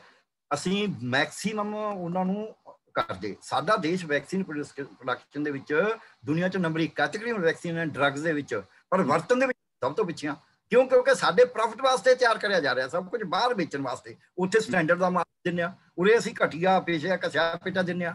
ਉਹਦੇ ਵਿੱਚੋਂ ਲੋਕਾਂ ਨੂੰ ਰਿਐਕਸ਼ਨ ਵੀ ਜ਼ਿਆਦਾ ਹੁੰਦੇ ਨੇ, ਕਿਉਂਕਿ ਅਸੀਂ ਤਾਂ ਇੱਥੇ ਤਾਂ ਇੱਥੇ ਵਾਸਤੇ ਅਸੀਂ ਉਹੋ ਜਿਹੇ ਸਟੈਂਡਰਡ ਨਾ ਦਵਾਈਆਂ ਦੇ, ਨਾ ਹੋਰ ਦੇ। ਦੋ ਨੰਬਰ ਦੀਆਂ ਦਵਾਈਆਂ ਆਪਾਂ ਨੂੰ ਪਤਾ ਹੀ ਹੈ ਸਾਰਾ ਵਿਕ ਰਹੀਆਂ ਨੇ। ਸੋ ਵੈਕਸੀਨ ਦੀ ਅਸੀਂ ਜਾਣ ਬੁੱਝ ਕੇ ਤਿਆਰੀ ਨਹੀਂ ਕਰੀ। ਇਹ ਨਹੀਂ ਹੈ ਇਹਦੇ ਵਿੱਚ ਕੋਈ ਵੀ ਸਾਤੋਂ ਭੁਲੇਖਾ ਹੋ ਗਿਆ, ਸਾਨੂੰ ਪਤਾ ਨਹੀਂ ਸੀ। ਅਸੀਂ ਵੈਸਟਡ ਇੰਟਰਸਟ ਦੇ ਨਾਲ, ਅਸੀਂ ਚਾਹੁੰਦੇ ਆ ਕਿ ਲੋਕ ਦੁਖੀ ਰਹਿਣ ਲੋਕਾਂ ਦੇ ਨੌਜਵਾਨ ਪੁੱਤਤੀਆਂ ਮਰਦੇ ਰਹਿਣ ਤੇ ਲੋਕ ਡਰ ਚ ਰਹਿਣ ਵੀ ਯਾਰ ਸਰਕਾਰ ਕੁਛ ਤਾਂ ਕਰੂਗੀ। ਸਰਕਾਰ ਕੋਲ ਬਣ ਕੇ ਰਹਿਣ। ਜੇ ਵੈਕਸੀਨੇਸ਼ਨ ਹੋਗੀ ਫਿਰ ਸ਼ਾਇਦ ਉਹ ਮੰਗਤੇ ਨਹੀਂ ਬਣਨਗੇ। ਫਿਰ ਇਹਨਾਂ ਨੂੰ ਕੋਈ ਹੋਰ ਬਿਮਾਰੀ ਫਲਾਣੀ ਪਾਏਗੀ ਜਾਂ ਕੋਈ ਹੋਰ ਆਪਸ ਵਿੱਚ ਲੜਾਈ, ਦੰਗੇ, ਫਸਾਦ ਕਰਾਉਣੇ ਪੈਣਗੇ। ਤਾਂ ਮੈਨੂੰ ਲੱਗਦਾ ਹੈ ਕਿ ਵੈਕਸੀਨ ਅਸੀਂ ਜਾਣ ਬੁੱਝ ਕੇ ਤਿਆਰ ਕਰਾਉਣ ਦੀ ਗੱਲ ਨਹੀਂ ਕਰਨੀ। ਜਿਹੜੇ ਦੋਸ਼ ਲਾਏ ਜਾਂਦੇ 6 ਕਰੋੜ ਵੇਚੀ ਜੇ 6 ਕਰੋੜ ਵੇਚੀ ਫਿਰ ਕੀ ਪਹਾੜ ਗਿਰ ਗਿਆ। ਹਾਲਾਂਕਿ ਵਿੱਚ ਨਹੀਂ ਚਾਹੀਦੀ ਸੀ ਸਾਡੇ ਕੋਲ ਆਪਣੇ 6 ਤਾਂ ਵੀ 7.5 ਕਰੋੜ ਹੁੰਦੀ ਨਾ ਜੋ ਨਾ ਵੀ ਵੇਚਦੇ। ਸੋ ਇਸ ਕਰਕੇ ਇਹ ਜਿਹੜਾ ਜਿਹੜੀ ਸਿਆਸਤ ਹੈ ਸਾਡੀ ਸਿਆਸਤ ਸਵਾਲ ਹੀ ਨਹੀਂ ਕਰ ਰਹੀ ਵੀ ਤੁਸੀਂ ਵੈਕਸੀਨ ਪ੍ਰੋਡਿਊਸ ਕਿਉਂ ਨਹੀਂ ਕਰ ਰਹੇ। ਸਾਡੀ ਸਿਆਸਤ ਜਾਂ ਤਾਂ ਆਪਦੀ ਟੈਕਨੀਕ ਦੱਸਣ ਲੱਗ ਜਾਂਦੀ ਹੈ ਮੈਂ ਇਵਨ ਐਜ਼ ਅ ਡਾਕਟਰ ਇਹ ਕਹਿਣ ਨੂੰ ਤਿਆਰ ਨਹੀਂ ਆ ਕਿ ਵੈਕਸੀਨ ਪ੍ਰੋਡਿਊਸ ਕਿਵੇਂ ਹੋਵੇ। ਮੈਂ ਕਹਿੰਦਾ ਸਰਕਾਰ ਦੀ ਡਿਊਟੀ ਹੈ ਕਿ ਵੈਕਸੀਨ ਵੱਧ ਤੋਂ ਵੱਧ ਤੇਜ਼ੀ ਨਾਲ ਪ੍ਰੋਡਿਊਸ ਹੋਵੇ ਔਰ ਸਾਡੇ ਦੇਸ਼ 'ਚ ਕੈਪੈਸਿਟੀ ਹੈਗੀ ਸੀ ਸਮਰੱਥਾ ਹੈਗੀ ਸੀ। ਕਾਨੂੰਨ ਕੀ ਹੈ ਕਿਵੇਂ ਕਰਨਾ ਹੈ ਤਾਂ ਸਰਕਾਰ ਨੇ ਦੇਖਣਾ। ਜੀ ਜੀ ਬਿਲਕੁਲ ਬਿਲਕੁਲ। ਤਾਕਤ ਤੇ ਬੈਠੀ ਹੈ ਤਖਤ ਤੇ ਉਹਦੀ ਡਿਊਟੀ ਹੈ ਕਿ ਉਹ ਦੇਖੇ? ਅਸੀਂ ਕਿੰਨਾਂ ਨੂੰ ਪਰਮਿਸ਼ਨ ਦੇਣੀ ਹੈ ਕਿੰਨਾਂ ਨੂੰ ਲਾਇਸੈਂਸ ਦੇਣੇ ਨੇ? ਕਿੰਨੇ ਤੇਜ਼ੀ ਨਾਲ ਦੇਣੇ ਨੇ? ਕਿੰਨੀ ਉਹਨਾਂ ਦੀ ਜੇ ਪੈਸੇ ਦੀ ਮਦਦ ਹੈ ਪਹਿਲਾਂ ਐਡਵਾਂਸ ਚਾਹੀਦਾ ਉਹ ਕਿੰਨਾ ਕੁ ਦੇਣਾ ਟੈਕਨੋਲੋਜੀ ਜੇ ਇੰਪੋਰਟ ਕਰਨੀਆਂ ਬਾਹਰੋਂ ਕੋਈ ਸਮਾਨ ਮੰਗਾਉਣਾ ਉਹਦੇ ਚ ਅਸੀਂ ਕੀ ਮਦਦ ਕਰਨੀ ਹੈ ਇਹ ਸਰਕਾਰ ਦਾ ਕੰਮ ਹੈ ਦੇਖ। ਸਾਡਾ ਕੰਮ ਦੇਖਿਆ as a citizen as a doctor as a social activist maybe as a political party ਜੇ ਕੋਈ ਹੋਵੇ ਜਾਂ ਜਿਵੇਂ ਤੁਸੀਂ ਆ ਵੈਬਿਨਾਰ ਕਰ ਰਹੇ ਹੋ ਸਾਡੀ ਡਿਊਟੀ ਦੇਖਣਾ ਇਹ ਹੈ ਕਿ ਭਾਈ ਸਾਨੂੰ 220 ਕਰੋੜ ਡੋਜ਼ ਚਾਹੀਦੀਆਂ ਨੇ ਹੁਣ ਵੀ। ਜੇ 220 ਕਰੋੜ ਡੋਜ਼ ਸਾਨੂੰ ਚਾਹੀਦੀਆਂ ਨੇ ਸਰਕਾਰ ਨੂੰ ਅੱਖਾਂ ਖੋਲ ਕੇ ਬਹੁਤ ਤੇਜ਼ੀ ਨਾਲ ਇਹਦਾ ਪ੍ਰਬੰਧ ਕਰਨਾ ਪਏਗਾ ਤੇ ਨਹੀਂ ਅਸੀਂ ਤੀਜੀ ਵੇਵ ਚੌਥੀ ਵੇਵ ਪੰਜਵੀਂ ਵੇਵ ਦੇ ਸ਼ਿਕਾਰ ਬੰਦੇ ਰਹਾਂਗੇ। ਜੀ ਜੀ ਜੀ ਜੀ। ਬਹੁਤ ਡੂੰਘੀਆਂ ਗੱਲਾਂ ਗਰਗ ਸਾਹਿਬ ਨੇ ਸਾਡੇ ਨਾਲ ਕੀਤੀਆਂ ਨੇ ਜਿਹੜੀ ਅੰਦਰਲੀ ਸਿਆਸਤ ਹੈ ਕਿ ਅਸੀਂ ਕਿਉਂ ਨਹੀਂ ਕਰ ਸਕੇ ਹੈਗੇ ਸਾਰਾ ਕੁਝ ਸਮਰੱਥਾ ਹੋਣ ਦੇ ਬਾਵਜੂਦ ਨਹੀਂ ਕਰ ਸਕੇ, ਇਹ ਬਹੁਤ ਵੱਡੀ ਬਦਕਿਸਮਤੀ ਹੈ ਸਾਡੇ ਮੁਲਕ ਦੀ, ਜਿਹਦੇ ਵਿੱਚ ਸਾਡੇ ਸਿਆਸਤਦਾਨਾਂ ਦਾ ਬਹੁਤ ਵੱਡਾ ਹੱਥ ਹੈ। ਦੋਸਤੋ ਸਵਾਲ ਬਹੁਤ ਸਾਰੇ ਨੇ, ਪਰ ਮੈਂ ਇਹ ਚਾਹੁੰਦਾ ਕਿ ਤੁਸੀਂ ਵੀ ਸਵਾਲ ਕਰੋ ਇਸ ਤੋਂ ਬਾਅਦ। ਇਸ ਕਰਕੇ ਮੈਂ ਆਪਣੇ ਸਵਾਲਾਂ ਨੂੰ ਆਖਰੀ ਸਵਾਲ ਦੇ ਵਿੱਚ ਸੀਮਿਤ ਕਰ ਰਿਹਾ ਤੇ ਮੈਂ ਦੀਪਤੀ ਸਾਹਿਬ ਤੁਹਾਨੂੰ ਇੱਕ ਸਵਾਲ ਕਰ ਰਿਹਾ ਸੰਖੇਪ ਦੇ ਵਿੱਚ ਜਵਾਬ ਦੇ ਕੇ ਫਿਰ ਅਸੀਂ ਕੋਸ਼ਿਸ਼ ਕਰਾਂਗੇ ਕਿ ਹੋਰ ਕੋਈ ਸਾਥੀ ਜੇ ਕੋਈ ਸਵਾਲ ਕਰਨਾ ਚਾਹੁੰਦਾ ਉਹ ਅਸੀਂ ਸਵਾਲ ਲੈ ਸਕੀਏ। ਸਵਾਲ ਦੀਪਤੀ ਸਾਹਿਬ, ਇਹ ਹੈ ਕਿ ਅਸੀਂ ਵੈਕਸੀਨ ਤੇ ਬਹੁਤ ਜ਼ੋਰ ਲਾਇਆ ਹੈ, ਪੂਰੀ ਦੁਨੀਆ ਨੇ 15 ਪ੍ਰਕਾਰ ਦੀਆਂ ਵੈਕਸੀਨਾਂ ਮਾਰਕੀਟ ਦੇ ਵਿੱਚ ਲਗਭਗ ਇਸ ਵੇਲੇ ਹੈਗੀਆਂ ਨੇ। ਇਹ ਸਾਰੀਆਂ ਵੈਕਸੀਨਾਂ ਕਰੋਨਾ ਹੋਣ ਤੋਂ ਰੋਕਣ ਦੀਆਂ ਨੇ, ਮਤਲਬ ਕਰੋਨਾ ਨਾ ਹੋਵੇ। ਪਰ ਕਰੋਨਾ ਜਦੋਂ ਹੋ ਜਾਂਦਾ ਹੈ, ਉਸ ਤੋਂ ਬਾਅਦ ਰੋਕਣ ਵਾਸਤੇ ਉੱਡੇ ਵੱਡੇ ਪੱਧਰ ਤੇ ਯਤਨ ਕਾਤੋਂ ਨਹੀਂ ਹੋਇਆ ਹੈਗਾ? ਇਹਦੇ ਪਿੱਛੇ ਵਿਗਿਆਨ ਦੀਆਂ ਕੋਈ ਸੀਮਾਵਾਂ ਨੇ? ਜਾਂ ਕਰੋਨਾ ਦਾ ਬਾਜ਼ਾਰ, ਇੱਕ ਵੈਕਸੀਨ ਦਾ ਬਾਜ਼ਾਰ ਇਹਨਾਂ ਨੇ ਪੈਦਾ ਕਰਨਾ ਸੀ, ਉਹਦੀ ਕੋਈ ਲੋੜ ਹੈ? ਮਤਲਬ ਅਸੀਂ ਇਹੋ ਜੀ ਕੋਈ ਵੱਡੇ ਪੱਧਰ ਤੇ ਦੁਨੀਆ ਦੇ ਵਿੱਚ ਕੋਈ ਦਵਾਈ ਅਜੇ ਤੱਕ ਇਹੀ ਇੰਟਰੋਡਿਊਸ ਨਹੀਂ ਹੋ ਸਕੀ, ਜਿਵੇਂ ਵੈਕਸੀਨ ਤੇ ਜ਼ੋਰ ਲੱਗਿਆ ਕਿ ਕਰੋਨਾ ਹੋਣ ਤੋਂ ਬਾਅਦ ਅਸੀਂ ਕੋਈ ਦਵਾਈ ਇਹੀ ਜੀ ਇੰਟਰੋਡਿਊਸ ਕਰ ਸਕੀਏ, ਜਿਹਦੇ ਨਾਲ ਹੋਇਆ ਹੋਇਆ ਮਰੀਜ਼ ਠੀਕ ਹੋ ਜਾਏ, ਇਹਦੇ ਪਿੱਛੇ ਕੀ ਕਾਰਨ ਲੱਗਦਾ ਤੁਹਾਨੂੰ? ਦੇਖੋ ਜੀ ਬਿਮਾਰੀ ਹੈਗੀ ਹੈ ਕਰੋਨਾ ਦੇ, ਚਾਹੇ ਮੈਂ ਕਹਿੰਦਾ ਵਾਇਰਲ ਡਿਜ਼ੀਜ਼ ਹੈਗੀ ਹੈ ਵਾਇਰਲ ਦੀ ਆਪਾਂ ਕਰੀਬੀ ਵਾਇਰਸ ਨਾਲ ਹੋਣ ਵਾਲੀ ਬਿਮਾਰੀ ਹੈ। ਜੀ। ਇੱਕ ਦੇਖੋ ਕਿਸੇ ਵੀ ਬਿਮਾਰੀ ਦੇ ਦੋ ਪਾਰਟ ਹੁੰਦੇ ਇੱਕ ਪ੍ਰੀਵੈਂਸ਼ਨ ਹੈ ਇੱਕ ਟ੍ਰੀਟਮੈਂਟ ਹੈ ਇੱਕ ਬਚਾਅ ਹੈਗਾ ਇੱਕ ਉਹਦਾ ਇਲਾਜ ਹੈਗਾ। ਤੁਸੀਂ ਆਪਾਂ ਦੇਖਦੇ ਵੀ ਬਿਮਾਰੀ ਦੇ ਵਿੱਚ ਸਾਨੂੰ ਮਤਲਬ ਕਿ ਬਚਾਅ ਜਿਹੜਾ ਹੈਗਾ ਉਹ ਵੱਧ ਮਤਲਬ ਕਿ ਫਾਇਦੇਮੰਦ ਹੈਗਾ ਕਿ ਇਲਾਜ ਵੱਧ ਫਾਇਦੇਮੰਦ ਹੈਗਾ। ਇੱਕ ਆਪਾਂ ਕਿੱਥੇ ਮਤਲਬ ਕਿ ਵੱਧ ਜ਼ੋਰ ਲਾਉਣਾ ਹੈਗਾ। ਦੂਜੀ ਗੱਲ ਹੈਗੀ ਵਾਇਰਲ ਦੀ ਗੱਲ ਹੈਗੀ ਹੈ ਸਾਡੇ ਕੋਲ ਕਿੰਨੀਆਂ ਸਾਰੀਆਂ ਵਾਇਰਲ ਡਿਜ਼ੀਜ਼ ਨੇ ਉਹਦੇ ਵਾਸਤੇ ਐਂਟੀ ਵਾਇਰਲ ਡਰੱਗ ਜਿਹੜੀਆਂ ਨੇ ਇਹ ਸਾਡੀ ਇੱਕ ਸੀਮਾ ਹੈਗੀ ਹੈ ਮੈਡੀਕਲ ਵਿਗਿਆਨ ਦੀ ਕਿ ਐਂਟੀ ਵਾਇਰਲ ਡਰੱਗ ਜਿਹੜੀਆਂ ਨੇ ਨਾ ਉਹ ਨਹੀਂ ਬਣੀਆਂ ਜੇ ਬਣੀਆਂ ਨੇ ਤਾਂ ਉਹ ਬਹੁਤ ਜ਼ਿਆਦਾ ਅਸਰਦਾਰ ਨਹੀਂ ਨੇ ਉਹ ਬਹੁਤ ਜ਼ਿਆਦਾ ਟੌਕਸਿਕ ਨੇ। ਆਪਾਂ ਏਡਸ ਦੀ ਗੱਲ ਕਰਦੇ ਆ ਕਿ ਏਡ ਦੇ ਵਾਸਤੇ ਅਸੀਂ ਐਂਟੀ ਵਾਇਰਲ ਡਰੱਗਸ ਬਣਾਏ ਕੋਈ ਵਾਇਰਲ ਡਰੱਗ ਹੋਣ ਵਾਲੀ ਬਿਮਾਰੀ ਹੈਗੀ ਆ। ਉਹਦੀ ਐਂਟੀ ਵਾਇਰਲ ਡਰੱਗਸ ਬਣੀਆਂ ਹੈਗੀਆਂ ਨੇ। ਤੁਸੀਂ ਦੇਖੋ ਵੀ ਮੈਂ ਤੁਹਾਨੂੰ ਇੱਕ ਇਹ ਤੱਥ ਹੈਗਾ ਵੀ ਜੇ ਇੱਕ ਬੰਦੇ ਨੂੰ ਏਡਸ ਹੋ ਗਈ ਹੈ ਐਚ ਆਈ ਵੀ ਹੋ ਗਈ ਹੈ ਉਹ ਅੱਜ ਟ੍ਰੀਟਮੈਂਟ ਸ਼ੁਰੂ ਕਰਦਾ ਹੈਗਾ ਤੇ ਉਹ ਅਖੀਰ ਤੇ ਉਹਨੂੰ ਥੋੜੇ 5 7 10 ਸਾਲ ਉਹਨੇ ਵਧਾ ਦਿੰਦੀ ਉਮਰ ਦੇ। ਇੱਕ ਅੰਦਾਜ਼ਾ ਹੈਗਾ। ਪਰ ਦੂਜੇ ਪਾਸੇ ਇਹ ਹੈਗਾ ਕਿ ਜੇ ਉਹ ਕੋਈ ਦਵਾਈ ਨਹੀਂ ਲੈਂਦਾ ਤਾਂ ਵੀ ਉਹਨੇ 10 ਸਾਲ 'ਚ ਮਰਨਾ ਹੈਗਾ, ਜੇ ਦਵਾਈ ਲਊਗਾ ਤਾਂ ਵੀ ਉਹਨੇ 10 ਸਾਲ 'ਚ ਮਰਨਾ ਹੈਗਾ। ਉੱਥੇ ਦਵਾਈ ਵੀ ਮਾਰਦੀ ਹੈਗੀ ਹੈ, ਦਵਾਈ ਨੁਕਸਾਨ ਪਹੁੰਚਾਉਂਦੀ ਹੈ ਪਰ ਜੇ ਆਪਾਂ ਕਿਸੇ ਦੇ ਤੌਰ ਤੇ ਕਹੀਏ ਤਾਂ ਐਂਟੀਵਾਇਰਲ ਡਰੱਗ ਜਿਹੜੀਆਂ ਨਾ, ਇਹ ਕਾਫੀ ਮਤਲਬ ਕਿ ਟੌਕਸਿਕ ਹੁੰਦੀਆਂ ਨੇ, ਜਿੰਨਾ ਕੋ ਬਚਾਉਂਦੀਆਂ ਨੇ, ਉਹਨਾਂ ਹੋਰ ਨੁਕਸਾਨ ਵੱਧ ਕਰਦੀਆਂ ਨੇ। ਤਾਂ ਇਸ ਕਰਕੇ ਇਸ ਦਿਸ਼ਾ ਦੇ ਵਿੱਚ ਇਹ ਨਹੀਂ ਕਿ ਕੰਮ ਆਪਾਂ ਜਦੋਂ ਰੈਮਡੀਸਿਵਿਰ ਦੀ ਗੱਲ ਕਰ ਕਰੇ ਇਹ ਐਂਟੀਵਾਇਰਲ ਡਰੱਗ ਹੈਗੀ ਹੈ। ਇਹਨੂੰ ਇਸ ਕਰਕੇ ਸਾਈਡ ਤੇ ਰੱਖਿਆ ਗਿਆ, ਬਚਾ ਕੇ ਰੱਖਿਆ ਗਿਆ ਬਹੁਤ ਕ੍ਰਿਟੀਕਲ ਕੰਡੀਸ਼ਨ ਦੇ ਵਿੱਚ ਮਤਲਬ ਕਿ ਇਸ ਨੂੰ ਇਸਤੇਮਾਲ ਕੀਤਾ ਜਾਵੇ। ਇਹ ਵੀ ਮਤਲਬ ਕਿ ਤੱਥ ਸਾਹਮਣੇ ਆ ਰਹੇ ਨੇ ਕਿ ਰੈਮਡੇਸਿਵਿਰ ਨੇ ਬਹੁਤੇ ਬਚਾਉਣ ਦੇ ਵਿੱਚ ਲੋਕਾਂ ਨੂੰ ਕੋਈ ਮਦਦ ਨਹੀਂ ਕੀਤੀ ਜਿਹੜੀ ਡੈਥ ਹੈਗੀ ਹੈ। ਜਿਸ ਤਰ੍ਹਾਂ ਸ਼ੁਰੂ ਵਿੱਚ ਕੋ ਜਿਹੜੇ ਕਿਰਨ ਨੇ ਆਪਣਾ ਜਿਹੜਾ ਕੇਸ ਦੱਸ ਰਹੀ ਸੀਗੀ ਕਿ ਉਹਨੂੰ ਟੀਕੇ ਲਾਏ 30000 ਦੇ 40000 50000 ਵਾਲੇ। ਮਤਲਬ ਕਿ ਇਹ ਇਹਨੇ ਮਹਿੰਗੇ ਵਿਕੇ ਨੇ ਬਲੈਕ ਵਿੱਚ ਵਿਕੇ ਨੇ। ਕੀਮਤ ਉਹਦੀ ਸੈਂਕੜਿਆਂ ਵਿੱਚ ਹੈਗੀ ਹੈ, ਜਿਹੜੀ ਕਿ ਤੁਸੀਂ ਦੇਖੋ ਵੀ ਆਪਣੇ ਉਹ ਲੱਖਾਂ ਦੀ ਦੇ ਵਿੱਚ ਬਲੈਕ ਮੇਲ ਹੋਈ ਹੈ। ਇੱਕ ਤੋਂ ਬਲੈਕ ਮੇਲ ਵਾਲਾ ਇੱਕ ਵੱਖਰਾ ਕਰਪਸ਼ਨ ਦਾ ਇਸ਼ੂ ਹੈਗਾ ਤੇ ਸਾਡੀ ਜਮਾਖੋਰੀ ਹੈ ਬਲੈਕ ਮੇਲਿੰਗ ਹੈਗੀ ਹੈ ਪਰ ਜਿਸ ਤੱਕ ਦਵਾਈਆਂ ਦੀ ਗੱਲ ਹੈਗੀ ਹੈ ਤਾਂ ਜਿਸ ਤੱਕ ਦਵਾਈਆਂ ਦੂਜੇ ਪਾਸੇ ਜਿਹੜਾ ਹੈਗਾ ਆਪਾਂ ਕਹੀਏ ਇਲਾਜ ਦੀ ਗੱਲ ਹੈਗੀ ਹੈ ਤੇ ਇੱਕ ਪਾਸੇ ਹੈਗੀ ਪ੍ਰੀਵੈਂਸ਼ਨ ਦੀ ਗੱਲ ਵੈਕਸੀਨ ਇੱਕ ਆਪਣੇ ਆਪ ਦੇ ਵਿੱਚ ਬਹੁਤ ਵਧੀਆ ਕਾਰਗਰ ਸਾਡੇ ਕੋਲ ਇੱਕ ਤਜਰਬੇ ਦਾ ਹਥਿਆਰ ਹੈਗਾ ਪਰ ਜਿਸ ਤਰੀਕੇ ਨਾਲ ਐਤਕੀ ਵੈਕਸੀਨ ਦੇ ਉੱਪਰ ਸਿਆਸਤ ਹੋਈ ਹੈ ਅਸੀਂ ਮਤਲਬ ਕਿ ਇੱਕ ਪੰਬਲ ਗੁੱਸਾ ਮਤਲਬ ਕਿ ਹਜੇ ਤੱਕ ਉਹ ਕਲੀਅਰ ਨਹੀਂ ਹੋਇਆ ਜਿਵੇਂ ਮਤਲਬ ਕਿਉਂਕਿ ਮੇਰਾ ਇਹ ਸਬਜੈਕਟ ਹੈਗਾ ਤੇ ਮੇਰੇ ਕੋਲ ਵੈਕਸੀਨ ਵਾਸਤੇ ਲੋਕੀ ਬਹੁਤ ਫੋਨ ਕਰਦੇ ਨੇ ਵੀ ਵੈਕਸੀਨ ਲਗਵਾਉਣੀ ਚਾਹੀਦੀ ਹੈ ਕਿ ਨਹੀਂ ਲਗਵਾਉਣੀ ਚਾਹੀਦੀ। ਹਜੇ ਤੱਕ ਸਾਨੂੰ ਕਲੀਅਰ ਨਹੀਂ ਹੈਗਾ। ਜਿਸ ਤਰ੍ਹਾਂ ਅਸੀਂ ਮਤਲਬ ਕੀ ਕਹਿੰਦੇ ਗਿਆ ਉਹਨਾਂ ਨੇ ਕਿਹਾ ਵੀ ਕੋਈ ਵੀ ਕੋਵੀ ਸੀਟ ਲਗਾਈ ਸੀਗੀ ਤੇ ਉਹਨਾਂ ਨੇ ਉਹਨੂੰ ਡੈਥ ਨੂੰ ਮਤਲਬ ਕਿ ਕੋਵੀ ਸੀਟ ਨਾਲ ਜੋੜ ਜੋੜਨ ਦੀ ਗੱਲ ਬਣਦੀ ਹੈਗੀ ਹੈ। ਇਹ ਇਹੋ ਜਿਹੀਆਂ ਕਹਾਣੀਆਂ ਆ ਰਹੀਆਂ ਨੇ। ਤਾਂ ਉਹ ਆਪਣੇ ਆਪ ਦੇ ਵਿੱਚ ਇੱਕ ਭੰਬਲ ਮੂਸਾ ਪੈਦਾ ਕਰਦੀਆਂ ਨੇ। ਦੂਜਾ ਮਤਲਬ ਕਿ ਇਹ ਵੀ ਇੱਕ ਕੁਐਸਚਨ ਜਿਹੜੀ ਆਈ ਹੈਗੀ ਹੈ ਵੀ ਕੀ ਅਸੀਂ ਵੈਕਸੀਨ ਲਵਾ ਲਾਂਗੇ ਸਾਨੂੰ ਕੋਰੋਨਾ ਨਹੀਂ ਹੋਊਗਾ। ਸਾਰੇ ਕਹਿੰਦੇ ਨਹੀਂ ਹੋਊਗਾ। ਪਰ ਉਹ ਘੱਟ ਘਾਤਕ ਹੋਊਗਾ। ਨਹੀਂ ਫਿਰ ਅਸੀਂ ਕਹਿਣਾ ਕੀ ਚਾਹੁੰਦੇ ਹੈਗੇ ਆ? ਤਾਂ ਕਹਿਣ ਦਾ ਮਤਲਬ ਇਹ ਹੈਗਾ ਕਿ ਇੱਕ ਇੱਕ ਪੰਬਲ ਮੂਸਾ ਜਿਹਾ ਹੈਗਾ ਵੈਕਸੀਨ ਨਾਲ। ਪਰ ਜੋ ਵੈਕਸੀਨ ਦੀ ਜਿਹੜੀ ਆਪਣੀ ਖਾਸੀਅਤ ਹੈਗੀ ਹੈ, ਇਹ ਐਂਟੀਬਾਡੀਜ਼ ਬਣਾਉਣ ਦੀ, ਇਸ ਤੋਂ ਕੋਈ ਦੋ, ਕੋਈ ਇਨਕਾਰੀ ਨਹੀਂ ਕੀਤੀ ਜਾ ਸਕਦੀ। ਇਹ ਇੱਕ ਆਪਣੇ ਆਪ ਦੇ ਵਿੱਚ, ਮੈਂ ਤਾਂ ਮਤਲਬ ਗੱਲ ਕਰਦਾ ਜੇ ਆਪਾਂ ਇਤਿਹਾਸ ਦੇਖੀਏ, ਤਾਂ ਅਸੀਂ ਸਮਾਲ ਪੋਕਸ ਵੈਕਸੀਨ ਨਾਲ ਹੀ ਖਤਮ ਕੀਤੀ ਹੈ। ਉਹਦੇ ਬਾਅਦ ਕੋਈ ਵਾਇਰਲ ਡਰੱਗ ਸੀਗੀ, ਉਹ ਵਾਇਰਲ ਬਿਮਾਰੀ ਸੀਗੀ। ਜਿਹੜਾ ਵਾਇਰਸ ਸੀਗਾ ਸੀਗਾ ਸਮਾਲ ਪੋਕਸ ਦਾ ਬੜਾ ਘਾਤਕ ਸੀਗਾ। ਤੇ ਸਾਨੂੰ ਮਤਲਬ ਕਿ ਇਹੋ ਜਿਹੇ ਮੌਕੇ ਤੇ ਐਡਵਰਡ ਜੈਨਰ ਨੂੰ ਯਾਦ ਕਰਨਾ ਚਾਹੀਦਾ ਜਿਨੇ ਆਪਣੀ ਸੂਝ ਦੇ ਨਾਲ ਇੱਕ ਜਿਹੜੀ ਕਾਓ ਪੋਕਸ ਨਾਲ ਪੀੜ ਲੜਕੀ ਸੀਗੀ, ਉਹਨੂੰ ਦੇਖ ਕੇ ਉਹਨੂੰ ਆਈਡੀਆ ਆਇਆ ਤੇ ਉਹਦੇ ਸਰੀਰ ਦੀ ਜਿਹੜੀ ਸੁਰੱਖਿਆ ਪ੍ਰਣਾਲੀ ਹੈ, ਉਹਨੂੰ ਸਾਹਮਣੇ ਰੱਖ ਕੇ ਤੇ ਵੈਕਸੀਨ ਡਿਵੈਲਪ ਕਰਨ ਦਾ ਉਹਦੇ ਆਈਡੀਆ ਆਇਆ ਤੇ ਉਹ ਇੱਕ ਸਕਸੈਸਫੁਲ ਆਈਡੀਆ ਹੋਇਆ। ਅਸੀਂ ਮਤਲਬ ਕਿ ਸਮਾਲ ਪੋਕਸ ਵੀ ਖਤਮ ਕੀਤੀ ਹੈ, ਪੋਲੀਓ ਵੀ ਖਤਮ ਕੀਤੀ ਹੈਗੀ ਹੈ ਤੇ ਹੋਰ ਅਸੀਂ ਕਈ ਮਾਮਲੇ, ਪਰ ਉਹਦਾ ਇੱਕ ਤਰੀਕਾ ਹੈਗਾ, ਇੱਕ ਸਟ੍ਰੈਟਜੀ ਹੈਗੀ ਹੈ, ਤਰੀਕੇ ਦੇ ਨਾਲ ਉਹ ਹੁੰਦੀ ਹੈ। ਸੋ ਇਹਦੀ ਗੱਲ ਹੈਗੀ ਹੈ ਆਪਾਂ ਵੈਸੇ ਕਹਿ ਸਕਦੇ ਹਾਂ ਕਿ ਇਲਾਜ ਦੇ ਵਿੱਚ ਤੇ ਆਪਣੇ ਵੈਕਸੀਨ ਦੇ ਵਿੱਚ ਇੱਕ ਬਾਜ਼ਾਰ ਵੀ ਹੈਗਾ। ਮੈਂ ਇਹਦੇ ਸਟੈਟਿਸਟਿਕਸ ਇਸ ਕਰਕੇ ਇਸ ਢੰਗ ਨਾਲ ਪੇਸ਼ ਕਰਦਾ ਵੀ ਹੁਣ ਤੱਕ ਆਪਾਂ ਕਹਿੰਦੇ ਆ ਕਿ ਕੋਈ ਪੌਣੇ ਕੋ ਤਿੰਨ ਮਤਲਬ ਕਿ ਕਰੋੜ ਲੋਕਾਂ ਨੂੰ ਇਹ ਹੋਇਆ ਹੈਗਾ ਜਿਹੜੇ ਪੋਜ਼ਿਟਿਵ ਸੀਗੇ। ਉਹਨਾਂ ਦੇ ਵਿੱਚੋਂ ਅਲਟੀਮੇਟਲੀ ਉੱਥੇ ਕਿੰਨੇ ਪਹੁੰਚੇ ਹੈਗੇ ਨੇ ਆਈਸੀਯੂ ਤੱਕ? 80 ਤੋਂ 85% ਅਜੇ ਵੀ ਆਪਾਂ ਕਹਿੰਦੇ ਬੜੇ ਮਾਈਲਡ ਸੀਗੇ, ਜਿਨ੍ਹਾਂ ਨੂੰ ਹੋਇਆ ਤੇ ਪਤਾ ਵੀ ਨਹੀਂ ਚੱਲਿਆ। ਜਿਸ ਤਰ੍ਹਾਂ ਪਹਿਲਾਂ ਵੀ ਡਾਕਟਰ ਕਰਕ ਨੇ ਸਮਝਾਇਆ ਸੀਗਾ, ਦੱਸ ਰਹੇ ਸੀਗੇ ਕਿ ਇੱਕ ਵਿਗਿਆਨਿਕ ਤਰੀਕਾ ਹੈਗਾ ਵੀ ਜਿਹਨੂੰ ਨਹੀਂ ਹੋਇਆ, ਇਹ ਨਹੀਂ ਹੈ ਕਿ ਵੀ 85% ਨੂੰ ਕੋਈ ਸਿੰਪਟਮ ਨਹੀਂ ਆ ਰਿਹਾ। 13-14% ਨੂੰ ਆ ਰਿਹਾ ਹੈਗਾ, ਜਿਹੜੇ ਮਤਲਬ ਕਿ ਬਹੁਤ ਦੋ ਤਿੰਨ ਦਿਨ ਦੀ ਦਵਾਈ ਖਾ ਕੇ ਚਾਰ ਪੰਜ ਦਿਨ ਦੀ ਕਰੋਸਿਨ ਖਾ ਕੇ ਜਾਂ ਮਾੜੇ ਮੋਟੇ ਜਿਹੜੇ ਐਂਟੀ ਅਲਰਜਿਕ ਖਾ ਕੇ ਤੇ ਠੀਕ ਹੋ ਜਾਂਦੇ ਨੇ।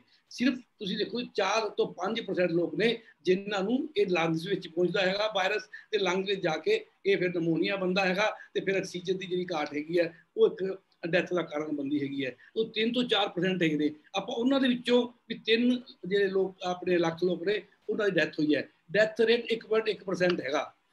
ਹੁਣ ਤੱਕ ਜਿੰਨੀ ਆਪਣੇ ਕੋਲ ਸਾਡੀ ਡਾਟੇ ਹੈਗੇ ਮਤਲਬ ਕਿ 1.1% ਡੈਥ ਰੇਟ ਵੈਸੇ ਕੋਈ ਬਿਮਾਰੀ ਦੇ ਵਾਸਤੇ ਕੋਈ ਵੱਡਾ ਨਹੀਂ ਹੈਗਾ, ਪਰ ਠੀਕ ਹੈ ਕਿ ਜਿਸ ਕਰਦਾ ਬੰਦਾ ਚਲਾ ਜਾਂਦਾ, ਕੋਈ ਵੱਡੀ ਮਤਲਬ ਗੱਲ ਹੈਗੀ ਹੈ, ਪਰ ਵੈਸੇ ਡੈਥ ਰੇਟ ਮੈਂ ਮਤਲਬ ਕੀ ਕਰਾਂਗੇ, ਆਪਣੇ ਕੋਲ ਬਹੁਤ ਸਾਰੀ ਹੋਰ ਬਿਮਾਰੀਆਂ ਦੇ ਮੈਂ ਨਾ ਗਿਣ ਸਕਦਾ, ਜਿਨ੍ਹਾਂ ਦਾ ਡੈਥ ਰੇਟ ਕਰੋਨਾ ਤੋਂ ਵੱਧ ਹੈਗਾ। ਅਸੀਂ ਉਹਨਾਂ ਵਾਸਤੇ ਇਹਨੇ ਕਦੇ ਵੀ ਗੰਭੀਰ ਨਹੀਂ ਹੋਏ। ਤਾਂ ਇਸ ਕਰਕੇ ਸਾਨੂੰ ਕਿਤੇ ਨਾ ਕਿਤੇ ਇਹਦੇ ਪਿੱਛੇ ਸਿਆਸਤ, ਬਾਜ਼ਾਰ ਤੇ ਜਿਹੜਾ ਹੈਗਾ, ਤੇ ਹੁਣ ਅੱਜ ਤੁਸੀਂ ਦੇਖੋ ਵੀ ਜੇ ਮੇਰਾ ਅੰਦਾਜ਼ਾ ਹੈਗਾ ਵੀ ਤਕਰੀਬਨ ਜੇ ਇਹਦੇ ਵਿੱਚ ਕੋਈ 10 ਕੁ ਲੱਖ ਲੋਕ ਜਿਹੜੇ ਨੇ, ਜਿਨ੍ਹਾਂ ਨੂੰ ਆਈਸੀਯੂ ਆਕਸੀਜਨ ਦੀ ਲੋੜ ਪਈ ਹੋਗੀ ਉਹਨਾਂ ਦੇ ਉੱਤੇ ਜਿੰਨਾ ਖਰਚਾ ਹੋਇਆ ਹੋਏਗਾ। ਤੇ ਦੂਜੇ ਪਾਸੇ ਅਸੀਂ 135 ਕਰੋੜ ਆਬਾਦੀ ਦੇ ਵਿੱਚ ਜਿਵੇਂ ਕਰ ਰਹੇ ਕਿ 220 ਕਰੋੜ ਡੋਜ਼ਾਂ ਚਾਹੀਦੀਆਂ ਨੇ, ਤੇ ਇਹ ਕੋਈ ਅੰਤ ਵੀ ਨਹੀਂ ਹੈਗਾ। ਇਹ 220 ਕਰੋੜ ਡੋਜ਼ਾਂ ਹੈਗੀਆਂ ਨੇ। ਸਾਨੂੰ ਹੋ ਸਕਦਾ ਕਿ 6 ਮਹੀਨਿਆਂ ਨੂੰ ਫਿਰ ਕਿਹਾ ਜਾਵੇ ਕਿ ਤੀਜੀ ਡੋਜ਼ ਵੀ ਲਵਾਓ, ਤਾਂ ਜਾ ਕੇ ਇਹ ਮੇਨਟੇਨ ਰਹੂਗੀ ਤੁਹਾਡੀ ਐਂਟੀਬੋਡੀਜ਼, ਜਿਹੜਾ ਜਿਹਨੂੰ ਆਪਾਂ ਬੂਸਟਰ ਕਹਿੰਦੇ ਆ ਤਾਂ ਇੱਕ ਬਹੁਤ ਵੱਡਾ ਬਾਜ਼ਾਰ ਹੈਗਾ ਵੈਕਸੀਨ ਦਾ। ਤਾਂ ਇਸ ਕਰਕੇ ਉਹ ਤਾਂ ਕੋਈ ਇਸ ਤੋਂ ਆਪਾਂ ਮਤਲਬ ਕਿ ਉਹ ਮੁਨਕਰ ਨਹੀਂ ਹੋ ਸਕਦੇ ਕਿ ਇੱਕ ਬਾਜ਼ਾਰ ਨਾਲ ਜੁੜੀ ਹੋਈ ਚੀਜ਼ ਹੈਗੀ ਹੈ। ਉਹਨਾਂ ਦਾ ਪੂਰਾ ਜ਼ੋਰ ਲੱਗਿਆ ਹੈਗਾ ਕਿ ਵੈਕਸੀਨ ਜਿਹੜੀ ਹੈਗੀ ਹੈ, ਇਹ ਮਤਲਬ ਕਿ ਲਗਾਈ ਜਾਵੇ। ਪਰ ਫਲੂ ਦੇ ਵਾਸਤੇ ਜਿੰਨੀਆਂ ਵੀ ਵੈਕਸੀਨ ਪਹਿਲਾਂ ਬਣਾਉਣ ਦੀ ਕੋਸ਼ਿਸ਼ ਕੀਤੀ ਹੈ, ਕੋਈ ਬਹੁਤੀਆਂ ਸਕਸੈਸਫੁਲ ਨਹੀਂ ਹੋਈਆਂ। ਜਿਵੇਂ ਨਵੇਂ ਸਟ੍ਰੇਨ ਆ ਰਹੇ ਨੇ। ਹੁਣ ਅਸੀਂ ਬਣਾਇਆ ਹੈਗਾ ਜਿਹੜਾ ਵੈਕਸੀਨ ਉਹ ਪਹਿਲੇ ਸਟ੍ਰੇਨ ਨਾਲ ਬਣਾਇਆ ਹੈਗਾ। ਹੁਣ ਨਵਾਂ ਸਟ੍ਰੇਨ ਆ ਗਿਆ ਹੈਗਾ। ਇਹ ਸਵਾਲ ਵੀ ਲੋਕੀ ਪੁੱਛ ਰਹੇ ਨੇ। ਦੂਜੇ ਪਾਸੇ ਹੈਗਾ ਵੀ ਜੇ ਮਤਲਬ ਕਿ ਆ ਜਿਹੜਾ ਸਟ੍ਰੇਨ ਹੈਗਾ, ਇਹ ਉਹਦੇ ਤੇ ਵੈਕਸੀਨ ਵਰਕ ਕਰੂਗਾ ਕਿ ਨਹੀਂ ਕਰੂਗਾ?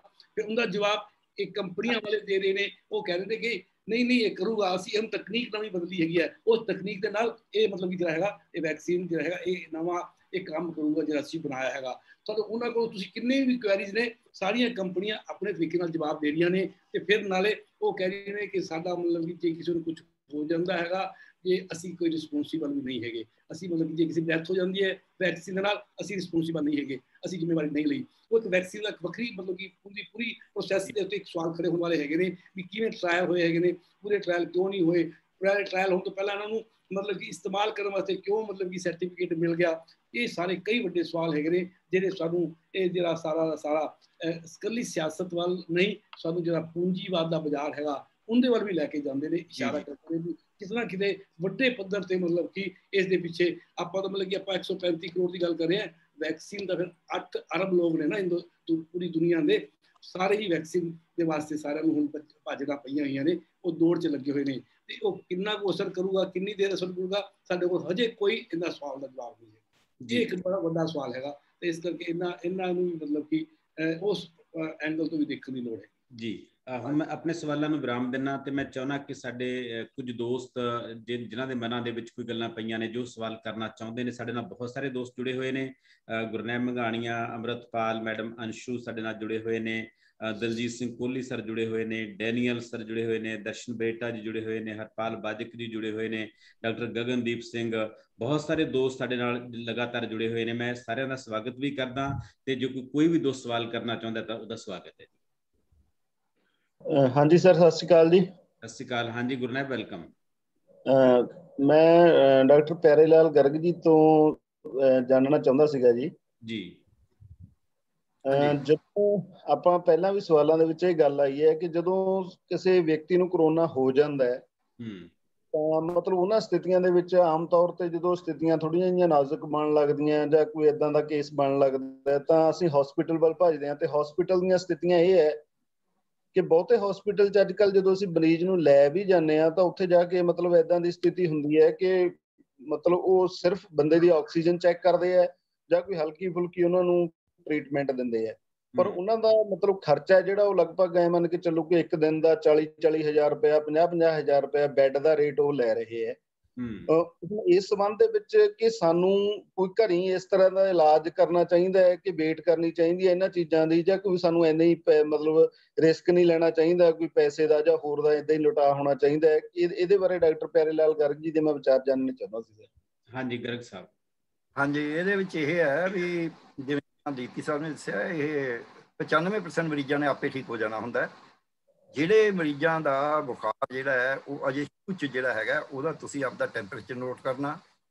ਸਾਹ ਦੀ ਦਰ ਨੋਟ ਕਰਨੀ 30 ਤੋਂ ਨਹੀਂ ਵਧਣੀ ਚਾਹੀਦੀ ਤੇ ਆਕਸੀਜਨ ਤੇ ਰੈਸਪੀਰੇਸ਼ਨ ਰੇਟ ਇਹ ਜੇ ਤੁਸੀਂ ਟੈਸਟ ਕਰਵਾ ਲਿਆ ਤਾਂ ਪੋਜ਼ਿਟਿਵ ਗੱਲ ਇਹ ਹੋਈ, ਖਰੀਦਣ ਦੀ ਲੋੜ ਨਹੀਂ ਪੈਣੀ। ਆਕਸੀਮੀਟਰ ਵੀ ਤੇ ਥਰਮਾਮੀਟਰ ਵੀ ਘੱਟੋ ਘੱਟ ਤੁਹਾਡੇ ਘਰੇ ਆ ਜਾਣਾ ਤੇ ਛੋਟੀ ਮੋਟੀ ਦਵਾਈ ਜਿਹੜੀ ਚਾਹੀਦੀ ਹੈ, ਉਹਦੇ ਚ ਪੈਰਾਸੀਟਾਮੋਲ ਵਗੈਰਾ, ਉਹ ਵੀ ਵਿਟਾਮਿਨ ਸੀ ਵਗੈਰਾ ਆ ਜਾਣਾ ਕਿਟ ਦੇ ਜਾਣਾ ਉਹਨਾਂ ਨੇ। ਚੰਗਾ ਜਾਂ ਮਾੜਾ ਉਹ ਫੈਕਟ ਹੀ ਹੈ।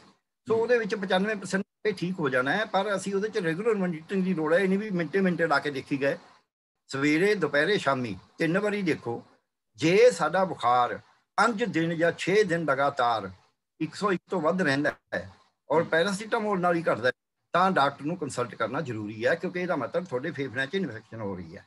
ਦੂਜਾ ਕੀ ਧਿਆਨ ਰੱਖਣ ਦੀ ਲੋੜ ਹੈ? ਸੋ ਇਸ ਕਰਕੇ ਜਿਹੜੇ ਡੋਟਾ ਦੀ ਗੱਲ ਮੈਂ ਬਾਅਦ ਚਾਹੁੰਦਾ ਪਹਿਲਾਂ ਮੈਂ ਇਹ ਕਹਿੰਦਾ ਕਰਨਾ ਕੀ ਹੈ? ਕਿਹੜੇ ਡਾਕਟਰ ਹਸਪਤਾਲ ਜਾਣਾ ਇਹ ਬਾਅਦ ਚ ਆਪਾਂ ਡਿਸਾਈਡ ਕਰਦੇ ਹਾਂ। ਦੂਜਾ ਇਹ ਹੈ ਵੀ ਜੇ ਤੁਹਾਡੀ ਜਨ 90 ਤੋਂ ਵੀ ਘਟਦੀ ਹੈ ਵੈਸੇ 92 ਤੱਕ ਆ ਜੇ ਤਾਂ ਤੁਹਾਨੂੰ ਡਾਕਟਰ ਨੂੰ ਕੰਸਲਟ ਕਰਨਾ ਜ਼ਰੂਰੀ ਹੈ। 90 ਤੋਂ ਘੱਟ ਤਾਂ ਹਸਪਤਾਲ ਜਾਣਾ ਹੀ ਪਏਗਾ। ਤੇ ਇਸੇ ਤਰ੍ਹਾਂ ਹੀ ਜੇ ਤੁਹਾਡਾ ਜਿਹੜਾ ਸਾਹ ਦਾ ਦਰ ਹੈ 1 ਮਿੰਟ ਦੇ ਵਿੱਚ ਇੱਕ ਵਾਰੀ ਆਪਾਂ ਸਾਹ ਲੈਂਦੇ ਆ ਤਾਂ ਇੱਕ ਵਾਰੀ ਪੇਟ ਅੰਦਰ ਜਾਂਦਾ ਇੱਕ ਵਾਰੀ ਬਾਹਰ ਨੂੰ ਆਉਂਦਾ ਉਹ ਇੱਕ ਸਾਹ ਬਣਦਾ ਹੈ। ਚਾਹੇ ਤੁਸੀਂ ਬਾਹਰ ਨੂੰ ਆਉਂਦਾ ਗਿਣੀ ਜਾਓ ਮਿੰਟ ਦੇ ਵਾਸਤੇ ਚਾਹੇ ਅੰਦਰ ਨੂੰ ਆਉਂਦਾ ਕਿੰਨੇ ਵਾਰੀ ਆਉਂਦਾ ਜੇ 30 ਤੋਂ ਤਾਂ ਵੀ ਡਾਕਟਰ ਦੀ ਰਾਏ ਲੈਣੀ ਜ਼ਰੂਰੀ ਹੈ ਪਹਿਲੀ ਗੱਲ ਵੀ ਡਾਕਟਰ ਕੋਲ ਜਾਣਾ ਕਦਾ ਹੁਣ ਜਾਣਾ ਕਿਹੇ ਜੇ ਡਾਕਟਰ ਕੋਲ? ਸਵਾਲ ਇਹ ਵੀ ਸਾਡੇ ਸਿਸਟਮ 'ਚ ਇੰਨਾ ਪ੍ਰਬੰਧ ਹੋਣ ਦੇ ਬਾਵਜੂਦ ਚਾਹੇ ਉਹ ਮਹਿੰਗਾ ਹੈ ਮੈਨੂੰ ਆਪ ਨੂੰ ਕੋਵਿਡ ਹੋਇਆ ਮੈਂ ਪੀਜੀਆਈ ਚ ਆ ਕੇ ਦਾਖਲ ਹੋਇਆ। ਹੂੰ। ਤੇ ਮੈਂ ਉੱਥੇ ਟ੍ਰੀਟਮੈਂਟ ਲੈ ਕੇ ਆਇਆ ਤੇ ਮੈਨੂੰ ਕੋਈ ਟ੍ਰੀਟਮੈਂਟ ਵੀ ਨਹੀਂ ਦਿੱਤੀ ਉਹਨਾਂ ਨੇ ਕਿਉਂਕਿ ਮੇਰਾ ਆਪਣਾ ਆਕਸੀਜਨ ਜਿੰਨਾ ਘਟਦਾ ਸੀ ਉਹਨਾਂ ਕੋਲ ਉਲਟਾ ਲੇਟ ਕੇ ਹੋਰ ਕੇ ਗਿਆ ਮੈਂ ਇਸੇ ਕਰਕੇ ਸੀ ਵੀ ਆਕਸੀਜਨ ਇਵਨ 88 ਤੇ ਆ ਜਾਂਦੀ ਸੀ ਮੇਰੀ ਤਾਂ ਕਿ ਘਟ ਨਾ ਜਾਵੇ। ਕੋਈ ਦਵਾਈ ਨਹੀਂ ਦੇਣ ਦੀ ਲੋੜ ਆਪੇ ਠੀਕ ਹੋ ਜਾਂਦਾ ਬੰਦਾ। ਸਵਾਲ ਇਹ ਹੈ ਵੀ ਉਹਦੇ ਚ ਉੱਥੇ ਸੀਟੀ ਸਕੈਨ ਹੋ ਜਾਊਗਾ 8-10 ਦਿਨਾਂ ਬਾਅਦ ਜੇ ਤੁਹਾਡਾ ਫੇਫੜੇ ਦੀ ਕਿਉਂਕਿ 7 ਦਿਨ ਤੋਂ ਲੈ ਕੇ 10 ਦਿਨ ਬੜਾ ਕ੍ਰਿਟੀਕਲ ਟਾਈਮ ਹੁੰਦਾ ਹੈ। ਇਹ ਜਿੰਨੇ ਦੋਨੇ ਕੇਸ ਤੁਸੀਂ ਦੇਖੋਗੇ ਇਹ 7 ਤੋਂ 10 ਦਿਨ ਦੇ ਵਿੱਚ ਇਹਨਾਂ ਦਾ ਕ੍ਰਿਟੀਕਲ ਪੀਰੀਅਡ ਗਿਆ ਹੈ। ਅਸੀਂ ਪਹਿਲਾਂ ਵੀ ਬੁਖਾਰ ਘਟ ਗਿਆ ਵੱਧ ਗਿਆ ਹੁਣ ਦੇਖਦੇ ਹਾਂ। ਹੁਣ ਦੂਜਾ ਸਵਾਲ ਹੈ ਜਿਹੜੇ ਪੈਸੇ ਲੈਂਦੇ ਨੇ ਪ੍ਰਾਈਵੇਟ ਤੇ ਪ੍ਰਾਈਵੇਟ ਨੇ ਰੈਗੂਲਰ ਨਹੀਂ ਅਸੈਂਸ਼ੀਅਲ ਕਮਿਊਨਿਟੀ ਐਕਟ ਜਿਹੜਾ ਕਿਸਾਨ ਵੀ ਰੌਲਾ ਪਾ ਰਹੇ ਨੇ ਲੜ ਰਹੇ ਨੇ ਜ਼ਰੂਰੀ ਵਸਤਾਂ ਦੇ ਕਾਨੂੰਨ ਚ ਪਹਿਲੀ ਆਈਟਮ ਹੈ ਜਿਹੜੀ ਕੰਟਰੋਲ ਕਰਨ ਵਾਸਤੇ ਉਹ ਡਰੱਗਸ ਐਂਡ ਇਕਵਿਪਮੈਂਟ ਹੂੰ। ਦਵਾਈਆਂ ਜਿਹੜੀਆਂ ਇਸ ਵਾਸਤੇ ਚਾਹੀਦੀਆਂ ਨੇ ਜਿਹੜਾ ਇਸ ਵਾਸਤੇ ਸਾਜੋ ਸਮਾਨ ਚਾਹੀਦਾ ਹੈ ਉਹਦੇ ਉੱਤੇ ਇਹਨਾਂ ਨੇ ਕੰਟਰੋਲ ਹੀ ਨਹੀਂ ਕਰਿਆ। ਉਹਦੇ ਵਿੱਚ ਬੈਡ ਵੀ ਵੀ ਆਹ ਰੇਟ ਹੋਏਗਾ। ਤੁਸੀਂ ਤੋਂ ਵੱਧ ਲੈ ਨਹੀਂ ਸਕਦੇ। ਉਹ ਜਿਹੜਾ ਕੰਟਰੋਲ ਕਰਨਾ ਸੀ ਉਹ ਸਰਕਾਰ ਨੇ ਕਿਸੇ ਚੀਜ਼ ਤੇ ਕੰਟਰੋਲ ਨਹੀਂ ਕਰਿਆ ਬਲਕਿ ਇਹਨੂੰ ਆਪਣਾ ਬਣਾ ਕੇ ਉਹਦੇ ਵਿੱਚ ਘਟੀਆ ਪੀਪੀ ਕਿੱਟਾਂ ਵੇਚੀਆਂ ਨੇ ਘਟੀਆ ਆਰਟੀਪੀਸੀਆਰ ਕਿੱਟਾਂ ਵੇਚੀਆਂ ਨੇ ਤੇ ਰੌਲਾ ਪਾ ਕੇ ਦੱਸਤਾ ਵੀ ਇਹ ਤਾਂ ਜੀ ਕੋਈ ਕਹਿੰਦਾ ਵੱਡੇ ਵੱਡੇ ਪੋਲੀਟੀਸ਼ੀਅਨ ਜੀ ਇੱਕ ਦਿਨ ਟੈਸਟ 네ਗੇਟਿਵ ਆ ਜਾਂਦਾ ਇੱਕ ਦਿਨ ਪੋਜ਼ਿਟਿਵ ਆ ਜਾਂਦਾ। ਪਹਿਲੀ ਗੱਲ ਅਸੀਂ ਰੈਪਿਡ ਟੈਸਟ ਨੂੰ ਤੇ ਆਰਟੀਪੀਸੀਆਰ ਨੂੰ ਡਿਫਰੈਂਸ਼ੀਏਟ ਨਹੀਂ ਕਰਦੇ। Rapid test 60% fake false negative ਆਉਂਦਾ ਜੋ ਨੈਗੇਟਿਵ ਵੀ ਆ ਜੇ ਮੇਰਾ ਨੈਗੇਟਿਵ ਆਇਆ ਸੀ ਇੱਥੇ ਤੇ ਜਨ ਪੋਜ਼ਿਟਿਵ ਆ ਤਾਂ ਮੈਂ ਪੀਜੀ ਚ ਗਿਆ ਉਹ ਇੱਕ ਤਾਂ ਇਹ ਹੈ ਕਿ ਸਾਡੇ ਟੈਸਟ ਦੀ ਗੱਲ ਵੀ ਇਸ ਉੱਤੇ ਨਿਰਭਰ ਕਰਦੀ ਹੈ। ਆਰਟੀਪੀਸੀਆਰ ਦੇ ਵਿੱਚ ਜਿਹੜੀ ਫਾਲਸ ਪੋਜ਼ਿਟਿਵਿਟੀ ਨੈਗੇਟਿਵਿਟੀ ਆ ਉਹ ਬਹੁਤ ਰੇਅਰ ਹੈ ਕਿਉਂਕਿ ਉਹ ਵਾਇਰਸ ਨੂੰ ਦੇਖਦਾ ਸੋ ਇੱਕ ਤਾਂ ਇਹ ਗੱਲ ਸਾਨੂੰ ਸਮਝਣ ਦੀ ਲੋੜ ਹੈ ਕਿ ਸਾਡੀ ਸਰਕਾਰ ਨੇ ਲੋਕਾਂ 'ਚ ਦਹਿਸ਼ਤ ਪਾਤੀ ਵੀ ਜਾਂ ਤਾਂ ਤੁਸੀਂ ਜੇ ਕੁਆਰੰਟਾਈਨ ਵੀ ਹੋਣਾ ਤਾਂ ਵੀ ਜਾ ਕੇ ਹੋਟਲ 'ਚ ਜਾਂ ਹਸਪਤਾਲ 'ਚ ਹੋਵੋ ਤੇ ਜਾਂ ਫਿਰ ਤੁਸੀਂ ਘਰੀ ਪਏ ਰਹੋ। ਜਦ ਕਿ ਲੋੜ ਸਾਨੂੰ ਡਿਫਰੈਂਸ਼ੀਏਟ ਕਰਨ ਦੀ ਸੀ ਕਿ 95% ਤਾਂ ਆਪੇ ਠੀਕ ਹੋਣਾ ਔਰ ਉਹਦੇ ਚ ਪੈਰਾਮੀਟਰ ਸੀ। ਬਚਪਨ ਤੋਂ ਜਦ ਮੈਂ ਵੀ ਬਿਸ ਪੜਦਾ ਸੀ, ਉਦੋਂ ਡਿਲੀਵਰੀਆਂ ਵਾਸਤੇ ਅਸੀਂ ਇਹ ਦੱਸਦੇ ਸੀ ਵੀ ਜੇ ਤੁਹਾਨੂੰ ਆਹ ਤਕਲੀਫ ਹੈਗੀ ਤਾਂ ਘਰੇ ਡਿਲੀਵਰੀ ਹੋ ਜੂ। ਇਦਾਂ ਹੀ ਇੱਥੇ ਸੀ। 95% ਨੇ ਜਿਹੜਾ ਘਰੇ ਠੀਕ ਹੋਣਾ ਸੀ ਜਿਹੜੇ ਆਪਦੇ ਮਾਹੌਲ 'ਚ ਰਹਿਣਾ ਸੀ ਆਪਦੇ ਭੈਣ ਭਾਈ ਰਿਸ਼ਤੇਦਾਰਾਂ ਕੋਲ ਰਹਿਣਾ ਸੀ ਉਹ ਅਸੀਂ ਖਤਮ ਕਰਤਾ। ਹੂੰ। ਹਸਪਤਾਲ ਤੇ ਬਰਡਨ ਵਧਾਤਾ। ਉੱਥੇ ਫਿਰ ਉਹ ਵਧਣ ਵਧਣ ਕਰਕੇ ਉੱਥੇ ਸੇਵਾਵਾਂ ਘੱਟ ਮਿਲਣ ਲੱਗੀਆਂ ਜਿੰਨੀਆਂ ਕੁ ਵੀ ਹੈਗੀਆਂ ਸੀ ਪਹਿਲੇ ਸਕਲਟਰ ਨੇ ਉਹ ਘੱਟ। ਫਿਰ ਅਸੀਂ ਇਹ ਦਿਖਾਤਾ ਵੀ ਸਰਕਾਰੀ ਸਿਸਟਮ ਜਮਾ ਹੀ ਮਾੜਾ ਹੈ। ਜਿੰਨੇ ਕੇਸ ਆਉਂਦੇ ਨੇ ਮੈਕਸਿਮਮ ਜਿਨ੍ਹਾਂ ਕੋਲ ਚਾਰ ਪੈਸੇ ਨੇ ਉਹ ਪ੍ਰਾਈਵੇਟ ਕੋਲ ਜਾ ਰਹੇ ਨੇ। ਡੈਥ ਰੇਟ ਜਿੰਨਾ ਪ੍ਰਾਈਵੇਟ 'ਚ ਹੈ ਉਨਾ ਹੀ ਸਰਕਾਰੀ 'ਚ ਹੈ ਕਦੇ ਕੈਲਕੂਲੇਟ ਕਰ ਲਓ ਕਿੰਨੇ ਮਰੀਜ਼ ਸੀਰੀਅਸ ਜਿਹੜੇ ਹੋਏ ਨੇ ਜਾਂ ਜੈਸੇ ਵੀ ਉਹ ਪ੍ਰਾਈਵੇਟ 'ਚ ਦਾਖਲ ਹੋਏ ਚਾਹੇ ਡੀਐਮਸੀ 'ਚ ਹੋਏ, ਚਾਹੇ ਸੀਐਮਸੀ 'ਚ ਹੋਏ, ਚਾਹੇ ਕਿਸੇ ਹੋਰ ਪ੍ਰਾਈਵੇਟ 'ਚ ਹੋਏ, ਚਾਹੇ ਮੈਕਸ 'ਚ ਹੋਏ, ਚਾਹੇ ਫੋਰਟਿਸ 'ਚ ਹੋਏ। ਜਿੰਨੇ ਪ੍ਰਾਈਵੇਟ 'ਚ ਦਾਖਲ ਹੋਏ ਨੇ ਉਹਨਾਂ 'ਚ ਕਿੰਨਾ 'ਚ ਡੈਥ ਹੋਈ ਹੈ? ਜਿੰਨੇ ਸਰਕਾਰੀ 'ਚ ਦਾਖਲ ਹੋਏ ਨੇ ਉਹਨਾਂ 'ਚ ਕਿੰਨੇ ਪਰਸੈਂਟ ਡੈਥ ਹੋਈ ਹੈ? ਤਕਰੀਬਨ ਤਕਰੀਬਨ ਉਹਨੇ ਕਾ ਆਏਗਾ। ਸੋ ਇਸ ਕਰਕੇ ਜਦ ਅਸੀਂ ਇਸ ਨੂੰ ਇਹ ਲੈਨੇ ਆ ਇਹ ਜੋ ਦੋ ਗੱਲਾਂ ਦੇਖਣ ਦੀ ਲੋੜ ਹੈ। ਲੁਟਾ ਨਹੀਂ ਹੋਣਾ ਸਰਕਾਰ ਤੇ ਦਬਾਅ ਜੇ ਵੀ ਕਿਉਂਕਿ ਇਹ ਮੁੱਕਣਾ ਨਹੀਂ ਹੈ ਇਹ ਮੁੱਕ ਜੂਗਾ ਕੋਈ ਹੋਰ ਮਹਾਮਾਰੀ ਆਏਗੀ। ਕਿ ਤੁਸੀਂ ਜਦ ਤੁਹਾਡੇ ਕੋਲ ਜ਼ਰੂਰੀ ਵਸਤਾਂ ਦਾ ਕਾਨੂੰਨ ਹੈ, ਉਹਦੇ ਚ ਪਹਿਲੇ ਦਿਨ ਹੀ ਰੈਗੂਲੇਟ ਕਰੋ ਇਹਨਾਂ ਦੀਆਂ ਦਵਾਈਆਂ ਨੂੰ ਤੇ ਇਹਨਾਂ ਦੇ ਸਾਜੋ ਸਮਾਨ ਨੂੰ, ਕਿ ਇਹਨਾਂ ਨੇ ਬਹੁਤ ਮਾਮੂਲੀ ਕੀਮਤਾਂ ਪੈਦਾ ਹੁੰਦੀਆਂ ਨੇ। ਦਵਾ ਸਨਤ ਜਿਹੜੀ ਦੁਨੀਆ ਦੇ ਵਿੱਚ ਤਿੰਨ ਇੰਡਸਟਰੀ ਸਭ ਤੋਂ ਵੱਡੀ ਹੈ। ਇੱਕ ਆਰਮਾਮੈਂਟ ਇੰਡਸਟਰੀ ਦੂਜੀ ਫੂਡ ਇੰਡਸਟਰੀ ਤੇ ਤੀਜੀ ਇਹ ਦਵਾ ਇੰਡਸਟਰੀ ਡਰੱਗ ਇੰਡਸਟਰੀ ਸੋ ਇਹ ਤਿੰਨਾਂ ਤੇ ਬੜਾ ਪੈਸਾ ਮਤਲਬ ਪ੍ਰੋਫਿਟ ਨੇ। ਸੋ ਇਸ ਕਰਕੇ ਇਹਨੂੰ ਰੈਗੂਲੇਟ ਕਰਨ ਵਾਸਤੇ ਸਰਕਾਰ ਕੋਲੇ ਡਰੱਗ ਪ੍ਰਾਈਸ ਕੰਟਰੋਲ ਆਰਡਰ ਕਰਨਾ ਹੁੰਦਾ ਇਹਨਾਂ ਨੇ। ਇਹਨਾਂ ਕੋਲ ਅਖਤਿਆਰ ਹੈਗੇ ਨੇ ਪਰ ਇਹ ਕਰ ਨਹੀਂ ਰਹੇ। ਸੋ ਜਿਹੜਾ ਤੁਹਾਡਾ ਸਹੀ ਹੈ ਕਿ ਜੇ ਉਹ 40000 ਲੈ ਰਿਹਾ ਉਹਦੇ ਤਾਂ ਫਿਰ ਦਵਾਈ ਪਾਉਣਾ ਪਊ ਸਰਕਾਰ ਕੋਲੇ। ਵੈਸੇ ਸਰਕਾਰ ਨੇ ਕੁਝ ਰੇਟ ਤੈਅ ਵੀ ਕਰੇ ਨੇ। ਉਹ ਵੈਬਸਾਈਟ ਤੇ ਅਵੇਲੇਬਲ ਨੇ ਪੰਜਾਬ ਸਰਕਾਰ ਦੀ ਤੇ। ਉਹਨੂੰ ਪੜ੍ਹ ਲਓ ਦਾਖਲ ਹੋ ਜਾਓ। ਮੈਂ ਇਹ ਨਹੀਂ ਕਹਿੰਦਾ ਵੀ ਧੋਖਾ ਦੇਣਾ ਉਹਨੂੰ ਕੋ ਕੋਈ ਨਹੀਂ ਦਾਖਲ ਕਰ ਦੇਾਂਗੇ ਤੁਹਾਡੇ ਪੈਸੇ। ਮੁੜ ਕੇ ਉਹਨਾਂ ਨੂੰ ਕਹੋ ਜੀ ਆ ਇੱਥੇ ਰੇਟ ਹੈ। ਚਾਹੇ ਮਰੀਜ਼ ਠੀਕ ਹੋ ਗਿਆ ਚਾਹੇ ਨਹੀਂ ਠੀਕ ਹੋ ਗਿਆ ਆ ਦੇਖੋ ਵੈਬਸਾਈਟ ਤੇ ਹੈ ਨਾ ਇਹਦੇ ਮੁਤਾਬਕ ਸਕਦੇ ਹੋ ਨਹੀਂ ਅਸੀਂ ਨਹੀਂ ਦੇਣਾ। ਕਿਉਂਕਿ ਵੈਬਸਾਈਟ ਕਰਨੇ ਪਾਇਆ ਨਾ ਜਿੰਨਾ ਕਿ ਵੀ ਹੋਇਆ ਉਹਨੂੰ ਉਹਨੂੰ ਫਿਰ 40 ਚੁੜੀ ਹਜ਼ਾਰ ਕੇ ਚਲੀ। ਕਿਤੇ ਵੀ ਨਹੀਂ 40000 ਕੱਢ ਕੇ ਦੇਖ ਲਓ ਵੈਬਸਾਈਟ ਤੋਂ ਉਹਨੂੰ ਮੰਨ ਲਓ ਕਹੋ ਜੀ ਆ ਪਿਆ ਪਹਿਲਾਂ ਕਿਉਂਕਿ ਪਹਿਲਾਂ ਤੁਹਾਨੂੰ ਉਹਨੇ ਕਹਿਣਾ ਜਾਓ ਸਾਡੇ ਕੋਲ ਤਾਂ ਹੀ ਨਹੀਂ ਹੈ। ਬਿਲਕੁਲ ਬਿਲਕੁਲ ਤੁਹਾਡੀ ਕਿਸੇ ਨੇ ਸੁਣਨੀ ਨਹੀਂ ਦਾਖਲ ਹੋ ਜਾਓ ਵੀ ਕੋਈ ਗੱਲ ਨਹੀਂ ਜੀ। ਜੀ। ਕਰਾਤੇ ਜਿੰਨੇ ਜਮਾ ਕਰਾਤੇ ਰੱਖੋ ਕਿ ਜੀ ਇਹ ਤੁਹਾਨੂੰ ਮਤਲਬ ਇਹ ਡਿਪਲੋਮੇਸੀ ਵਰਤਣੀ ਪਊ। ਲੋਕੋ ਕੋਈ ਇਹ ਬੇਈਮਾਨੀ ਹੈ ਮੈਂ ਕਹਿੰਦਾ ਬੇਈਮਾਨੀ ਕਿ ਬੇਈਮਾਨੀ ਤਾਂ ਉਹ ਮੇਰੇ ਨਾਲ ਕਰ ਰਿਹਾ। ਜਿਹਦਾ ਰੇਟ ਆ ਆਕਸੀਜਨ ਬੈੱਡ ਦਾ ਵੈਂਟੀਲੇਟਰ ਬੈੱਡ ਦਾ 5000 ਜਾਂ 7000 ਜਾਂ 10000 ਰੁਪਇਆ ਫਿਕਸ ਕਰਿਆ ਹੋਇਆ ਹੈ ਉਹ ਮੇਰੇ ਤੋਂ 40 ਮੰਗ ਰਿਹਾ ਜੀ। ਕੌਣ ਕਰ ਰਿਹਾ? ਮੈਂ ਕਰ ਰਿਹਾ ਜੋ ਉਹ ਕਰ ਰਿਹਾ? ਇਹ ਸਵਾਲ ਕਰਨਾ ਦਰਸ਼ਨ ਬਰੇਟਾ ਜੀ ਮੇਰੇ ਖਿਆਲ ਦੇ ਵਿੱਚ ਇਹਨਾਂ ਨੇ ਹੱਥ ਖੜਾ ਕੀਤਾ ਕੁਝ ਪੁੱਛਣਾ ਚਾਹੁੰਦੇ ਨੇ ਦਰਸ਼ਨ ਬਰੇਟਾ ਜੀ। ਹਾਂਜੀ ਡਾਕਟਰ ਸਾਹਿਬ ਪਹਿਲੀ ਗੱਲ ਤਾਂ ਤੁਸੀਂ ਬਹੁਤ ਵਧਾਈ ਦੇ ਪਾਤਰੋਂ ਵੀ ਇੱਕ ਮੌਕੇ ਦੇ ਮੁਤਾਬਕ ਲੋਕਾਂ ਨੂੰ ਬੜੀ ਜਾਣਕਾਰੀ ਭਰਪੂਰ ਗੱਲ ਦੱਸ ਰਹੇ ਹੋਗੇ ਮੇਰਾ ਸਵਾਲ ਡਾਕਟਰ ਪਿਆਰੇ ਲਾਲ ਗਰਗ ਜੀ ਨੂੰ ਹੈਗਾ ਕਿ ਆਮ ਤੌਰ ਤੇ ਤੁਸੀਂ ਕਹਿੰਦੇ ਵੀ ਪੜ੍ਹੇ ਲਿਖੇ ਜਿਹੜੇ ਵਿਅਕਤੀ ਨੇ ਉਹ ਜਾਗਰੂਕ ਹੁੰਦੇ ਨੇ। ਪਰ ਜਿਹੜਾ ਨੌਜਵਾਨ ਵਰਗ ਹੈਗਾ ਜਿਹੜਾ ਕਿ ਇੰਟਰਨੈਟ ਦੇ ਉੱਤੇ ਗੂਗਲ ਦੇ ਉੱਤੇ ਬੜੀ ਸਰਚ ਕਰਦਾ ਹੈ ਉਹਨਾਂ ਇੱਕ ਭੰਬਲ ਪੁੱਛ ਹੁੰਦਾ ਬਹੁਤ ਸਾਰੇ ਨੌਜਵਾਨ ਮੈਨੂੰ ਮਿਲੇ ਨੇ ਉਹ ਕਹਿੰਦੇ ਜੀ ਅਸੀਂ ਨੇ ਕੋਈ ਤਾਂ ਕਹਿੰਦਾ ਜੀ ਕੋਵੈਕਸਿਨ ਲਵਾਉਣੀ ਹੈ ਕੋਈ ਕਹਿੰਦਾ ਜੀ ਕੋਵਿਸ਼ੀਲਡ ਲਵਾਉਣੀ ਹੈ। ਹੂੰ।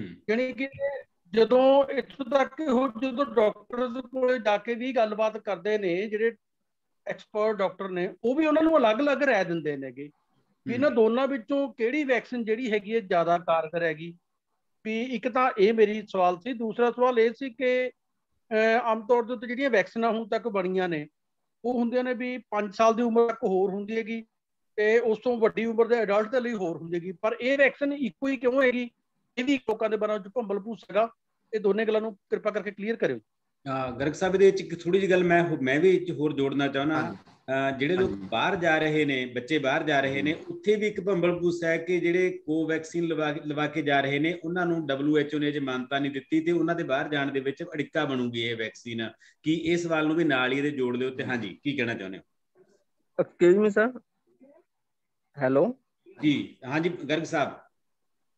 ਹੈਲੋ। ਹਾਂ ਸਰ ਇੱਕ ਮਿੰਟ ਇਹਦੇ ਨਾਲ ਜੁੜਿਆ ਇੱਕ ਮੇਰਾ ਸਵਾਲ ਵੀ ਹੈ ਵੈਕਸੀਨੇਸ਼ਨ ਨਾਲ ਜੁੜਿਆ ਜੀ। ਤਾਂ ਉਹ ਇਹ ਸੀਗਾ ਕਿ ਵੈਕਸੀਨੇਸ਼ਨ ਲਵਾਉਣ ਤੋਂ ਪਹਿਲਾਂ ਸਰੀਰ ਦੀ ਮਤਲਬ ਕੋਈ ਹੋਰ ਟੈਸਟਿੰਗ ਵੀ ਜ਼ਰੂਰੀ ਹੁੰਦੀ ਹੈ ਕਿ ਵੀ ਇਹ ਸਰੀਰ ਵੈਕਸੀਨੇਸ਼ਨ ਲਈ ਯੋਗ ਹੈ ਜਾਂ ਨਹੀਂ ਯੋਗ? ਹੂੰ ਇਹ ਇਸ ਵਾਲੀ ਬਿਲਕੁਲ ਬਿਲਕੁਲ। ਜੀ ਗਰਗ ਸਾਹਿਬ ਹਾਂਜੀ ਇਹਦੇ ਚ ਮੋਟੀ ਗੱਲ ਇਹ ਹੈ ਪਹਿਲੀ ਗੱਲ ਕੋਵੈਕਸੀਨ ਤੇ ਕੋਵਿਸ਼ੀਲਡ ਦੇ ਆਪਣੇ ਆਪਣੇ ਪੋਜ਼ਿਟਿਵ ਤੇ 네ਗੇਟਿਵ ਨੇ। ਹੂੰ। ਕੋਵੈਕਸੀਨ ਹੈ ਜਿਹੜੀ ਉਹ ਇੱਕ ਜਿਹੜਾ ਕਰੋਨਾ ਵਾਇਰਸ ਹੈ ਉਹਦਾ ਜ਼ਿਆਦਾ ਬ੍ਰੌਡ ਨਹੀਂ ਉਹਦੀ ਰੇਂਜ ਪਰ ਉਂਝ ਉਹ 90% ਇਫੈਕਟਿਵ ਹੈ ਤਕਰੀਬਨ 90 ਤੋਂ ਵੱਧ ਕਲੇਮ ਕਰਿਆ ਜਾ ਰਿਹਾ ਹੈ। ਕੋਵਿਸ਼ੀਲਡ ਜਿਹੜੀ ਹੈ ਉਹਦੀ ਰੇਂਜ ਜ਼ਿਆਦਾ ਹੈ ਵਾਇਰਸ ਦੇ ਬਦਲੇ ਹੋਏ ਰੂਪ ਨੂੰ ਵੀ ਉਹ ਕਵਰ ਕਰਦੀ ਹੈ ਪਰ ਉਹਦੇ ਚ ਜਿਹੜਾ 78% 79% ਜਿਹੜਾ ਉਹਦੀ ਇਫੈਕਟਿਵਿਟੀ ਕਹੀ ਜਾਂਦੀ ਹੈ। ਸੋ ਇਸੇ ਤਰ੍ਹਾਂ ਰਿਐਕਸ਼ਨ ਰੇਟ ਦਾ ਸਵਾਲ ਹੈ ਇਸੇ ਤਰ੍ਹਾਂ ਹੋਰ ਹੈ। ਇੱਕ ਲਵਾਉਣੀ ਹੈ ਜਿਹੜੀ ਮਰਜ਼ੀ ਲਵਾ ਲਈ ਜਾਵੇ ਕੋਈ ਉਹਦੇ ਚ ਬਹੁਤ ਜ਼ਿਆਦਾ ਫ਼ਰਕ ਨਹੀਂ ਪੈਂਦਾ ਕਿਉਂਕਿ ਜਿੰਨੇ ਕਿੱਕ ਦੇ ਪੋਜ਼ਿਟਿਵ ਨੇ 네ਗੇਟਿਵ ਨੇ ਉਹ ਤਕਰੀਬਨ ਬਰਾਬਰੀ ਹੋ ਜਾਂਦੇ ਨੇ ਇੱਕ। ਦੂਜੀ ਗੱਲ ਇਹ ਹੈ ਵੀ ਜਿਹੜਾ ਬਾਹਰ ਦਾ ਕਿਉਂਕਿ WHO ਨੂੰ ਇਹਨਾਂ ਨੇ ਡਾਟਾ ਨਹੀਂ ਦਿੱਤਾ। ਹੂੰ। ਵੀ ਇਹ ਕਿਹਾ ਸੀ ਜੂਨ ਚ ਦੇ ਦਾਂਗੇ ਡਾਟਾ ਜੂਨ ਚ ਵੀ ਕਿਰਪਾ ਜੂਨ ਦਾ ਮਤਲਬ ਭਾਵੇਂ 30 ਜੂਨ ਤੱਕ ਦੇ WHO ਤੋਂ ਜਿੰਨਾ ਚਿਰ ਅਪਰੂਵਡ ਵੈਕਸੀਨ ਨਹੀਂ ਹੈ ਉਹਨੂੰ ਮੰਨਿਆ ਨਹੀਂ ਜਾ ਸਕਦਾ ਦੂਜੇ ਦੇਸ਼ਾਂ ਦੇ ਵਿੱਚ। ਇਹ ਤਾਂ ਪੂਰਾ ਇਹ ਇੰਟਰਨੈਸ਼ਨਲ ਲੈਵਲ ਹੈ। ਵੀ WHO ਜੋ ਕਹੇਗੀ ਜਾਂ ਉਹ ਮੁਲਕ ਕਹੇ ਜਾਂ WHO ਕਹੇ ਦੋਹਾਂ ਚੋਂ ਇੱਕ ਹੋਵੇ। ਜੇ ਅਮਰੀਕਾ ਜਾਣਾ ਹੈ ਕੈਨੇਡਾ ਜਾਣਾ ਹੈ ਕੈਨੇਡਾ ਲਈ ਤਾਂ ਸਰਕਾਰ ਮੰਨਦੇ ਵੀ ਕੋਵਿਸ਼ੀਲਡ ਇਹ ਕੋਵੈਕਸੀਨ ਠੀਕ ਹੈ ਜਾਂ ਫਿਰ WHO ਕਹੇ। ਸੋ ਇਸ ਕਰਕੇ ਉਹ ਨਹੀਂ ਕੋਵੈਕਸੀਨ ਵਾਲੇ ਨੂੰ ਨਹੀਂ ਲੈਣਗੇ ਕੋਵਿਸ਼ੀਲਡ ਵਾਲੇ ਲੈਣਗੇ ਕਿਉਂਕਿ ਕੋਵਿਸ਼ੀਲਡ ਪੂਰੀ ਦੁਨੀਆ 'ਚ ਅਪਰੂਵ ਹੋ ਚੁੱਕੀ ਹੈ ਚੰਗੀ ਮਾੜੀ ਜੋ ਵੀ ਹੈ। ਦੂਜਾ ਮੈਂ ਸਵਾਲ ਜਿਹੜਾ ਸੀ, ਉਹ ਮੈਨੂੰ ਲੱਗਦਾ ਹੈ ਵੀ ਉਹਨਾਂ ਦੀ ਆਪਦਾ ਵਿਚਾਰ ਹੈ ਵੀ ਵੱਖ-ਵੱਖ ਹੁੰਦਾ ਟੀਕਾ। ਕੋਈ ਟਾਈਫਾਈਡ ਦਾ ਟੀਕਾ ਵੱਖ-ਵੱਖ ਨਹੀਂ ਹੈ ਬੱਚਿਆਂ ਵਾਸਤੇ ਤੇ ਅਡਲਟ ਵਾਸਤੇ। ਕੋਈ ਟੀਕਾ ਜਿਹੜਾ ਹੈਗਾ ਸਮਾਲ ਪਕਸ ਦਾ ਵੱਖ-ਵੱਖ ਨਹੀਂ ਹੈ। ਪੋਲੀਓ ਤਾਂ ਲੱਗਦੀ ਹੋਈ ਖੈਰ ਬੱਚਿਆਂ ਦੇ ਪਰ ਵੱਡੀ ਉਮਰ 'ਚ ਵੀ ਜੇ ਅਸੀਂ ਲਾਈਏ ਜੁਵਨਲ ਤਾਂ ਵੀ ਉਹਦਾ ਕੋਈ ਵੱਖ-ਵੱਖ ਨਹੀਂ ਹੈ। ਸੋ ਮੀਜ਼ਲ ਦਾ ਟੀਕਾ ਕੋਈ ਵੱਖ-ਵੱਖ ਨਹੀਂ ਹੈ, ਕਾਲੀ ਖਾਂਸੀ ਦਾ ਕੋਈ ਵੱਖ-ਵੱਖ ਨਹੀਂ ਹੈ ਟੈਟਨਸ ਦਾ ਵੀ ਕੋਈ ਵੱਖ-ਵੱਖ ਨਹੀਂ ਹੈ। ਸੋ ਇਹ ਟੀਕੇ ਵੱਖ-ਵੱਖ ਨਹੀਂ ਹੁੰਦੇ। ਜੇ ਅਸੀਂ ਜਿਹੜੀ ਐਂਟੀ ਸੀਰਮ ਦਿੰਦੇ ਆ ਉਦੋਂ ਡੋਜ਼ ਦਾ ਕਿਤੇ ਫ਼ਰਕ ਪੈ ਸਕਦਾ ਬਿਮਾਰੀ ਦੇ ਕਿਉਂਕਿ ਬਿਮਾਰੀ ਨੂੰ ਰੋਕਣ ਵਾਸਤੇ ਨਹੀਂ ਬਿਮਾਰੀ ਨੂੰ ਹਟਾਉਣ ਵਾਸਤੇ ਬਿਮਾਰੀ ਨਾਲ ਸਿੱਧਾ ਲੜਨ ਵਾਸਤੇ ਹੁੰਦੀ ਹੈ। ਸੋ ਇਸ ਕਰਕੇ ਫ਼ਰਕ ਹੈ। ਜੀ ਟੀਕਿਆਂ ਦੀ ਡੋਜ਼ ਬਹੁਤ ਜ਼ਿਆਦਾ ਫ਼ਰਕ ਨਹੀਂ ਹੁੰਦਾ। ਜਿਵੇਂ ਕਹਿੰਦੇ ਇੱਕੋ ਟੀਕਾ ਉਹ ਵੱਖਰਾ ਵੱਖਰਾ ਨਹੀਂ ਹੁੰਦਾ ਅਡਲਟ ਵਾਸਤੇ।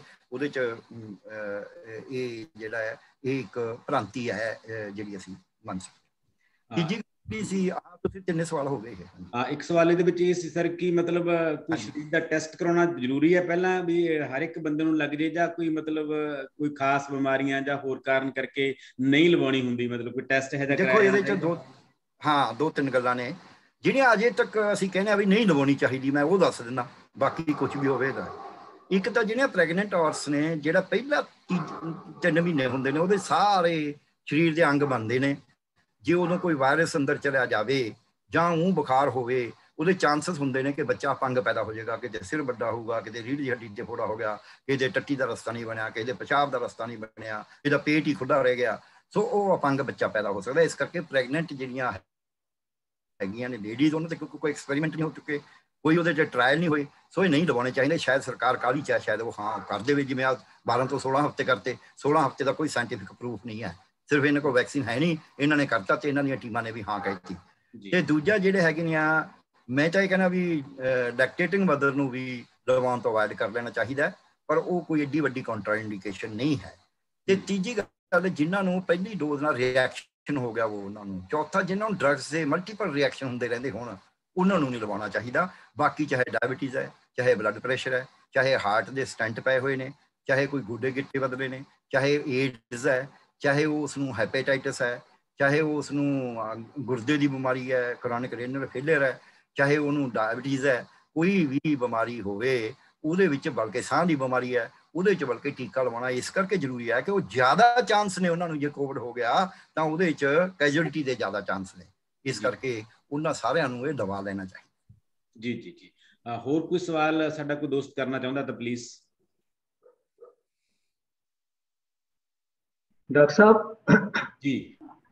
ਮੈਂ ਵਿਮਲ ਬੋਲਦਾ ਹਾਂ। ਇਹ ਸੀ ਸਵਾਲ ਕਿ ਮੰਨ ਲਓ ਕਿਸੇ ਨੂੰ ਕੋਵਿਡ ਹੋ ਗਿਆ ਉਹਦੇ ਬਾਡੀ ਦੇ ਵਿੱਚ ਐਂਟੀਬਾਡੀਜ਼ ਆ ਗਈਆਂ। ਤੇ ਜਿਹੜਾ ਅਸੀਂ ਵੈਕਸੀਨ ਲਗਾ ਕੇ ਐਂਟੀਬਾਡੀਜ਼ ਪਾਣੇ ਹਾਂ ਤੇ ਉਹ ਐਂਟੀਬਾਡੀਜ਼ ਦੀ ਤਾਕਤ ਕਿਆ ਜ਼ਿਆਦਾ ਹੁੰਦੀ ਹੈ ਜਿਹੜੀ ਕਿ ਬਾਡੀ 'ਚ ਐਂਟੀਬਾਡੀਜ਼ ਬਣੀਆਂ ਨੇ ਉਸ ਤੋਂ? ਜੀ। ਦੀਪਤੀ ਸਾਹਿਬ ਤੁਸੀਂ ਇਹਦੇ ਬਾਰੇ ਕੁਝ ਗੱਲ ਕਰੋ। ਨਹੀਂ ਦੇਖੋ ਜਿਹੜੀ ਗੱਲ ਹੈਗੀ ਇੱਕ ਕਿਹਦੀ ਨੈਚੁਰਲ ਇਮਿਊਨਿਟੀ ਹੈਗੀ ਹੈ ਤੇ ਇੱਕ ਜਿਹੜੀ ਹੈਗੀ ਹੈ ਆਪਾਂ ਇੰਜੈਕਸ਼ਨ ਲਗਾ ਕੇ ਅਸੀਂ ਐਂਟੀਬਾਡੀਜ਼ ਪੈਦਾ ਕਰਦੇ ਹਾਂ। ਵੈਸੇ ਤਾਂ ਇਹ ਦੋਵੇਂ ਐਂਟੀਬਾਡੀ ਜਿਹੜੀਆਂ ਨੇ, ਇੱਕੋ ਜਿਹੀ ਮਤਲਬ ਗੱਲ ਹੁੰਦੀ ਹੈ। ਪਰ ਜਿਸ ਤਰ੍ਹਾਂ ਮਤਲਬ ਕਿ ਆਪਣੇ ਇਹ ਸਵਾਲ ਵੀ ਕਾਫੀ ਖੜੇ ਹੋ ਰਹੇ ਨੇ, ਕਿਉਂਕਿ ਦੇਖੋ ਇੰਨੇ ਸਾਰੇ ਲੋਕਾਂ ਨੂੰ ਇਨਫੈਕਸ਼ਨ ਹੋ ਗਈ ਹੈਗੀ ਹੈ, ਕਿਸੇ ਨੂੰ 95% ਦੀ ਆਪਾਂ ਗੱਲ ਕੀਤੀ ਹੈ, ਉਹਨਾਂ ਨੂੰ ਹੋ ਗਈ ਹੈ, ਪਰ ਉਹਨਾਂ ਨੂੰ ਕੋਈ ਸਿੰਪਟਮ ਨਹੀਂ ਸੀਗਾ। ਹੁਣ ਇਹਦਾ ਜਵਾਬ ਇਹ ਹੈਗਾ ਕਿ ਜਿਨ੍ਹਾਂ ਨੂੰ ਨੈਚੁਰਲ ਇਮਿਊਨਿਟੀ ਹੋਈ ਹੈ, ਉਹਦਾ ਪਤਾ ਨਹੀਂ ਕੀ ਲੈਵਲ ਹੈਗਾ ਵੀ ਉਹਨਾਂ ਦੇ ਕਿੰਨੀਆਂ ਐਂਟੀਬਾਡੀਜ਼ ਬਣੀਆਂ ਨੇ। ਇਸ ਕਰਕੇ ਕਿ ਕਿਸੇ ਨੂੰ ਘੱਟ ਇਨਫੈਕਸ਼ਨ ਹੋਈ ਹੈ ਉਹਦੀ ਘੱਟ ਐਂਟੀਬਾਡੀਜ਼ ਬਣੀਆਂ ਹੋਣਗੀਆਂ, ਇਹ ਦਿੱਤੀ ਜਾ ਰਹੀ ਹੈ, ਇਸ ਕਰਕੇ ਇੱਕ ਯੂਨੀਫਾਰਮ ਹੋ ਗਿਆ ਵੀ ਆਪਾਂ ਕਿਸੇ ਤੋਂ ਪੁੱਛਣਾ ਨਹੀਂ, ਜਾਂ ਹੈਗਾ ਵੀ ਐਂਟੀਬਾਡੀ ਟੈਸਟ ਪਹਿਲਾਂ ਕਰਾ ਲਓ, ਵੀ ਜਿਹਦੇ ਐਂਟੀਬਾਡੀ ਹੈਗੀਆਂ ਨੇ, ਫਿਰ ਆਪਾਂ ਉਹਨੂੰ ਨਾ ਲਾਈਏ, ਤਾਂ ਉਹ ਚੱਕਰ ਚ ਪੈਂਦੇ ਹੋਏ। ਇੱਕ ਬਲੈਂਕਟ ਮਤਲਬ ਕਿ ਡਿਸੀਜਨ ਹੈਗਾ ਹੈ ਵੀ ਜਿਹਨੂੰ ਆਪਾਂ ਪੁੱਛਣਾ ਨਹੀਂ, ਜਿਹਨੂੰ ਹੋ ਗਿਆ ਤਾਂ ਵੀ ਕੋਈ ਫ਼ਰਕ ਨਹੀਂ। ਉਹ ਕਹਿੰਦੇ ਕਿ ਪਹਿਲਾਂ ਹੋਇਆ, ਉਹਦਾ ਘੱਟ ਹੋਊਗਾ, ਤੇ ਜੇ ਇੰਜੈਕਸ਼ਨ ਲੱਗੂਗਾ, ਤਾਂ ਸਗੋਂ ਐਂਟੀਬੋਡੀ ਵੱਧ ਜਾਣਗੀਆਂ। ਉਹ ਇੱਕ ਤਰ੍ਹਾਂ ਦਾ ਬੂਸਟਰ ਦਾ ਕੰਮ ਕਰੂਗਾ। ਮਤਲਬ ਕਿ ਨੈਚੁਰਲ ਇਮਿਊਨਿਟੀ ਵਿੱਚ ਸਾਡਾ ਜਿਹੜਾ ਵੈਕਸੀਨੇਸ਼ਨ ਹੈ, ਉਹ ਮਤਲਬ ਕਿ ਥੋੜੀ ਹੈ ਐਂਟੀਬਾਡੀ ਨੂੰ ਵਧਾ ਦੇਊਗਾ। ਇਹ ਮਤਲਬ ਕਿ ਹੈਗੀ ਹੈ। ਇਸ ਕਰਕੇ ਉਹ ਕੋਈ ਫ਼ਰਕ ਨਹੀਂ ਹੈਗਾ ਕਿ ਐਂਟੀਬਾਡੀ ਚ ਪਹਿਲਾਂ ਬਣੀਆਂ ਨੇ, ਚਾਹੇ ਥਰੂ ਇਹਦੇ ਬਣੀਆਂ ਨੇ। ਇਹ ਦੋ ਵੈਕਸੀਨ ਦੀ ਗੱਲ ਹੈਗੀ ਆ। ਅਸੀਂ ਵਾਇਰਸ ਜਿਹੜਾ ਬੋਡੀ ਚ ਭੇਜ ਰਹੇ ਹੈਗੇ ਆ ਥਰੂ ਵੈਕਸੀਨ ਉਹ ਤਕਨੀਕ ਵੱਖਰੀ ਹੈ ਵੀ ਕਿਹੜੀ ਤਕਨੀਕ ਨਾਲ ਭੇਜ ਰਹੇ ਆ, ਉਹ ਤੁਹਾਨੂੰ ਬਿਮਾਰ ਨਹੀਂ ਕਰਦੀ, ਤੁਹਾਡੀ ਐਂਟੀਬੋਡੀ ਬਣਾਉਂਦੀ ਹੈ। ਤੇ ਜਿਹੜਾ ਆਪਾਂ ਨੈਚੁਰਲੀ ਵਾਇਰਸ ਲੈਣੇ ਆ, ਉਹ ਕਈ ਵਾਰੀ ਤੁਹਾਨੂੰ ਬਿਮਾਰ ਵੀ ਕਰਦੀ ਹੈ ਐਂਟੀਬਾਡੀ ਦੇ ਨਾਲ ਬੰਦੀਆਂ ਹੀ ਬੰਦੀਆਂ ਹੈਗੀਆਂ ਨੇ। ਤੁਸੀਂ ਤੋਂ 2 4 5 ਦਿਨਾਂ ਬਾਅਦ ਠੀਕ ਹੋ ਜਾਂਦੇ ਹੋ ਐਂਟੀਬਾਡੀ ਤੁਹਾਡੀ ਬੋਡੀ ਵਿੱਚ ਰਹਿ ਜਾਂਦੀ ਹੈਗੀ ਇਸ ਕਰਕੇ ਇਹ ਇਹ ਮਤਲਬ ਕਿ ਹੈਗਾ ਇਹ ਚ ਬਹੁਤੀ ਵੱਡੀ ਤੋਂ ਚਿੱਤੀ ਵਾਲੀ ਗੱਲ ਨਹੀਂ ਹੈਗੀ ਵੀ ਵਾਇਰਸ ਜਿਹੜਾ ਹੈਗਾ ਐਂਟੀਬਾਡੀ ਵਧੀਆ ਬਣਾ ਰਿਹਾ ਜਾਂ ਨੈਚੁਰਲ ਨਹੀਂ ਲਗਾਉਣਾ ਚਾਹੀਦਾ। ਮਤਲਬ ਇਹ ਹੈ ਵੀ ਜੇ ਤੁਹਾਡੇ ਅੰਦਰ ਐਂਟੀਬਾਡੀ ਬਣੀਆਂ ਵੀ ਨੇ ਤਾਂ ਵੀ ਤੁਹਾਨੂੰ ਮਤਲਬ ਵੈਕਸੀਨ ਲੈ ਲੈਣੀ ਚਾਹੀਦੀ ਹੈ। ਇਹ ਮਤਲਬ ਧਾਰਨਾ ਆਪਣੀ ਫਾਈਨਲ ਜਿਹੜੀ ਦੇ ਵਿੱਚ ਹੋ ਰਹੀ ਹੈ। ਜੀ। ਕੋਈ ਹੋਰ ਦੋਸਤ ਜੋ ਕੋਈ ਸਵਾਲ ਕਰਨਾ ਚਾਹੁੰਦਾ ਪਲੀਜ਼ ਸਾਹਿਬ ਹਾਂਜੀ ਮੈਂ ਰਾਜਵੰਤ ਪਟਿਆਲੇ ਤੋਂ ਜੀ। ਹਾਂਜੀ ਹਾਂਜੀ ਹਾਂਜੀ ਸਰ ਇੱਕ ਜਿੱਦਾਂ ਸਾਡੇ ਪਿੰਡ ਦੇ ਵਿੱਚ ਵੀ ਇਸ ਟਾਈਮ ਇੱਕ ਬਲੈਕ ਫੰਗਸ ਦਾ ਕੇਸ ਆਇਆ ਹੈ। ਇਸ ਦੇ ਬਾਰੇ ਮੈਨੂੰ ਇੱਕ ਜਰੂਰ ਸਾਨੂੰ ਥੋੜੀ ਗਾਈਡ ਕਰੋ ਵੀ ਜਿਹੜਾ ਵੀ ਕਿਉਂਕਿ ਪੋਸਟ ਕੋਵਿਡ ਇਹਨੂੰ ਕੋਵਿਡ ਦੇ ਨਾਲ ਹੀ ਜੋੜਿਆ ਜਾ ਰਿਹਾ ਹੈ ਤੇ ਕਾਫੀ ਭਿਆਨਕ ਹੈ ਚੀਜ਼ ਇਹ। ਇਹਦੇ ਇਹਦੇ ਬਾਰੇ ਕੀ ਮਤਲਬ ਪ੍ਰੀਕਾਸ਼ਨ ਲੈ ਸਕਦੇ ਹਾਂ ਪਲੀਜ਼ ਜੀ ਗਰਗ ਸਾਹਿਬ।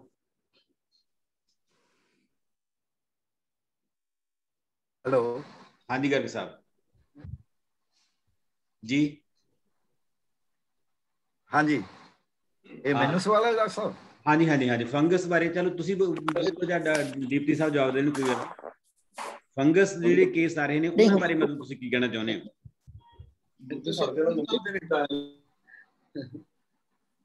ਜੀ। ਹੈਲੋ। ਹਾਂਜੀ ਡੀਪਟੀ ਸਾਹਿਬ ਤੁਸੀਂ ਦੱਸ ਦਿਓ ਹੈਲੋ। ਹਾਂ ਦੇਖੋ ਜਿਹੜਾ ਫੰਗਸ ਹੈਗਾ ਨਾ ਇਹਨੂੰ ਕੋਵਿਡ ਨਾਲ ਇਸ ਕਰਕੇ ਜੁੜਿਆ ਜਾ ਰਿਹਾ ਹੈਗਾ ਕਿ ਫੰਗਸ ਕੋਈ ਵੀ ਕਿਸਮ ਦੀ ਫੰਗਸ ਹੋਵੇ ਜਿਹੜੀ ਹੈਗੀ ਨਾ ਉਹ ਬੋਡੀ ਦੇ ਵਿੱਚ ਉਦੋਂ ਗਰੋ ਕਰਦੀ ਹੈ ਜਦੋਂ ਬੰਦੇ ਦੀ ਇਮਿਊਨਿਟੀ ਘੱਟ ਹੋਈ ਹੁੰਦੀ ਹੈ। ਤੁਸੀਂ ਦੇਖੋ ਜਿਹੜਾ ਮਤਲਬ ਕਿ ਖਾਸ ਤੌਰ ਤੇ ਇਹਨੂੰ ਦੋ ਗੱਲਾਂ ਸਾਹਮਣੇ ਆ ਰਹੀਆਂ ਨੇ। ਇੱਕ ਤਾਂ ਜੇ ਬਲੱਡ ਸ਼ੂਗਰ ਜਿਹਦੀ ਵੱਧ ਹੈਗੀ ਹੈ, ਉਹਦੇ ਨਾਲ ਉੱਥੇ ਫੰਗਸ ਹੋ ਰਹੀ ਹੈ ਤੇ ਬਲੱਡ ਸ਼ੂਗਰ ਦੇ ਨਾਲ ਜੇ ਸਟੀਰੋਇਡ ਦੇ ਦਿਓ ਤਾਂ ਜਿਹੜੀ ਬਲੱਡ ਸ਼ੂਗਰ ਹੈਗੀ ਬਹੁਤ ਜ਼ਿਆਦਾ ਸ਼ੂਟ ਅਪ ਕਰ ਜਾਂਦੀ ਹੈ। ਇੱਕ ਆਮ ਜਿਹੜਾ ਬਿਲਕੁਲ ਠੀਕ ਠਾਕ ਹੈ, ਜੇ ਉਹਨੂੰ ਸਟੀਰੋਇਡ ਦੇ ਦਿਓ ਨਾ, ਉਹਦਾ ਬਲੱਡ ਸ਼ੂਗਰ 250 ਚੱਲ ਚਲੀ ਜਾਂਦੀ ਹੈ। ਤੇ ਜੇ ਕਿਸੇ ਬੰਦੇ ਨੂੰ ਪਹਿਲਾਂ ਹੀ ਡਾਇਬੀਟੀਜ਼ ਹੋਵੇ ਤੇ ਉੱਥੋਂ ਦੀ ਉਹਨੂੰ ਸਟੀਰੋਇਡ ਦੇ ਦਿੱਤੇ ਜਾਣ, ਤਾਂ ਉਹ 400 500 ਤੱਕ ਬਲੱਡ ਸ਼ੂਗਰ ਚਲੀ ਜਾਂਦੀ ਹੈਗੀ ਹੈ। ਤਾਂ ਉਸ ਹਾਲਾਤ ਦੇ ਵਿੱਚ ਜਿਹੜਾ ਫੰਗਸ ਹੈਗੀ ਹੈ, ਉਹ ਸਾਡੇ ਆਲੇ ਦੁਆਲੇ ਸਾਡੀ ਆਮ ਜਿਹੜੀ ਹੈਗੀ ਹੈ ਹਾਈਜੀਨ ਨਾਲ ਜੁੜੀ ਹੋਈ ਚੀਜ਼ ਹੈਗੀ ਹੈ। ਫੰਗਸ ਜਿਵੇਂ ਆਪਾਂ ਉੱਲੀ ਕਹਿੰਦੇ ਹੈਗੇ ਆ ਕਿੱਥੇ ਉਗਦੀ ਹੈਗੀ ਹੈ, ਜਿੱਥੇ ਵੱਧ ਸਲਾਬਾ ਹੁੰਦਾ, ਜਿੱਥੇ ਕੋਈ ਲਾਈਟ ਨਹੀਂ ਪਹੁੰਚਦੀ। ਤਾਂ ਇਸ ਕਰਕੇ ਜਦੋਂ ਆਈਸੀਯੂ ਵਿੱਚ ਪਹਿਲਾਂ ਵੀ ਦਾਖਲ ਹੁੰਦੇ ਸੀਗੇ ਕਿ ਲੋਕ ਮਤਲਬ ਕਿ ਤੇ ਕਾਫੀ ਲੰਮਾ ਸਮਾਂ ਇਲਾਜ ਚੱਲਦਾ ਸੀਗਾ, ਉਹਨਾਂ ਨੂੰ ਉੱਥੇ ਵੀ ਬਲੈਕ ਫੰਗਸ ਹੋ ਜਾਂਦੀ ਸੀਗੀ। ਪਰ ਮਤਲਬ ਕਿ ਹੁਣ ਜਿਹੜੀ ਦੇਖਣ ਚ ਇਸ ਕਰਕੇ ਆ ਰਹੀ ਹੈ ਕਿਉਂਕਿ ਬਹੁਤ ਵੱਡੀ ਗਿਣਤੀ ਵਿੱਚ ਹਸਪਤਾਲਾਂ ਦੇ ਵਿੱਚ ਪੇਸ਼ੈਂਟ ਜਾ ਰਹੇ ਨੇ, ਬੈੱਡ ਉੱਤੇ ਹੈ ਨਹੀਂ, ਪ੍ਰੋਪਰ ਹਾਈਜੀਨ ਨਹੀਂ ਹੈਗੀ, ਫੰਗਸ ਜਿਹੜੀ ਹੈਗੀ ਹੈ ਉਹ ਸਾਡੀ ਆਲਰੇਡੀ ਹੈਗੀ ਹੈ ਹਵਾ ਦੇ ਵਿੱਚ। ਪਰ ਇਹ ਇਨਫੈਕਸ਼ੀਅਸ ਜੇ ਆਪਾਂ ਕੋਵਿਡ ਦੇ ਨਾਲ ਆਪਾਂ ਜਿਸ ਤਰ੍ਹਾਂ ਆਪਾਂ ਕੋਵਿਡ ਵਾਲੇ ਪੇਸ਼ੈਂਟ ਤੋਂ ਡਰਦੇ ਹੈਗੇ ਆ, ਇਹ ਉਸ ਤਰ੍ਹਾਂ ਨਹੀਂ ਫੈਲਦੀ। ਉਹਨੂੰ ਉਗਣ ਦੇ ਵਾਸਤੇ, ਉਹਨੂੰ ਆਪਾਂ ਕਹਿ ਲਓ ਵੀ ਗਰੋ ਕਰਨ ਦੇ ਵਾਸਤੇ ਫੰਗਸ ਨੂੰ ਇੱਕ ਖਾਸ ਮਾਹੌਲ ਚਾਹੀਦਾ ਹੈਗਾ, ਜਿਹੜਾ ਕਿ ਮਾਹੌਲ ਜੇ ਕੋਈ ਵੀ ਬੰਦਾ ਉਹਨੂੰ ਪ੍ਰੋਵਾਈਡ ਕਰਦਾ ਹੈਗਾ। ਜੇ ਕੋਈ ਪਿੰਡ ਦੇ ਵਿੱਚ ਕਿਸੇ ਨੂੰ ਹੋ ਗਈ ਹੈ ਤਾਂ ਦੀ ਗੱਲ ਨਹੀਂ ਹੈਗੀ ਵੀ ਹੁਣ ਫੈਲ ਗਈ ਹੈ ਤਾਂ ਸਾਰੇ ਪਿੰਡ 'ਚ ਫੈਲ ਜਾਊਗੀ, ਇਸ ਤਰ੍ਹਾਂ ਦੀ ਗੱਲ ਨਹੀਂ ਹੈਗੀ ਹੈ। ਉਸ ਤੋਂ ਤੱਕ ਤੋਂ ਡਰਨ ਦੀ ਲੋੜ ਨਹੀਂ ਹੈਗੀ ਤੇ ਜਿਹੜੇ ਲੋਕੀ ਇਲਾਜ ਕਰ ਰਹੇ ਨੇ, ਕਰਵਾ ਰਹੇ ਨੇ, ਉਹ ਥੋੜਾ ਧਿਆਨ ਰੱਖਣ ਵੀ ਆਪਾਂ ਨੂੰ ਅੱਜ ਕੱਲ ਸਭ ਨੂੰ ਪਤਾ ਹੈਗਾ ਵੀ ਜਿਥਰੋਮਾਈਸਿਨ ਐਂਟੀਬਾਇਓਟਿਕ ਹੈਗਾ, ਇੱਕ ਜਿਹੜੀ ਨਾਲ ਟੈਟਰਾਸਾਈਕਲਿਨ ਪਾ ਰਿਹਾ, ਉਹ ਇੱਕ ਹੈਗੀ ਹੈ, ਉਹ ਐਂਟੀਬਾਇਓਟਿਕ ਹੈਗਾ। ਕਿਤੇ ਜਾ ਕੇ ਉਹ ਸਟੀਰੋਇਡ ਵੀ ਪਾਏ ਹੁੰਦੇ ਨੇ, ਲੋਕਾਂ ਨੂੰ ਪਤਾ ਵੀ ਵਾਈਸੋਲੋਨ ਪਾਈ ਹੈ, ਪ੍ਰੈਡਨੀਸੋਲੋਨ ਪਾਈ ਹੈ, ਇਹ ਇਹ ਸਟੀਰੋਇਡ ਹੈਗੇ ਨੇ। ਕੋਸ਼ਿਸ਼ ਕਰਨੀ ਚਾਹੀਦੀ ਹੈ ਕਿ ਇਹਨਾਂ ਤੋਂ ਬਗੈਰ ਇਹ ਕਿਸੇ ਦੀ ਹਦਾਇਤ ਤੋਂ ਬਗੈਰ, ਕਿਸੇ ਦੀ ਨਿਗਰਾਨੀ ਤੋਂ ਬਗੈਰ ਸਟੀਰੋਇਡ ਜਿਹੜੇ ਨੇ ਉਹ ਨਾ ਦਿੱਤੇ ਜਾਣ। ਇਹ ਸਾਡੇ ਆਮ ਤੌਰ ਤੇ ਜੇ ਲੋਕਲ ਡਾਕਟਰ ਦੇ ਉਹਨਾਂ ਦੀ ਆਦਤ ਹੈਗੀ ਹੈ ਸਾਡੇ ਆਮ ਤੌਰ ਦੇ ਉੱਤੇ, ਇਹ ਬੜਾ ਡਰਾਸਟਿਕਲੀ ਇਫੈਕਟ ਕਰਦੇ ਹੈਗੇ ਨੇ। ਇਹ ਲਾਈਫ ਸੇਵਿੰਗ ਡਰੱਗਸ ਵੀ ਹੈਗੀਆਂ ਨੇ ਜ਼ਰੂਰ ਹੈਗੀਆਂ ਨੇ, ਪਰ ਇਹ ਦੋ ਧਾਰੀ ਤਲਵਾਰ ਹੈਗੀ ਸਟੀਰੋਇਡ ਇਹ ਜਿਹਦੇ ਅਸਰ ਕਰਨਾ ਹੈ ਤਾਂ ਉੱਤੇ ਬਹੁਤ ਵਧੀਆ ਅਸਰ ਵੀ ਕਰਦੀ ਹੈ, ਤੁਹਾਨੂੰ ਮੌਤ ਦੇ ਮੂੰਹ ਚ ਵੀ ਕੱਢ ਕੇ ਲੈਂਦੀ ਹੈ, ਪਰ ਦੂਜੇ ਪਾਸੇ ਜਿਹੜੀ ਹੈਗੀ ਹੈ, ਜੇ ਇਹ ਖਰਾਬੀ ਕਰੇ ਤਾਂ ਫਿਰ ਬਲੈਕ ਪਰਨੇਸਵਰ ਦਾ ਜਿਹੜੇ ਕੇਸ ਨੇ ਇਹ ਉਸ ਮਿਸਯੂਜ਼ ਆਫ ਸਟੀਰੋਇਡ ਜਿਹੜਾ ਹੈਗਾ ਨਾ ਉਹ ਇੱਕ ਬਹੁਤ ਵੱਡਾ ਫੈਕਟਰ ਹੈਗਾ ਇਹਦੇ ਵਾਸਤੇ। ਮਤਲਬ ਇਹ ਹੈ ਕਿ ਬਲੈਕ ਫੰਗਸ ਆਪਣੇ ਆਪ ਦੇ ਵਿੱਚ ਛੂਤ ਦਾ ਰੋਗ ਨਹੀਂ ਹੈਗੀ। ਇੱਕ ਤਾਂ ਇਹ ਮਤਲਬ ਜਿਹੜਾ ਹੈਗਾ ਧਾਰਨਾ ਕਈ ਵਾਰੀ ਫੈਲ ਜਾਂਦੀ ਹੈ ਕਿ ਇਹ ਇਹ ਇਹ ਵੀ ਕੋਈ ਛੂਤ ਦਾ ਰੋਗ ਹੈ। ਦੂਜੀ ਗੱਲ ਇਹ ਹੈ ਕਿ ਕੱਲੇ ਕਰੋਨਾ ਦੇ ਕੇਸ 'ਚ ਵੀ ਨਹੀਂ ਹੁੰਦੀ ਹੈਗੀ। ਉਸ ਤੋਂ ਪਹਿਲਾਂ ਵੀ ਸੀ ਪਰ ਕਰੋਨਾ ਨਾਲ ਇਹਦੀ ਗਿਣਤੀ ਜ਼ਿਆਦਾ ਵੱਡੀ ਗਿਣਤੀ 'ਚ ਆ ਗਈ ਜਿਹਦੇ ਨਾਲ ਸਾਨੂੰ ਇਹਦੇ ਬਾਰੇ ਵੱਧ ਪਤਾ ਲੱਗਣ ਲੱਗ ਗਿਆ। ਹੋਰ ਕੋਈ ਸਵਾਲ ਕੋਈ ਸਾਡਾ ਦੋਸਤ ਕਰਨਾ ਚਾਹੁੰਦਾ ਜੀ?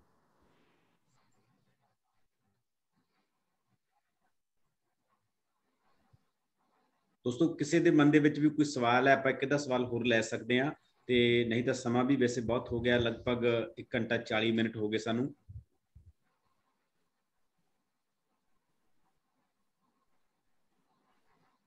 ਜੀ ਡਾਕਟਰ ਦੀਪਤੀ ਸਾਹਿਬ ਤੇ ਡਾਕਟਰ ਪਿਆਰੇ ਲਾਲ ਗਰਗ ਜੀ, ਤੁਸੀਂ ਬਹੁਤ ਵਿਸਥਾਰ ਦੇ ਵਿੱਚ ਗੱਲਾਂ ਬਾਤਾਂ ਕੀਤੀਆਂ ਨੇ, ਪਰ ਸਵਾਲ ਅਜੇ ਵੀ ਬਹੁਤ ਸਾਰੇ ਹੋਣਗੇ। ਆਪਾਂ ਕੋਸ਼ਿਸ਼ ਕਰਾਂਗੇ ਕਿ ਨੈਕਸਟ ਸੰਡੇ ਤੁਹਾਡੀ ਸਲਾਹ ਦੇ ਨਾਲ ਕੁਝ ਹੋਰ ਡਾਕਟਰਸ ਨੂੰ ਵੀ ਆਪਾਂ ਲੈ ਸਕੀਏ ਇੱਥੇ, ਤਾਂ ਕਿ ਕੁਝ ਗੱਲਾਂ ਦੇ ਹੋਰ ਨਤਾਰੇ ਹੋ ਸਕਣ, ਕੁਝ ਹੋਰ ਸਵਾਲ ਵੀ ਜਿਹੜੇ ਸਾਹਮਣੇ ਆ ਸਕਣ। ਤੇ ਤੁਸੀਂ ਬਹੁਤ ਵਿਸਥਾਰ ਦੇ ਵਿੱਚ ਗੱਲਬਾਤ ਕੀਤੀ, ਬਹੁਤ ਸਾਰੇ ਭਰਮ ਭੁਲੇਖੇ ਦੂਰ ਕਰਨ ਦੀ ਕੋਸ਼ਿਸ਼ ਕੀਤੀ। ਇਹਦੇ ਵਿੱਚ ਸਰਕਾਰਾਂ ਦਾ ਕੀ ਰੋਲ ਹੈ? ਇਹਦੇ ਵਿੱਚ ਆਮ ਲੋਕਾਂ ਦੀ ਕੀ ਭੂਮਿਕਾ ਬਣਦੀ ਹੈ? ਇਹਦੇ ਪ੍ਰਤੀ ਜਿਹੜੀਆਂ ਮਿਸਕਨਸੈਪਸ਼ਨਸ ਨੇ ਉਹ ਉਹ ਕਿੰਨੀਆਂ ਕ ਹੈਗੀਆਂ ਨੇ ਤੇ ਕਿਵੇਂ ਉਹ ਦੂਰ ਹੋਣਗੀਆਂ? ਇਹਨਾਂ ਸਾਰੇ ਮਸਲਿਆਂ ਤੇ ਤੁਸੀਂ ਬਹੁਤ ਵਿਸਥਾਰ ਦੇ ਵਿੱਚ ਗੱਲਬਾਤ ਕੀਤੀ ਹੈ ਤੇ ਮੈਂ ਤੁਹਾਡਾ ਬਹੁਤ ਬਹੁਤ ਧੰਨਵਾਦ ਕਰਦਾ ਤੇ ਬਹੁਤ ਬਹੁਤ ਰਿਣੀ ਆ ਤੁਹਾਡਾ ਤੇ ਅੱਗੇ ਵੀ ਜਦੋਂ ਅਸੀਂ ਤੁਹਾਨੂੰ ਆਵਾਜ਼ ਮਾਰਾਂਗੇ, ਮੈਨੂੰ ਉਮੀਦ ਹੈ ਕਿ ਤੁਸੀਂ ਉਸ ਗੱਲਬਾਤ ਦੇ ਵਿੱਚ ਸ਼ਾਮਲ ਹੋਵੋਗੇ। ਇੱਕ ਵਾਰੀ ਫਿਰ ਸਾਰੇ ਦੋਸਤਾਂ ਦਾ ਜਿੰਨੇ ਵੀ ਤੁਸੀਂ ਸ਼ਾਮਲ ਹੋਏ ਹੋ, ਤੁਹਾਡਾ ਬਹੁਤ ਬਹੁਤ ਧੰਨਵਾਦ। ਫੇਸਬੁੱਕ ਤੇ ਵੀ ਇਹ ਪ੍ਰੋਗਰਾਮ ਲਾਈਵ ਹੋਇਆ, ਤੁਸੀਂ ਉੱਥੇ ਵੀ ਦੇਖ ਸਕਦੇ ਹੋ ਇਸ ਤੋਂ ਬਾਅਦ। ਤੇ YouTube ਦਾ ਲਿੰਕ ਵੀ ਮੈਂ ਭੇਜਣ ਦੀ ਕੋਸ਼ਿਸ਼ ਕਰੂੰਗਾ ਤਾਂ ਕਿ ਉਦੋਂ ਬਾਅਦ ਵੀ ਤੁਸੀਂ ਇਹ ਪ੍ਰੋਗਰਾਮ ਜਿਨ੍ਹਾਂ ਨੇ ਨਹੀਂ ਦੇਖ ਸਕਿਆ, ਉਹ ਦੇਖ ਸਕਣ। ਇੱਕ ਵਾਰੀ ਫੇਰ ਗਰਗ ਸਾਹਿਬ ਤੇ ਦੀਪਤੀ ਸਾਹਿਬ, ਤੁਹਾਡਾ ਬਹੁਤ ਬਹੁਤ ਧੰਨਵਾਦ ਜੀ। ਦੀਪ ਜੀ ਤੁਹਾਡਾ ਬਹੁਤ ਬਹੁਤ ਧੰਨਵਾਦ। ਬਹੁਤ ਵਧੀਆ ਗੱਲਾਂ ਹੋਈਆਂ ਤੇ ਬਹੁਤ ਵਧੀਆ ਸਵਾਲ ਸੀਗੇ ਤੁਹਾਡੇ ਤੇ ਮੈਨੂੰ ਲੱਗਦਾ ਕਿ ਵੀ ਇਹਨਾਂ ਸਵਾਲਾਂ ਦਾ ਜਵਾਬ ਦੇਣੇ ਜ਼ਰੂਰੀ ਸੀਗੇ।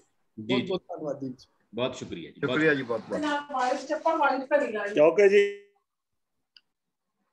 ਜੀ।